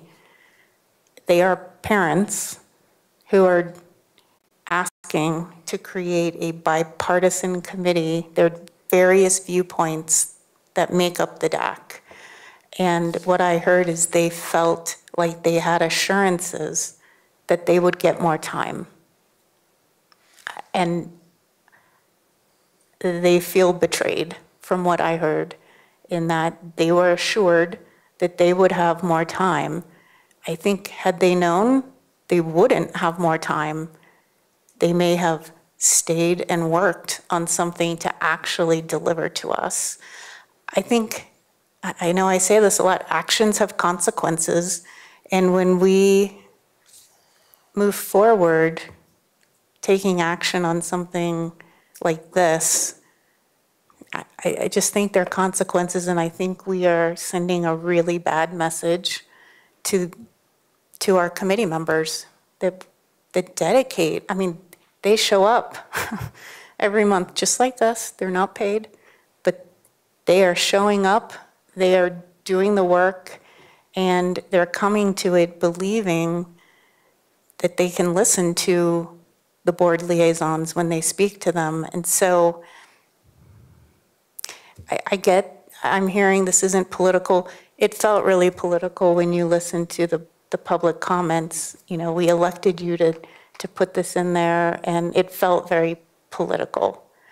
And so I, I- don't want to spend an hour here tonight arguing this. Um, If you're committed to passing something tonight, I'm ready to move on and, and look at tweaks. I just want to reiterate, I think it's a mistake to pass it tonight. Thank you, Director Meek. Other direct, excuse me, other director comments, questions? Director Williams. Well, I, I mean, I just want to go ahead and put a motion on the table so that we can start wordsmithing if that's what everyone wants to start doing. So I motion to approve uh, the way it was proposed. Okay, we have. We have a motion by, uh, sorry, Director Williams to approve the resolution as submitted. Is there a second? Second. Second by Director Winegar. Um, Discussion and then any subsequent motion- motions on there, and I- I'm sure we'll have some. Uh, Director Ray. So my first question is, which policy are we we referring to? Because the policy that has been handed out is very different than the policy that we heard public comment uh, responding to. The whole section of this original policy, Director Peterson, that you submitted had this whole section around parent rights and expectations about parents having the right to raise their children as they see fit. That's not in this policy. That's, that section's not there. Um, Yeah, and I can quickly address that. Um, One of the feedback, um, some of the feedback that I received was it did not flow well and that it would make sense to consolidate those bulleted points into actual, uh, take them out of bullets and just summarize them in sentence form. And they have simply moved. Director, I think you'll see the entire content and substances there, but it is simply being consolidated into a new second paragraph. And that was based on input that I received. Okay. And, and just, if, if I may, just to talk to the, the differences. So um, what we are looking at here tonight, the red, and thank you, Mr. Blair, for having it on there. Blue, uh, as we've done with some other policies before on the screen, that is any additions from the original current KBB, not a first reading or second reading, but that is additions compared to the existing policy. And then, Mr. Blair, if you can just go down so we can see some examples. Um, Reds are uh, a little bit farther, but re- reds are strikeouts. So um, one of the things I'd like to discuss in a second, I'll go back to you, Director Ray, is everything under the National Standards for Family School Partnerships. Uh, Attached to this item was that uh, document, the most recent document that the National PTA produced, and these suggested uh, deletions with replacements under all six bullets are simply word for word verbatim from the updated, the latest 2021 standards. So with that, I'll, I'll turn it back over to you just to discuss what was retained and what was moved. Well, And, and I appreciate that, but I still don't see the statement we heard over tonight that said, um, I will, I can parent to, or parent as I see fit. I mean, I see language changing to accordance with their own personal beliefs and convictions, but that's not what we heard public commenters referencing when they were quoting the policy. So um, my concern is that um, they may not have the most updated version of the policy, and here we're pushing through revisions that our community may not, I know it's been posted on our agenda, so I'm not questioning that, but I'm just stating again, going back to earlier conversation, how um, discombobulated this process has been. I also believe that it is in violation of my motion that was passed at our last meeting for us to continue on without having DAC input, because the motion, you made a friendly amendment, uh, Director Peterson, that said pending DAC input. That's in the minutes. That was the motion that was approved. And for us to continue to have this conversation and a vote, to me, is in, is in direct violation of that motion. Um, And again, uh, breaking policy when we have a motion that was approved, DAC input was pending, um, and DAC has not given their input. They have shared with us things that other members have done. I appreciate your accolades of some of the things you saw, but that was not an official um, input from the DAC. That was just a lot of individuals messing with the words and trying to, to do some work on it before the DAC meeting actually happened. So my pleading with you, because this board needs to govern lawfully, this board needs to govern according to policy, you have a motion that says pending DAC input. That was approved, six to zero. And we need to hold that motion as being the one that we operate from. So that would be my initial pleading with you, because I just think, again, we're making a big mistake by moving forward. Director Meek certainly captured, uh, we certainly heard the emotion from our DAC members, the very people that are volunteering.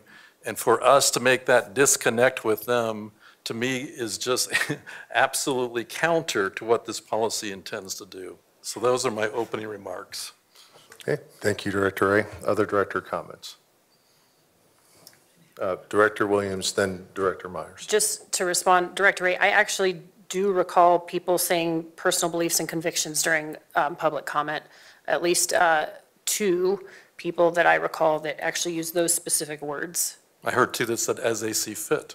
So I don't know, we can, we can play Yeah. back the tape, but my point is, I don't think there's clarity, and I think we're violating a motion that we approved at our last meeting. Director Myers, then Director Meek.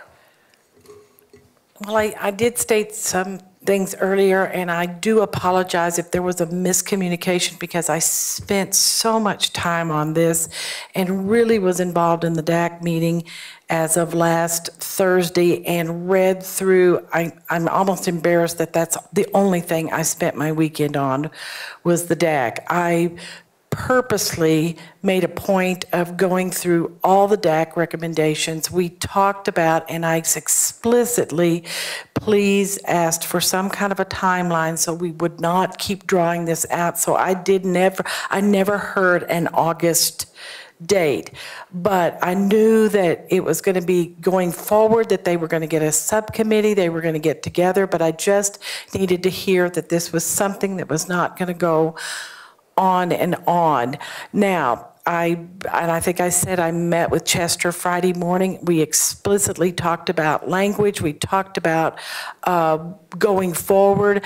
And at the end of the day on Friday, I did share with all of the DAC, I shared all the information on the newly posted agenda. So they saw it. I, and like I said, I read through the DAC suggestions. I, and with the last time, with me approving the, to go forward with them and their DAC suggestions and their um, SAC feedback, there was, I believe, every opportunity to come forward with something, but because of the language in this now KBB policy, I, I was, felt that it was okay, and I felt like it was just a definite green light for this committee to, for DAC to go ahead and get that committee while we needed to get this KBB and policy in place because it updated the national standards. And there was several wordings in here that were explicitly what was brought forth with DAC and SAC. And at the exp, I realized there were emotions. But what I'm concerned about most of all is that that I feel there was a coordinated attack to humiliate and intimidate a school board member. And that's not okay.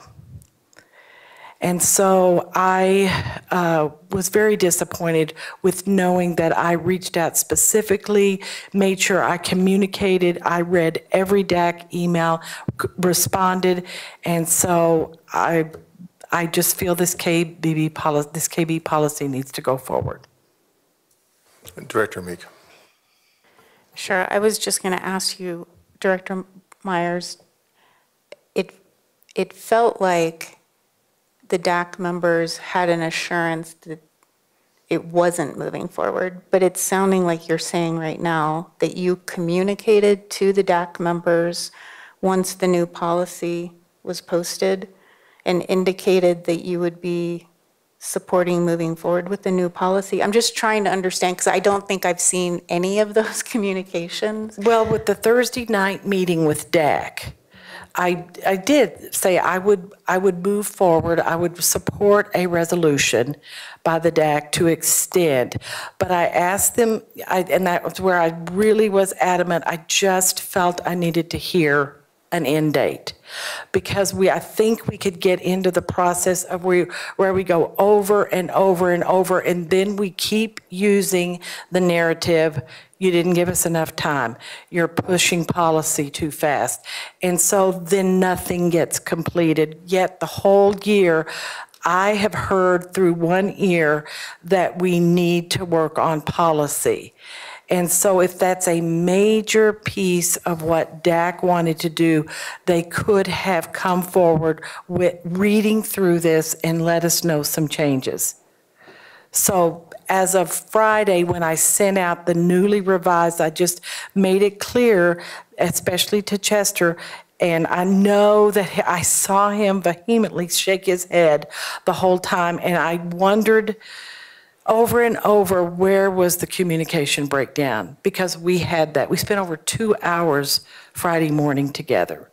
So I am concerned about where the breakdown was. Yeah, I think there definitely has been a breakdown because it felt to me our DAC members were saying, you assured us that you would advocate to give us the more time that we pass this motion. And I'm hearing now, though, you communicated with them through an email later. And I guess I wasn't on that email because I'm not sure I saw anything. So I'm just trying to figure out the communication issue because we're going to have to repair this. No, you know, no matter what, we're going to have to figure out how to rectify this. And what I heard tonight was our DAC members felt like they were told Thursday night that they would get more time to give us recommendations. And Director Ray is reminding us that we passed a resolution saying that we would allow DAC to give us those recommendations. So I think we just find ourselves in a very tricky situation. Yeah, I think we certainly allowed time. Uh, KBB or KB parent engagement was something that I've announced publicly from the dais multiple times we were going to work on. As Director Ray rightly noted, this is a third reading. If you look at the DAC meetings from May 11th. KBB was certainly discussed at that meeting uh, with input there. I reviewed, uh, I uh, talked to Director Myers uh, Friday morning to get a summary of the meeting that happened. And uh, I was also provided by staff with all the Jamboard results um, of concerns and issues that they have. That actually triggered a, um, an additional change and insertion before things were posted on uh, Friday evening to be attached to this agenda explicitly. And Mr. uh, Blair, if you can just go down a little bit to the bottom of the first page. Um, The addition that says uh, the district will conduct, uh, and the district will conduct a periodic review, uh, and it should say DAC, but the district will conduct a periodic review of this policy at least biennially, biennially, or whenever national standards for family school partnerships are updated. And it's this exact issue of, we had standards in the previous policy that are from 2018. The standards changed in 2021, something that the DAC did not bring to the board, something that the board, uh, I was made aware of by a community member that says, hey, those things have been updated. Uh, So I thought it was worth uh, enshrining in the policy itself uh, that the DAC will look at this at least every two years. And if, frankly, if we're going to maintain, although some public speakers tonight said that we should actually abandon uh, the national standards for family school partnerships. Uh, We can certainly debate that. Uh, But as long as they're still in this policy, I think we absolutely have an obligation as a board to react and update if we're going to link to those, and we know that they've been updated for over a year. Um, But that specific uh, every two-year periodic review and a hawking of the standards to which this policy references was explicitly added as part of the feedback that I received on Friday from the Thursday meeting. Director Ray. So I will say that part of the communication breakdown is, is Thursday night, because I did read to the DAC the motion that um, was causing them to take this task on. And so I think the assurances were based on the motion that I read to them, which not only says DAC, pending DAC input, but ample time for, for feedback from staff and community. And so I don't know what happened on Friday, um, and I respect Director Meyer's uh, testimony that evidently there was a change of flavor um, based on her conversation with Mr. Shaw. Um, But I will say Thursday, it was very clear to me that uh, two things were going to happen. One is the two of us were going to advocate for the DAC on behalf of the motion that they approved, and that the second was that they felt like they were assured that they did have more time um, because of the way the motion read. Um, I am sympathetic with what Director Meyer's concern is that you keep kicking the can down the road. But I think we, that we're the ones that direct our committees. So we're the ones that say, by such and such date, we need to have your input, we need to have your recommendations. That's us. Um, We shouldn't ask, we shouldn't leave that up to the DAC to decide. Um, They're there to help us. They're, hel- they're, they're they're there to help us do our work. Um, And so just, just to kind of clarify that, I think that's where the breakdown of communication must have happened is between whatever happened Thursday night and whatever happened Friday. Um, But I still think we have a group, and we saw four of them that get up and make testimony that they're frustrated, that they're frustrated that uh, this board is not listening to their request. And I think we need to adhere to that, and we need to adhere to the motion that was passed. Director Williams. So just to respond to that, I think whether we like it or not, the, the DAC did provide feedback. It might not have come in the way that we wanted. They said we want more time, and that was certainly not my intention um, with that resolution. What I suggested earlier was to put it onto their um, next year's agenda to then come back again, and I think that that, um, that that certainly gives them an entire year instead of one month to do that. And I think we as a board can, can do that. Number two, um, while I appreciate you saying that you'll have more time, we can't promise as one member or two members to any committee that they're, give them assurances that that's going to happen because it takes the entire board to approve those things. And then lastly, when it comes to community feedback, I, we did do a community feedback. We did receive that from the community, so we have given ample time to our community to give us feedback, and that includes the members on the DAC. And to echo Director Williams' comments, we did get a significant amount of community feedback, not just on policy ADB, but on a large series of policies, many of which were approved at a previous meeting. And um, I think that the represent, the changes in here are representative of feedback, not just from um, what I heard through the formal survey and the outreach, but these are things that I have been hearing um, since uh, even be, prior to being sworn in. One of the reasons that I personally decided to run for position on the board, as we heard from many interviewees that sat in front of us tonight, was what I perceived to be the, the uh, silencing of parent voice and a disruption in what was the traditional role of the parent, especially in deciding educational and health outcomes. We heard some uh, interviewees speak to it uh, prior to tonight. So I think that this update here not only reflects some recent input from the DAC, certainly it reflects a lot of input from the community, but this reflects um, my entire culmination of a year and a half of being on the board. And one of the reasons that I stated that I was uh, seeking this office and seeking to elect, which was simply to reset and restore the voice and the role of parents and make it clear. And I would like to be very clear, because there's been a lot of accusations or, or perceptions, and I, you know, I, everyone's entitled to their perceptions, that this is somehow a very political policy. I don't see certainly any of the um, national standards as being political. They're coming from our um, national PTA, uh, although there's been uh, accusations by some public commenters tonight that they are political or that they're charged.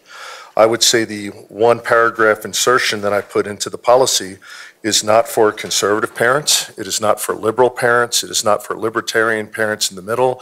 It is independent of your identity. It is just simply to recommit as a district, as a board, to parents that we understand that their role is different than that of the system, different than that of the educators, but is stated uh, explicitly in the policy ADB, which was passed by this board. We believe as a board in the partnership the mutually respectful partnership of parents and educators and staff for the benefit of the student.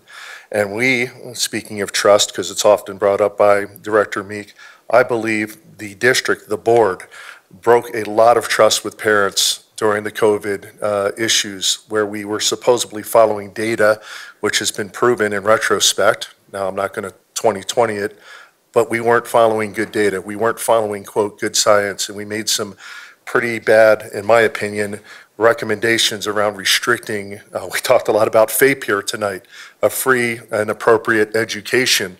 Well, we put kids in the rooms, we put them on distance learning, and that was not what many parents wanted.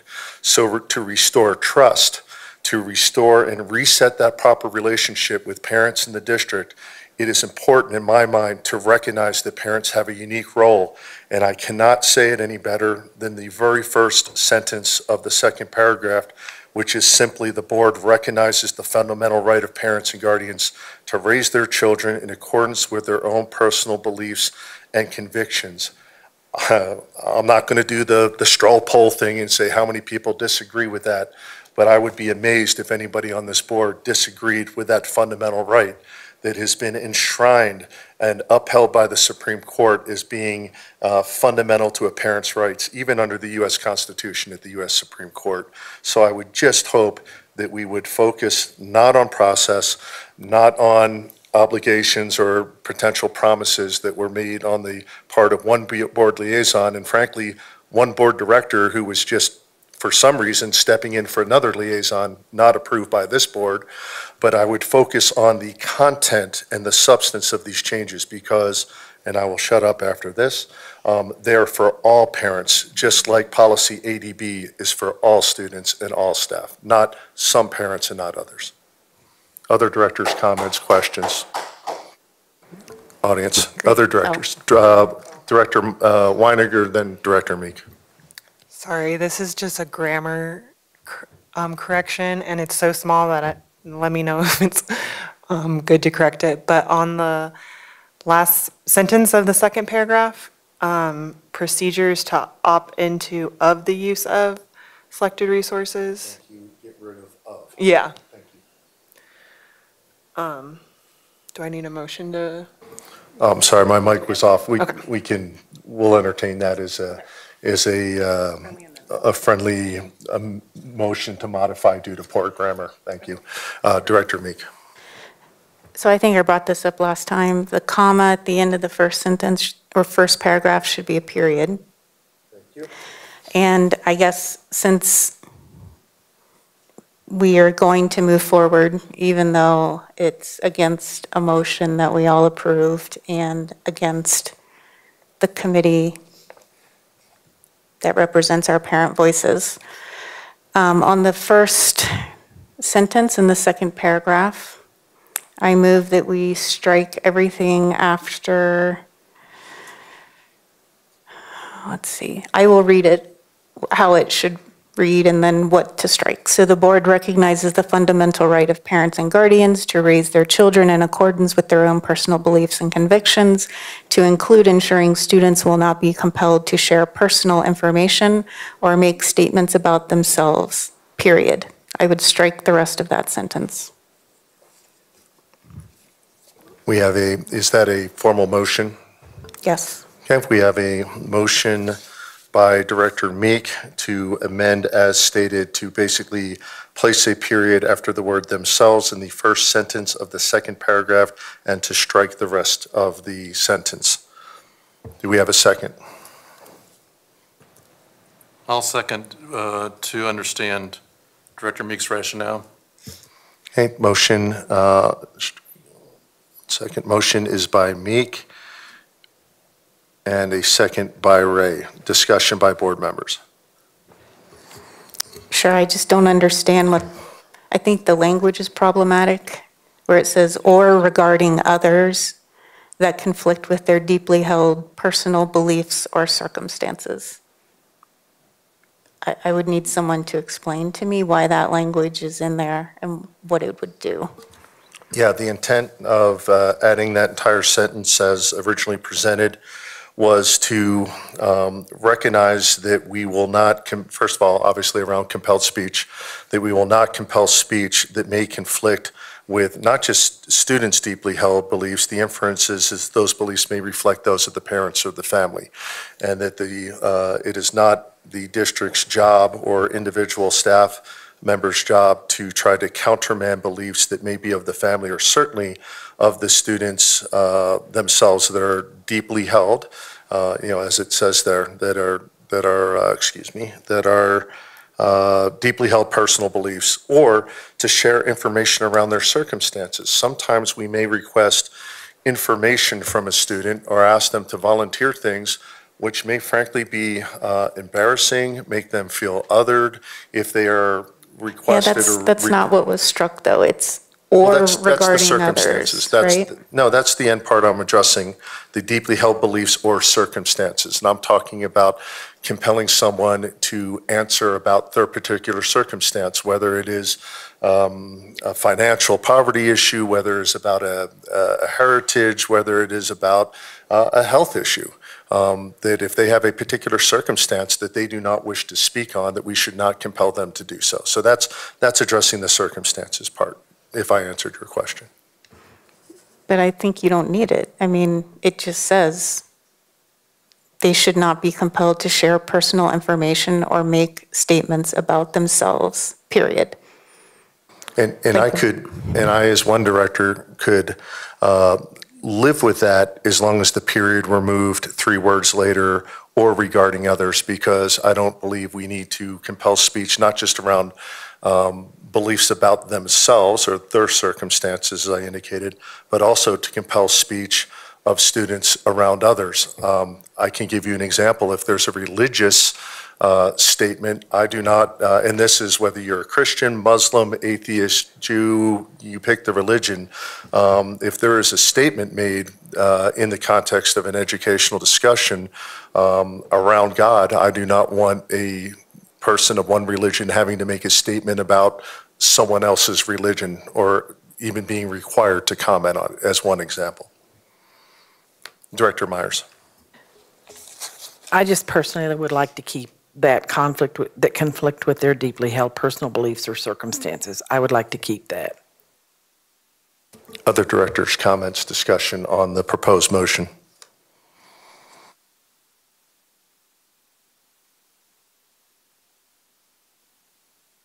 Could someone just give me an example of what it is we're trying to achieve with this? I'll give you my example, and then others could comment or discuss as appropriate. Um, I am a big believer, and I've stated it multiple times from this dais, in First Amendment rights and freedom of speech. I am also a big, uh, I I do not believe in compelled speech. I think compelled speech, especially in the larger context of honoring family values and honoring individual beliefs, uh, is something that we should never encourage uh, because it is, again, counter to family values. And uh, I think it is coercive if we have compelled speech uh, of any kind in the district, and especially for our students. Director Williams. Did you want an answer from everyone, Director Meek?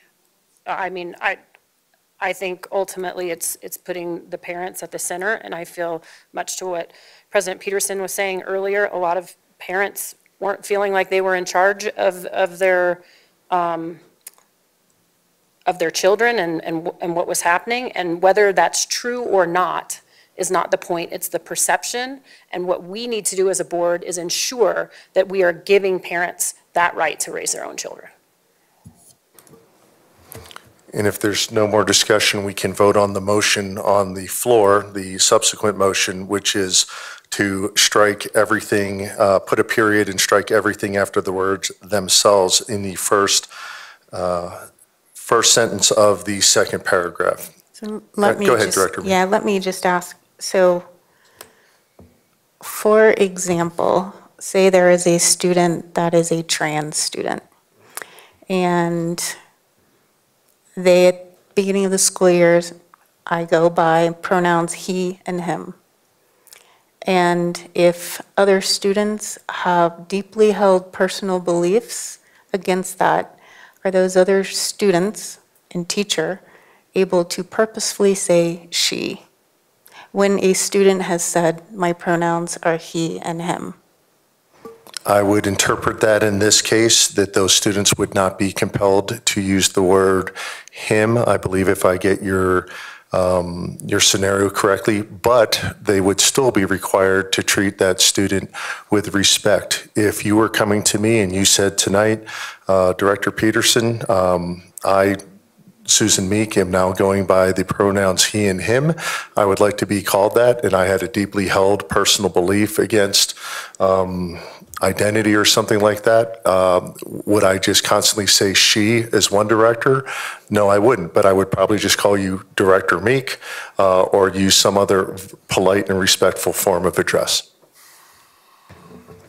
So that's very helpful talking through this because I think that is extremely important because if other students refuse to use the pronoun or, or intentionally use and misgender, that is a form of harassment, which we would then be opening ourselves up to litigation.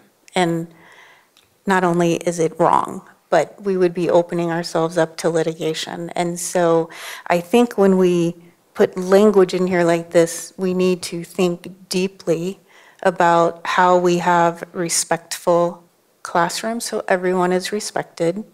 No one is above anyone else. We are looking to respect every single student and, and teacher. And we have heard over and over from our community that we are struggling with homophobic slurs in the classroom.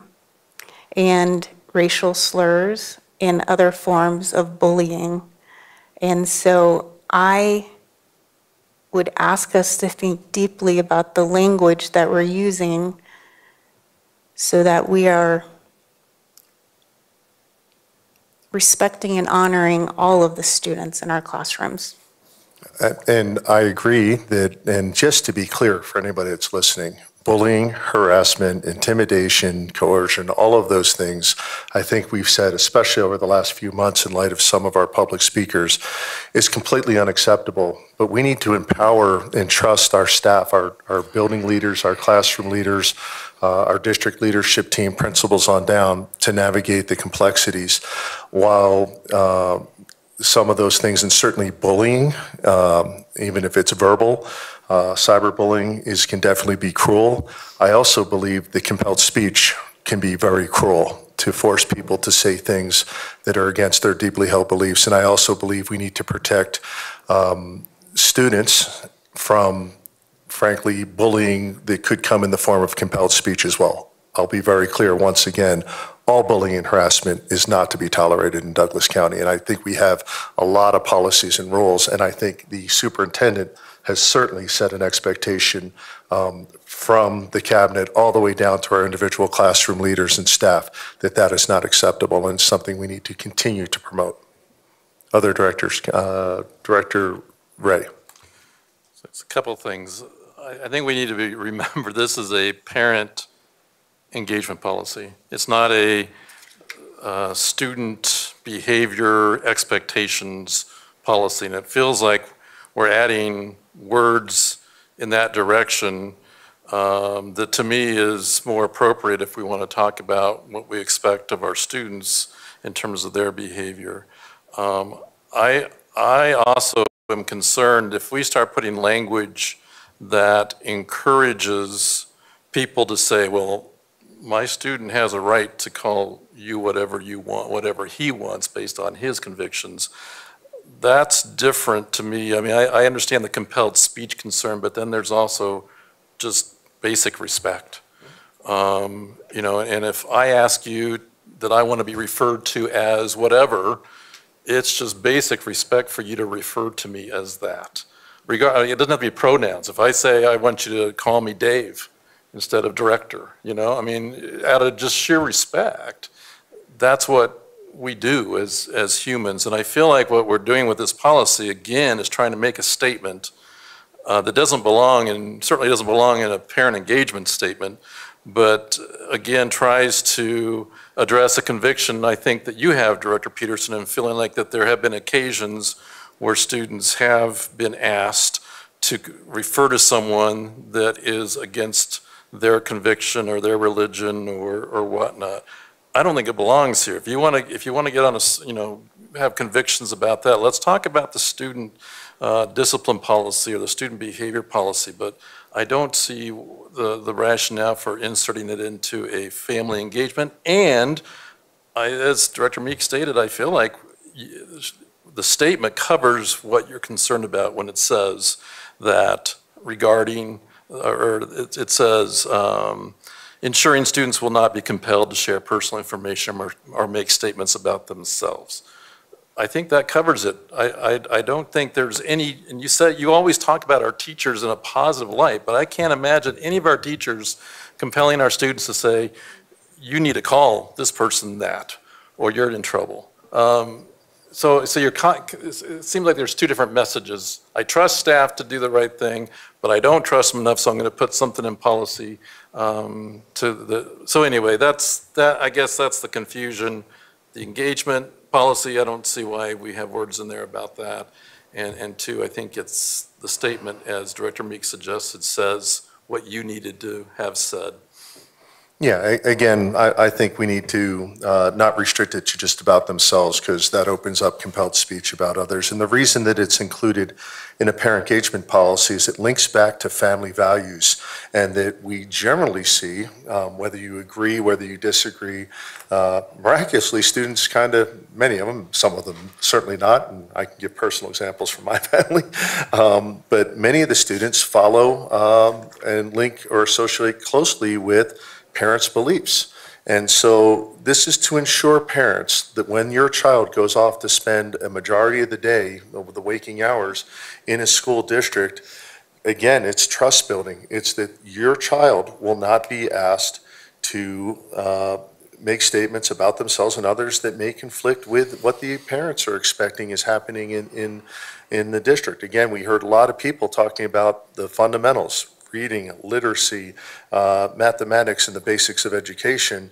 And this statement, I believe, if we were to pass it as a board, will assuage parents' concerns that there are other um, items or agendas being pursued that are not purely academic in nature that may occur in the schools. Of course, I trust our, our staff and our students, but this is about um, assuaging concerns about what may happen. And I think, again, because trust was previously broken and needs to be repaired, my opinion, with many of our parents, that this is appropriate to um, make absolutely sure that there will not be a, a transgression against uh, beliefs that parents may share as well as the students. Any other director comments? We do have a specific motion on the table, so we can move forward. Okay, we have a motion from Director Meek as stated and seconded by Director Ray. Um, The motion again was to add a period after the word themselves, first sentence, second paragraph, and strike the rest of the sentence.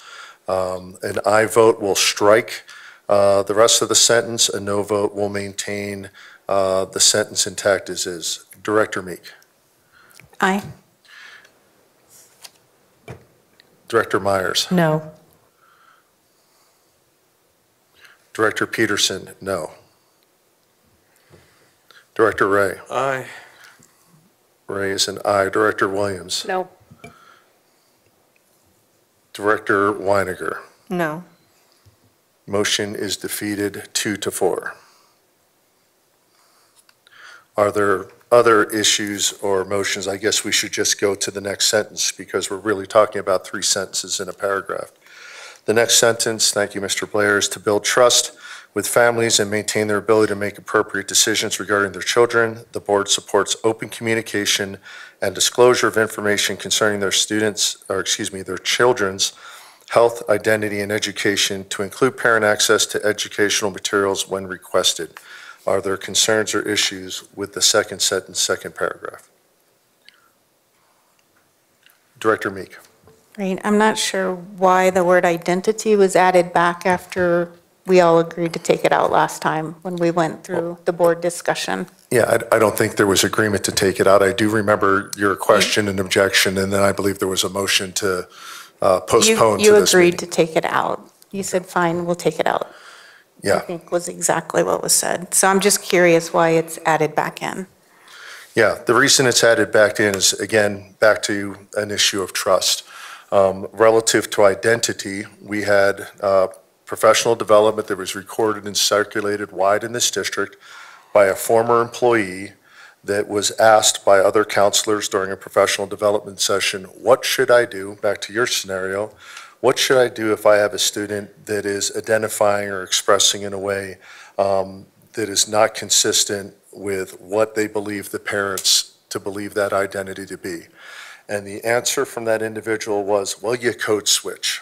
And when someone said, well, what is code switching? The answer was basically to lie to parents, to tell them to use different words, to use different pronouns, to use different names when referring to the student, where the district, the system, the individuals knew that that was not that person's identity.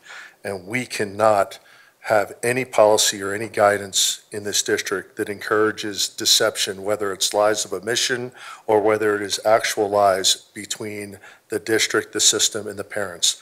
We are the service provider, they are the customer, them and their students, and we cannot have that because that will shatter and break trust. So that's why I included that word in the original uh, drafting and revision of this policy. Relative to health, that's in there for obvious reasons, especially in the wake of COVID and things that were done. And the last one, obvious one, is education because we expect parents to be, uh, again, respectful partners and support um, programs that are being put out in school and support their child's education. To make good decisions, they need to have accurate and complete information on all three of those areas. Other directors' comments, concerns with the second par, uh, second sentence in the second paragraph as written? Director Myers. I absolutely have no problem with the statement. Other directors?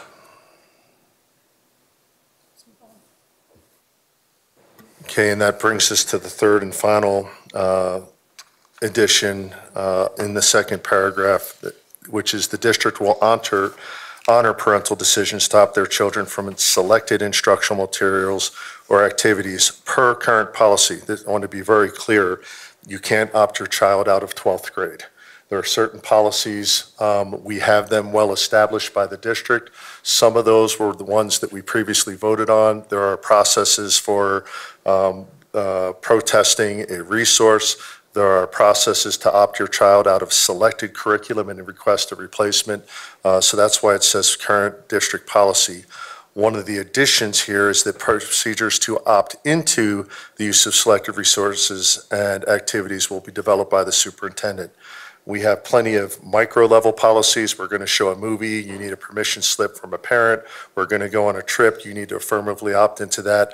But if there are addition, additional policies that uh, the superintendent and her staff believe rise to the higher level of actually affirmatively opting into, we would delegate those to the superintendent. And I would expect to see those either in separate board policy or in a KB-R. So that is the intent of that. This is not a new right, this is just to reaffirm the existing opt-out rights that are already in several other district policies. Again, to honor parent decisions around their child's education. Questions, comments on the third sentence in that paragraph?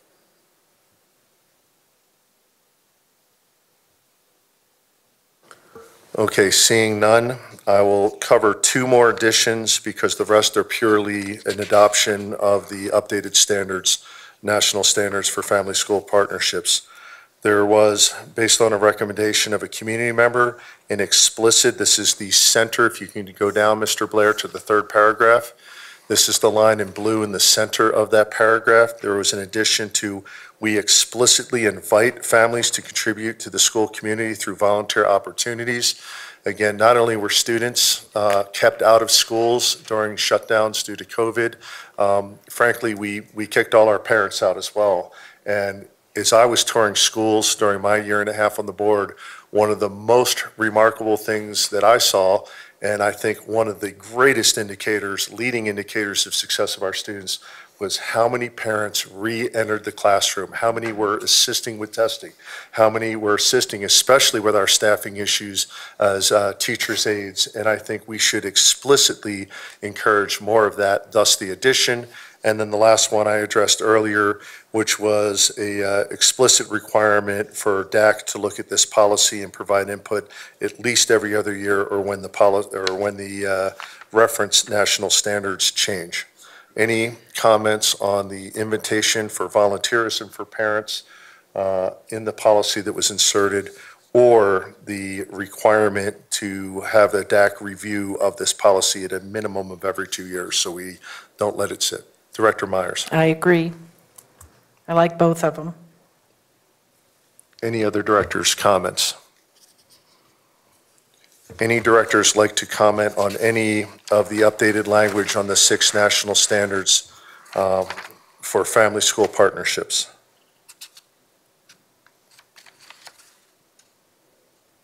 Any director requirements on any of the other proposed changes or additions to the policy?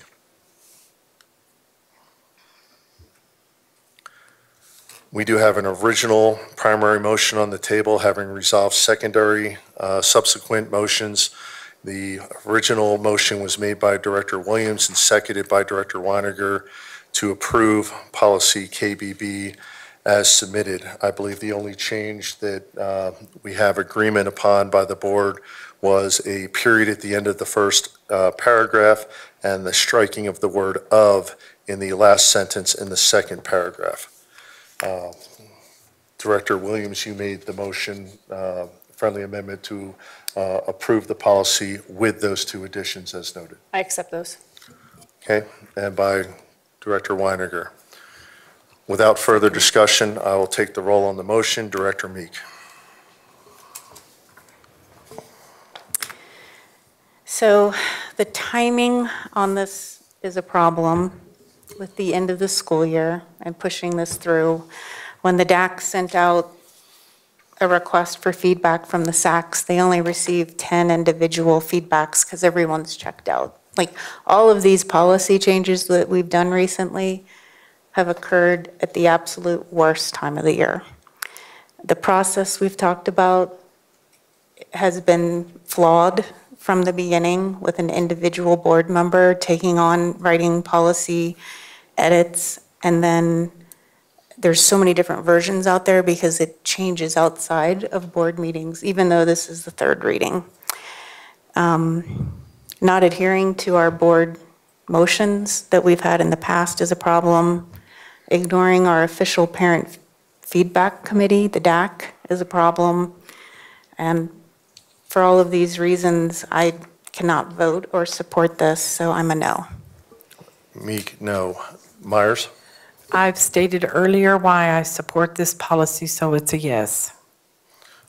Peterson, um, I do believe that we did receive feedback, as I stated, both from previous meeting minutes from the DAC and the materials that I was provided on Friday morning, and feedback from the appointed liaison that was at the meeting.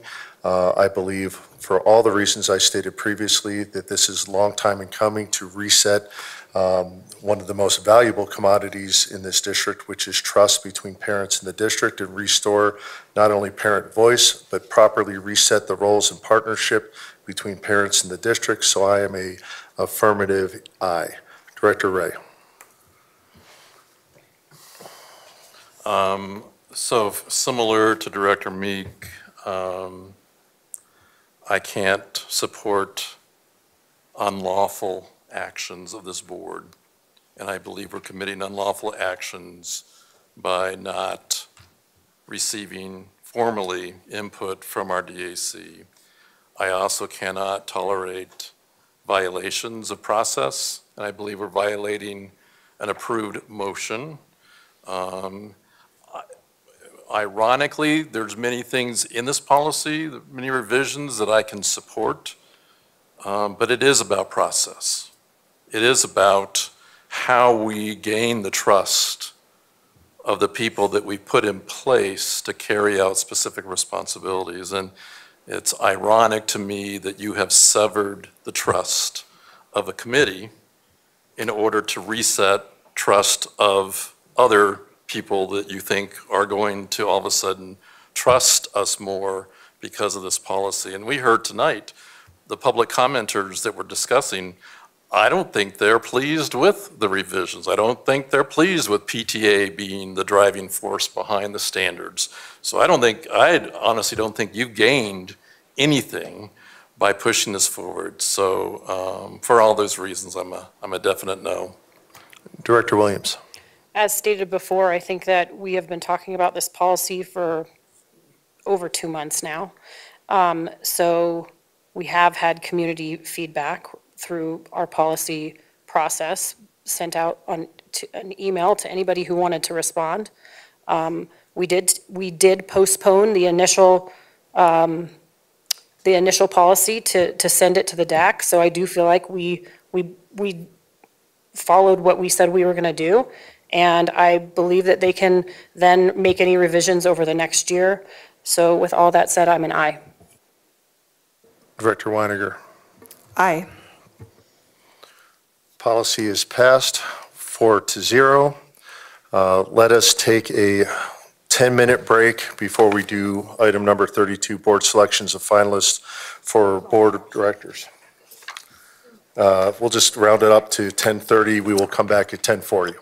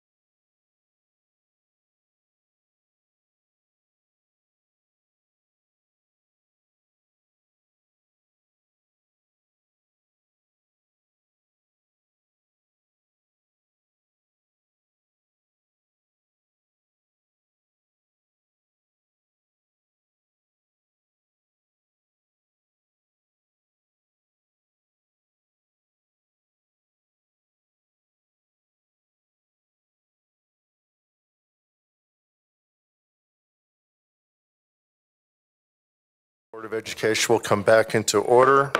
We are on item number 32, board selection of finalists for Board of Education Vacancy Director, District C. The Board shall determine no more than three finalists to be considered to fill the vacant board position.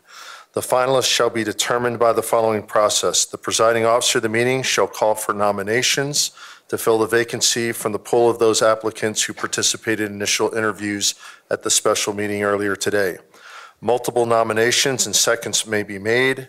Then nominations that receive a second shall be open for discussion by the board. So we will have uh, potentially multiple nominations sequentially. We will then stop and discuss all the potential, all the um, uh, nominees that received a second. Once that macro discussion is concluded, nominees to be finalists shall be voted on in the order of their nomination by a roll, roll call vote. Once a nominee receives the majority of the votes, that nominee shall be selected to be a finalist to be considered to fill the vacancy. And again, no more than three finalists shall be selected for a final interview. So that means we could have one finalist selected, we could have up to seven finalists because we had seven people um, selected in there that, for nominations. But the first three, if there are seven nominations for finalists, the first three that receive majority votes will be the finalists. So if there are seven, all seven interviewees are nominated, and we vote, and the first one receives a majority, and the second one receives a majority, and the third one does not, and the fourth one receives a majority, we are done because we have reached a quota of three. Do any board members have any questions on the process that we will use or potential outcomes of how that will occur?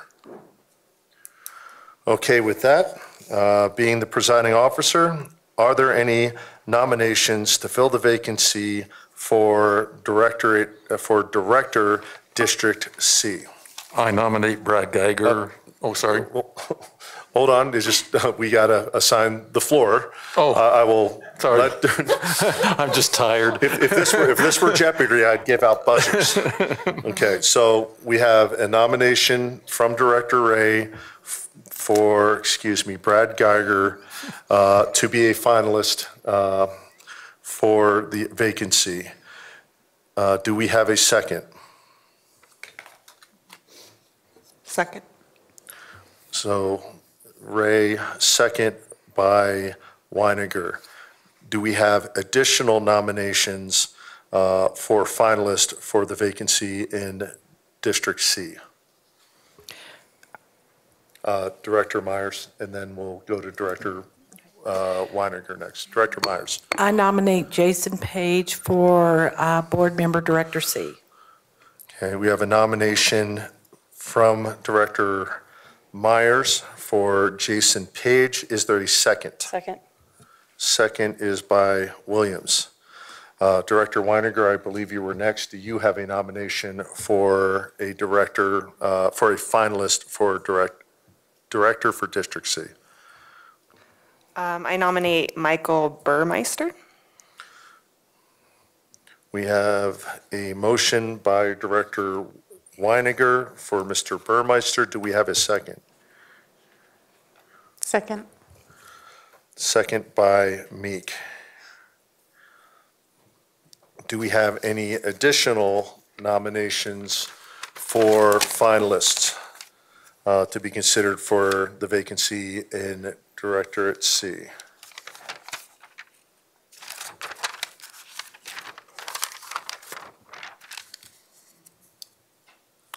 Hearing none, we have in order, we have uh, Brad Geiger, uh, motion by Ray, seconded by Winegar, Jason Page, motion by Myers, seconded by Williams, and we have Mr. Burmeister, motion by Winegar, seconded by Meek. We will now have discussion on all three uh, potential candidates by directors before going to a vote in that order. Um, Obvious, I'll state the obvious here, we only have three uh, nominations for finalists. We could vote for all three, we could vote for one or two, we could vote for none, but that would probably be really bad. So uh, with that, I will open up uh, director discussions, uh, comments on any of the folks that they nominated, seconded, or otherwise. Director Williams. So first, I'd like to say to everyone who applied. I'm so incredibly thankful for you throwing your name into the hat to fill uh, this board vacancy. I appreciate your passion and your willingness to serve. If you are not selected, I urge you to stay connected. Join a board committee, join your SAC, just please stay involved. Last meeting, we discussed what attributes and preferences we have as a board to select a new Board of Education member. Some of the ones that were mentioned were not being divisive or political, being diverse, committing to the time commitment, having watched a meeting, preferably more, being involved in the district, having knowledge, having some tie to the district or skin in the game. I personally believe there are two candidates who fulfill most, if not all of those, and those are Mr. Geiger and Mr. Page. Thank you, Director Williams. Other director comments on any or all of the uh, nominees? Uh, Director Winegar. Uh, just ditto what um, Director Williams said around um, thanking all the applicants who applied. That was not an easy thing to do to come before us and interview. And um, thank you for putting in the effort and your interest in the school district. And like uh, Director Williams mentioned, there's so many other ways to volunteer, and we would welcome any of those. Any other directors' comments on the nominees? Uh, Director Myers. I personally wa- was very impressed with the number of applicants that we did have come forward. I thought that was great. Thank you to the community, the people of District C. And um, I believe we've come down to some very good candidates. Um, Mr. Geiger, Mr. Page, definitely um, involved, know policy, know what's going on in the district. And so th- those are the two I definitely would recommend. Any other directors? No, I was I was just going to say, I I would not be opposed to sending all three forward. Um, I don't know that, uh, I mean, I can certainly take the time to talk about the merits of each one of them, but I think they certainly, um, to me, um, impressed me with their um, focus on our district, their dedication, and their desire to, to serve as a board director. So I would, uh, I would be glad to, to make a motion that all three be moved forward as finalists unless we want to continue to have this discussion and deliberation. I think just to follow the rules, we'll, because we have the resolution, we'll vote on them one at a time. Okay. Um, But uh, I do not disagree with you, and, and I'd like to echo the comments from the other directors.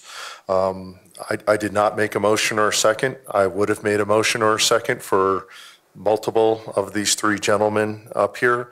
Um, I think that they each bring some unique skills um, and perspectives to the board. I'd be happy to have any of the three nominees, uh, from what I know at this point, on the board, but um, we're going to do another round of interviews with whoever goes forward, and we'll make a selection one week from now. I'd like to speak to the other candidates that were not uh, nominated to be finalists.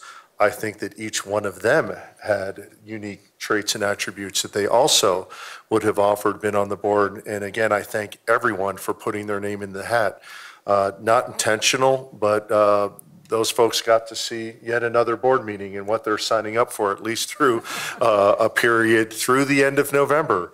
Uh, And you've got to be a little kind of crazy uh, because uh, this board pays exactly zero, and it's, it's a lot of time and effort. And, and I'm only saying that to honor the folks that, that applied tonight and were willing to make that commitment uh, to them, themselves, to the communities they represented, and, and frankly, to make that commitment to the, the six directors that are up here.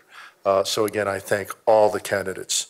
Uh, Director Meek, did you have anything, or, or no? I think everyone's tired of hearing us talk. Thank you to everyone that applied. It is immensely appreciated. It's a large job, and we look forward to working with one of you, so thank you.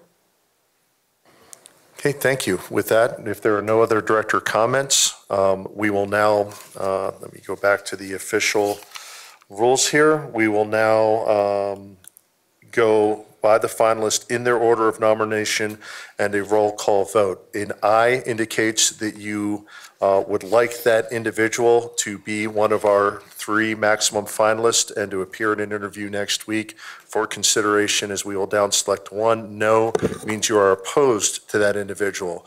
Any individual that receives a majority of the votes goes on to be a finalist. So we will start with Mr. Geiger. I will call the roll on the uh, nomination of Mr. Brad Geiger for finalist to fill the director vacancy for District C. Director Meek. Aye. Myers. Aye. Peterson, aye. Ray. Aye. Williams. Aye. Winegar. Aye. Passed by a vote of six to zero. Congratulations, Mr. Geiger. Uh, Now, we will take a roll call vote for the nomination of Mr. Jason Page to be a finalist to fill the director vacancy for District C. Director Meek. Aye. Director Myers. Aye. Peterson, aye. Ray. Aye. Williams. Aye. Winegar. Aye. Passed six to zero. Congratulations, Mr. Page. Uh, We will now take uh, the roll call for nomination for Mr. Michael Burmeister to be a finalist to fill the director vacancy for uh, District C. Director Meek. Aye. Director Myers. Aye. Director Peterson, aye. Ray. Aye. Williams. Aye. Winegar. Aye. Passed six to zero. Congratulations to Mr. Burmeister. Um, For, uh, again, congratulations to our three named finalists. Just to be clear, finalists are asked to return for another round of interviews on Tuesday, June 27th at a special meeting, which will be scheduled to start at 5 PM. I understand that one or more of our three finalists may not be able to be here physically in person. We will arrange a link for you to um, participate virtually in another round of interviews. Uh, Expect a repeat, an opening statement, multiple questions. We will probably do at least two per director. We've got a little bit more time with three. It's the sole focus of our meeting. And then we will have filing statement, uh, uh, closing statements. That will be followed by public debate and selection of a single person to fill the vacancy by the six current members of the Board of Education. That will be followed immediately by a swearing-in ceremony. And if you're attending, uh, attending remotely, uh, we will have legal counsel and the board secretary get you some documents that you will have to sign. Uh, I do expect more than just the uh, selection of a candidate to potentially be on the agenda uh, for Tuesday. There may be an executive session, and if following swearing in and signing of documents, my intent would be to include whoever the newly selected board member is in that session and everything, obviously, going forward. Um, Let's see, as allowed by Colorado revised statute, in the case of board vacancies, the president of the board will administer the oath of office.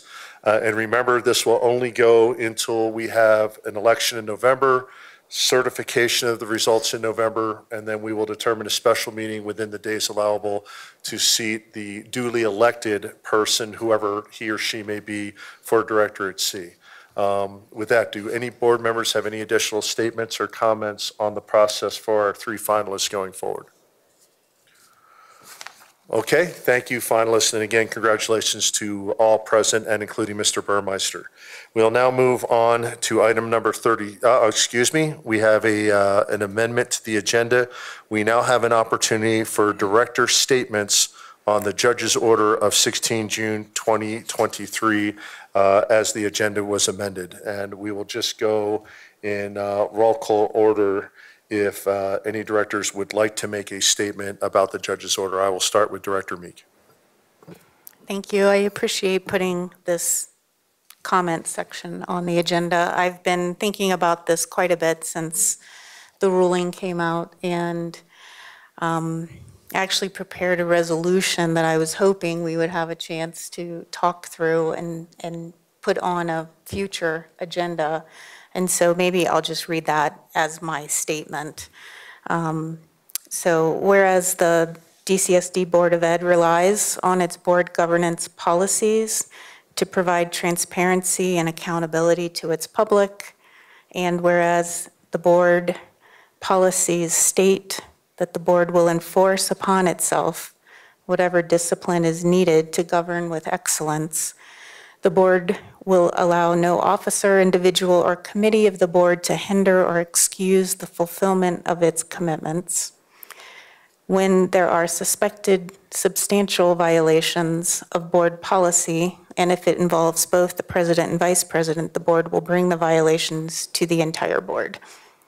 So whereas on February 4th, 2022, Robert Marshall filed a complaint alleging that Douglas County School District Board of Ed directors Myers, Peterson, Williams, and Winegar engaged in activity that violated the Colorado open meeting laws by discussing and deciding to terminate the employment of former Superintendent Corey Wise outside of a public meeting of the Board of Ed. And whereas de- declaratory relief was requested barring board directors from violating the Colorado open meeting law. And whereas on June 16th, 2023, the court granted declaratory judgment regarding four board directors' past violations of the Colorado open meeting law. And whereas a substantial violation has occurred in regard to governance process 1.1, the board will govern lawfully. As determined by the findings of fact, conclusions of law, and orders under the case Robert Marshall versus Board of Ed, Michael Peterson, Rebecca Myers, Kaylee Winegar, and Christy Williams dated June 16, 2023, as cited, the Colorado Open Meeting Law, and he is entitled to a declaratory judgment to that effect. The court finds that the decision made at the February 4th, 2022 meeting was a rubber stamping of the discharge discussion and decision that constituted the Colorado open meeting law violation by the individual defendants, and the violation therefore went uncured. Whereas a substantial violation has occurred in regard to governance process 1.3, board president responsibilities, which states that, quote, "The president has no authority to supervise or direct the superintendent," end quote, and explicitly prohibits the president to take action concerning employment or termination of the superintendent. As evidenced by, this is a quote from the ruling, the evidence supports and the court finds that four members of the board discussed and collectively committed outside of a public meeting to terminate Wise's employment on Friday, January 28, 2022, two of the majority board members, Peterson, the board president, and Williams, the vice president, met with Wise.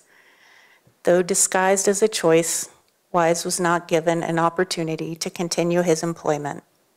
The only options presented were options about how his job would end. Whereas it is the board's responsibility to uphold the highest standards of transparency, fiduciary duty, and collective decision-making, all of which are essential for effective and ethical governance. And whereas disregarding and violating the Colorado open meeting law undermines the principles of transparency, public engagement, and accountability that are the bedrock of an open and democratic governance process.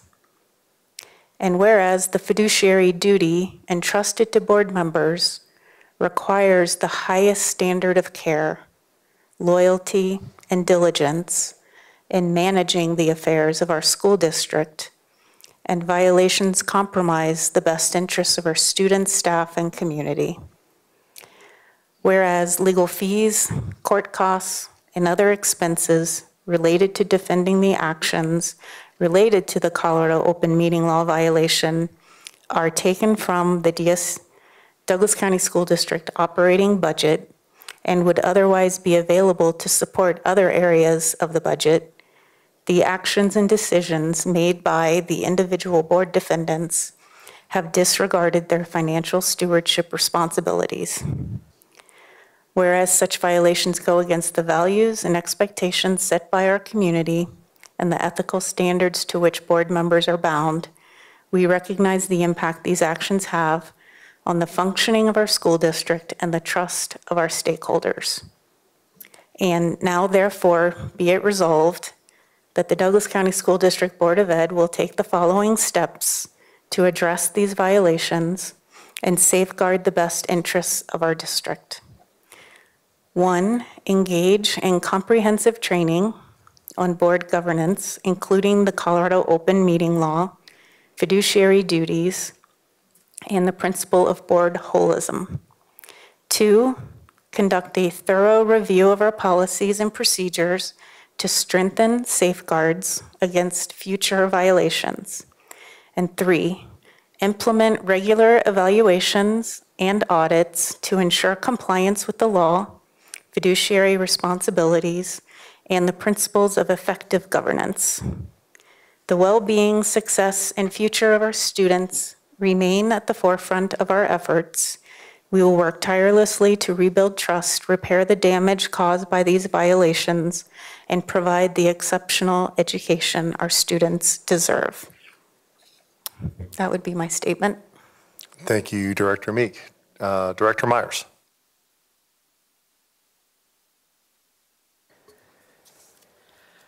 Well, um, all I was going to say tonight is just thank you to Judge Holmes for lifting the injunction on the board and trusting that we will honor the court's decision.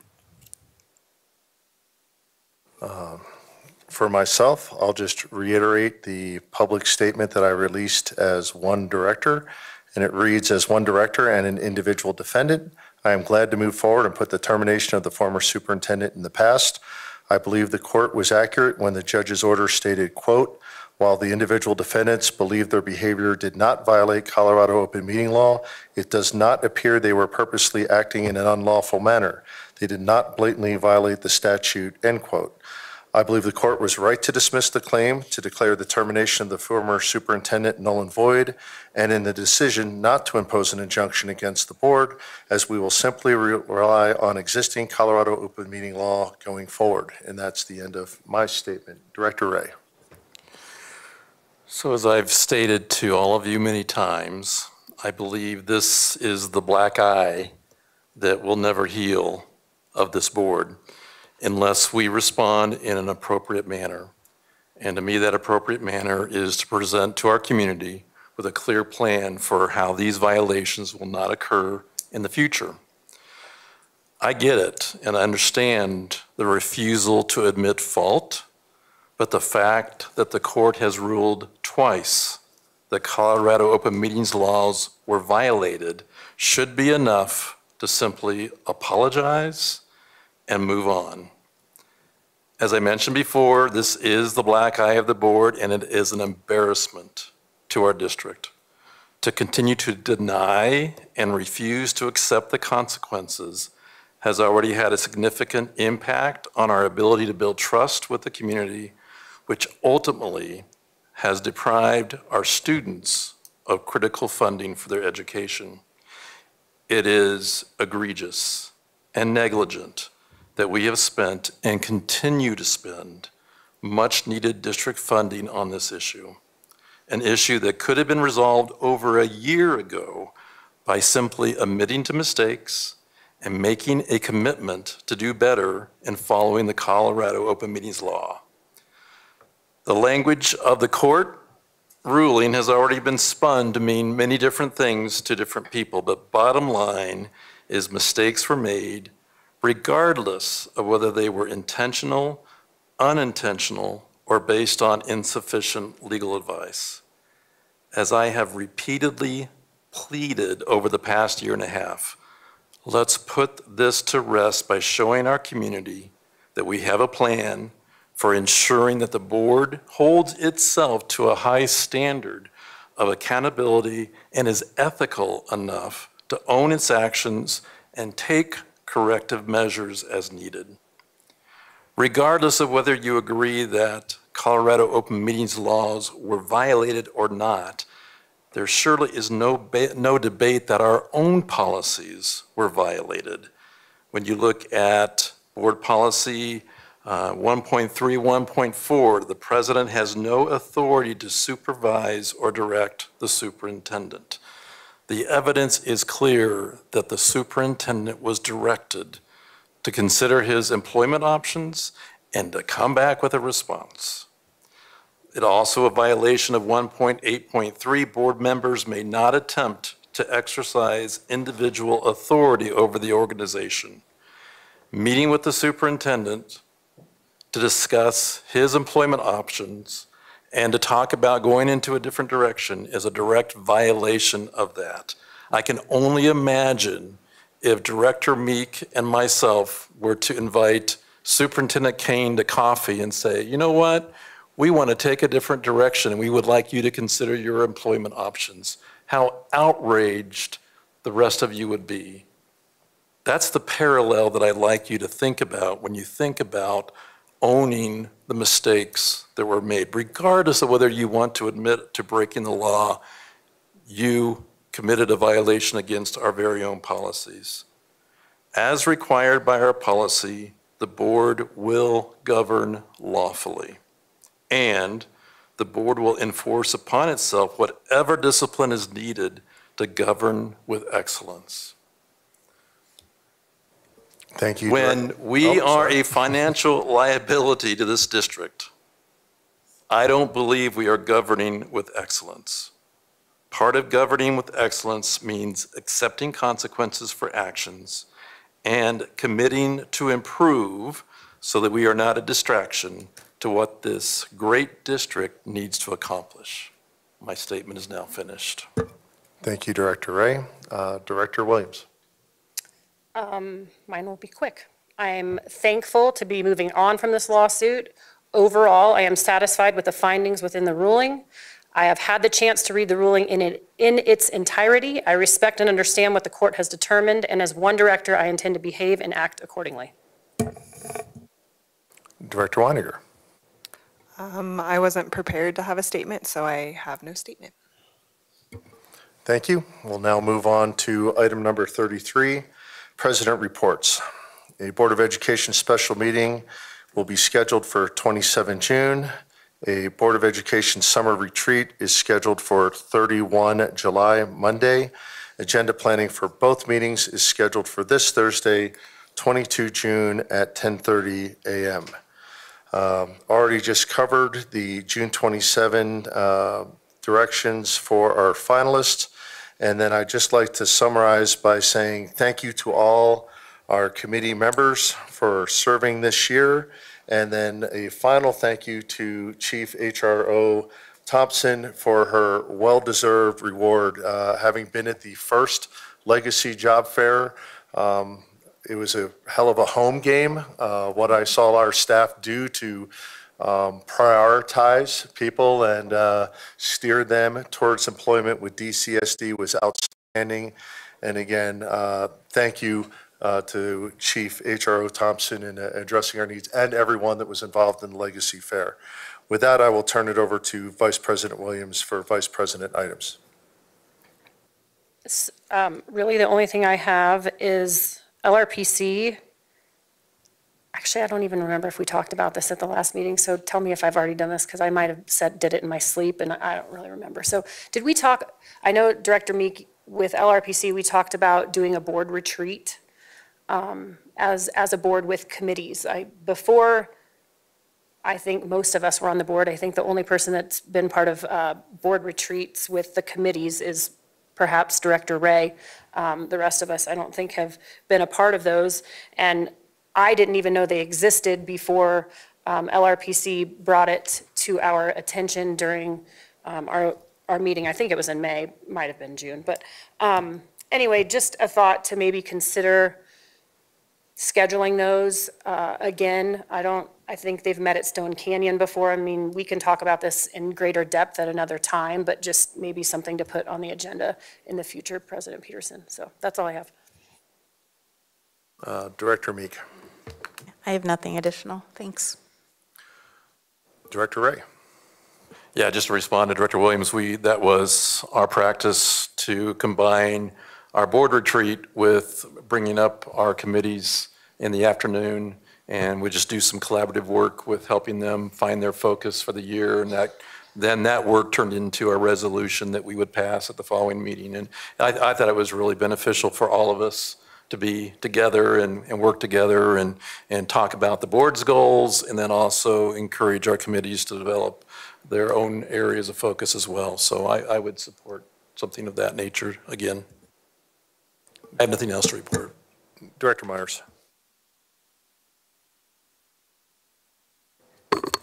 I just want to give, I had a couple of things, and I was kind of considering this, not the last meeting, but the last um, bit of what I want to say to the community. But I do want to have up here, look they, Mr. Blair put up for me. This is Douglas County um, Foundation, Community Foundation. I'm putting a plug in for our Heroes Gala for the honoring our first responders. And so this will be Thursday, September the 21st, 2023. They're, they're, th- this is really a huge fundraiser for this group.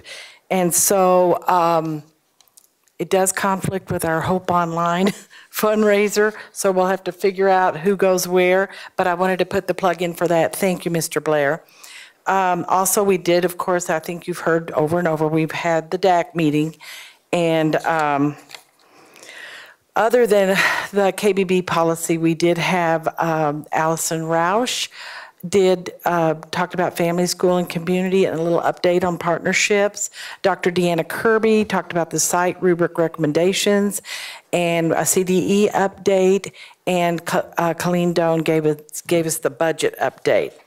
So, um, kind of my last little bit. Um, as the school year closes, we're kind of closing out the school year. We're going to go forward next week and get our board member. I want to thank those in the community who placed their trust in me to serve on this board. And I want you to continue to remind me that I'm here to serve the Douglas County community, to protect our students, to ensure that we have the highest academic standards free from political bias, to honor our school choice, and to work for the rights of parents to be involved in their children's education. I'm reminded in Psalm 127 that children are a gift from the Lord. They are a reward from Him. So this summer, I'm telling our community, parents, play with your kids. Guide them, teach them respect, and to take responsibility for their actions, but most of all, love them. And kids, take a break from social media.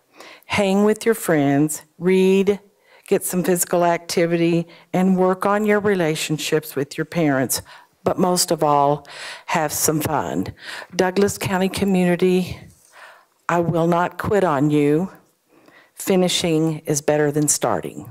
Thank you. Director Winegar. Um, the FOC um, also put together a memo regarding their comments on the potential 2023 MLO bond, and I didn't realize it was final unt- until today. Um, So I will send that out to everyone and then just have it also attached um, on our August meeting, so it's not forgotten, but I'll make sure everyone has that as well. Okay, thank you, Director Winegar. Moving on to uh, what should be our last item for this evening. Item number 36, convening executive session to close session pursuant to CRS 246402 4FI for the purpose of conducting a superintendent evaluation. The recommendation is that the Board of Education adjourn the meeting and convene an executive session, a closed session pursuant to CRS 246402 4FI to discuss a personnel matter specifically for the purpose of conducting the superintendent's evaluation, and that superintendent will be present in the closed session, and the session will be facilitated by the board's attorney. Request in the meeting will be all six directors, Superintendent Kane, and Kristen Egger from the law firm of Caplan and Earnest for facilitation. Do I have a motion to adjourn and convene in executive ses- session as stated? So moved. Motion by Myers, Second? Second by Winegar. I will now take the roll. Meek. Aye. Myers. Aye. Peterson. Aye. Ray. Aye. Williams. Aye. Winegar. Aye. Passed by a vote of six to zero. This meeting is hereby adjourned, and we will convene in the superintendent's conference room in five minutes.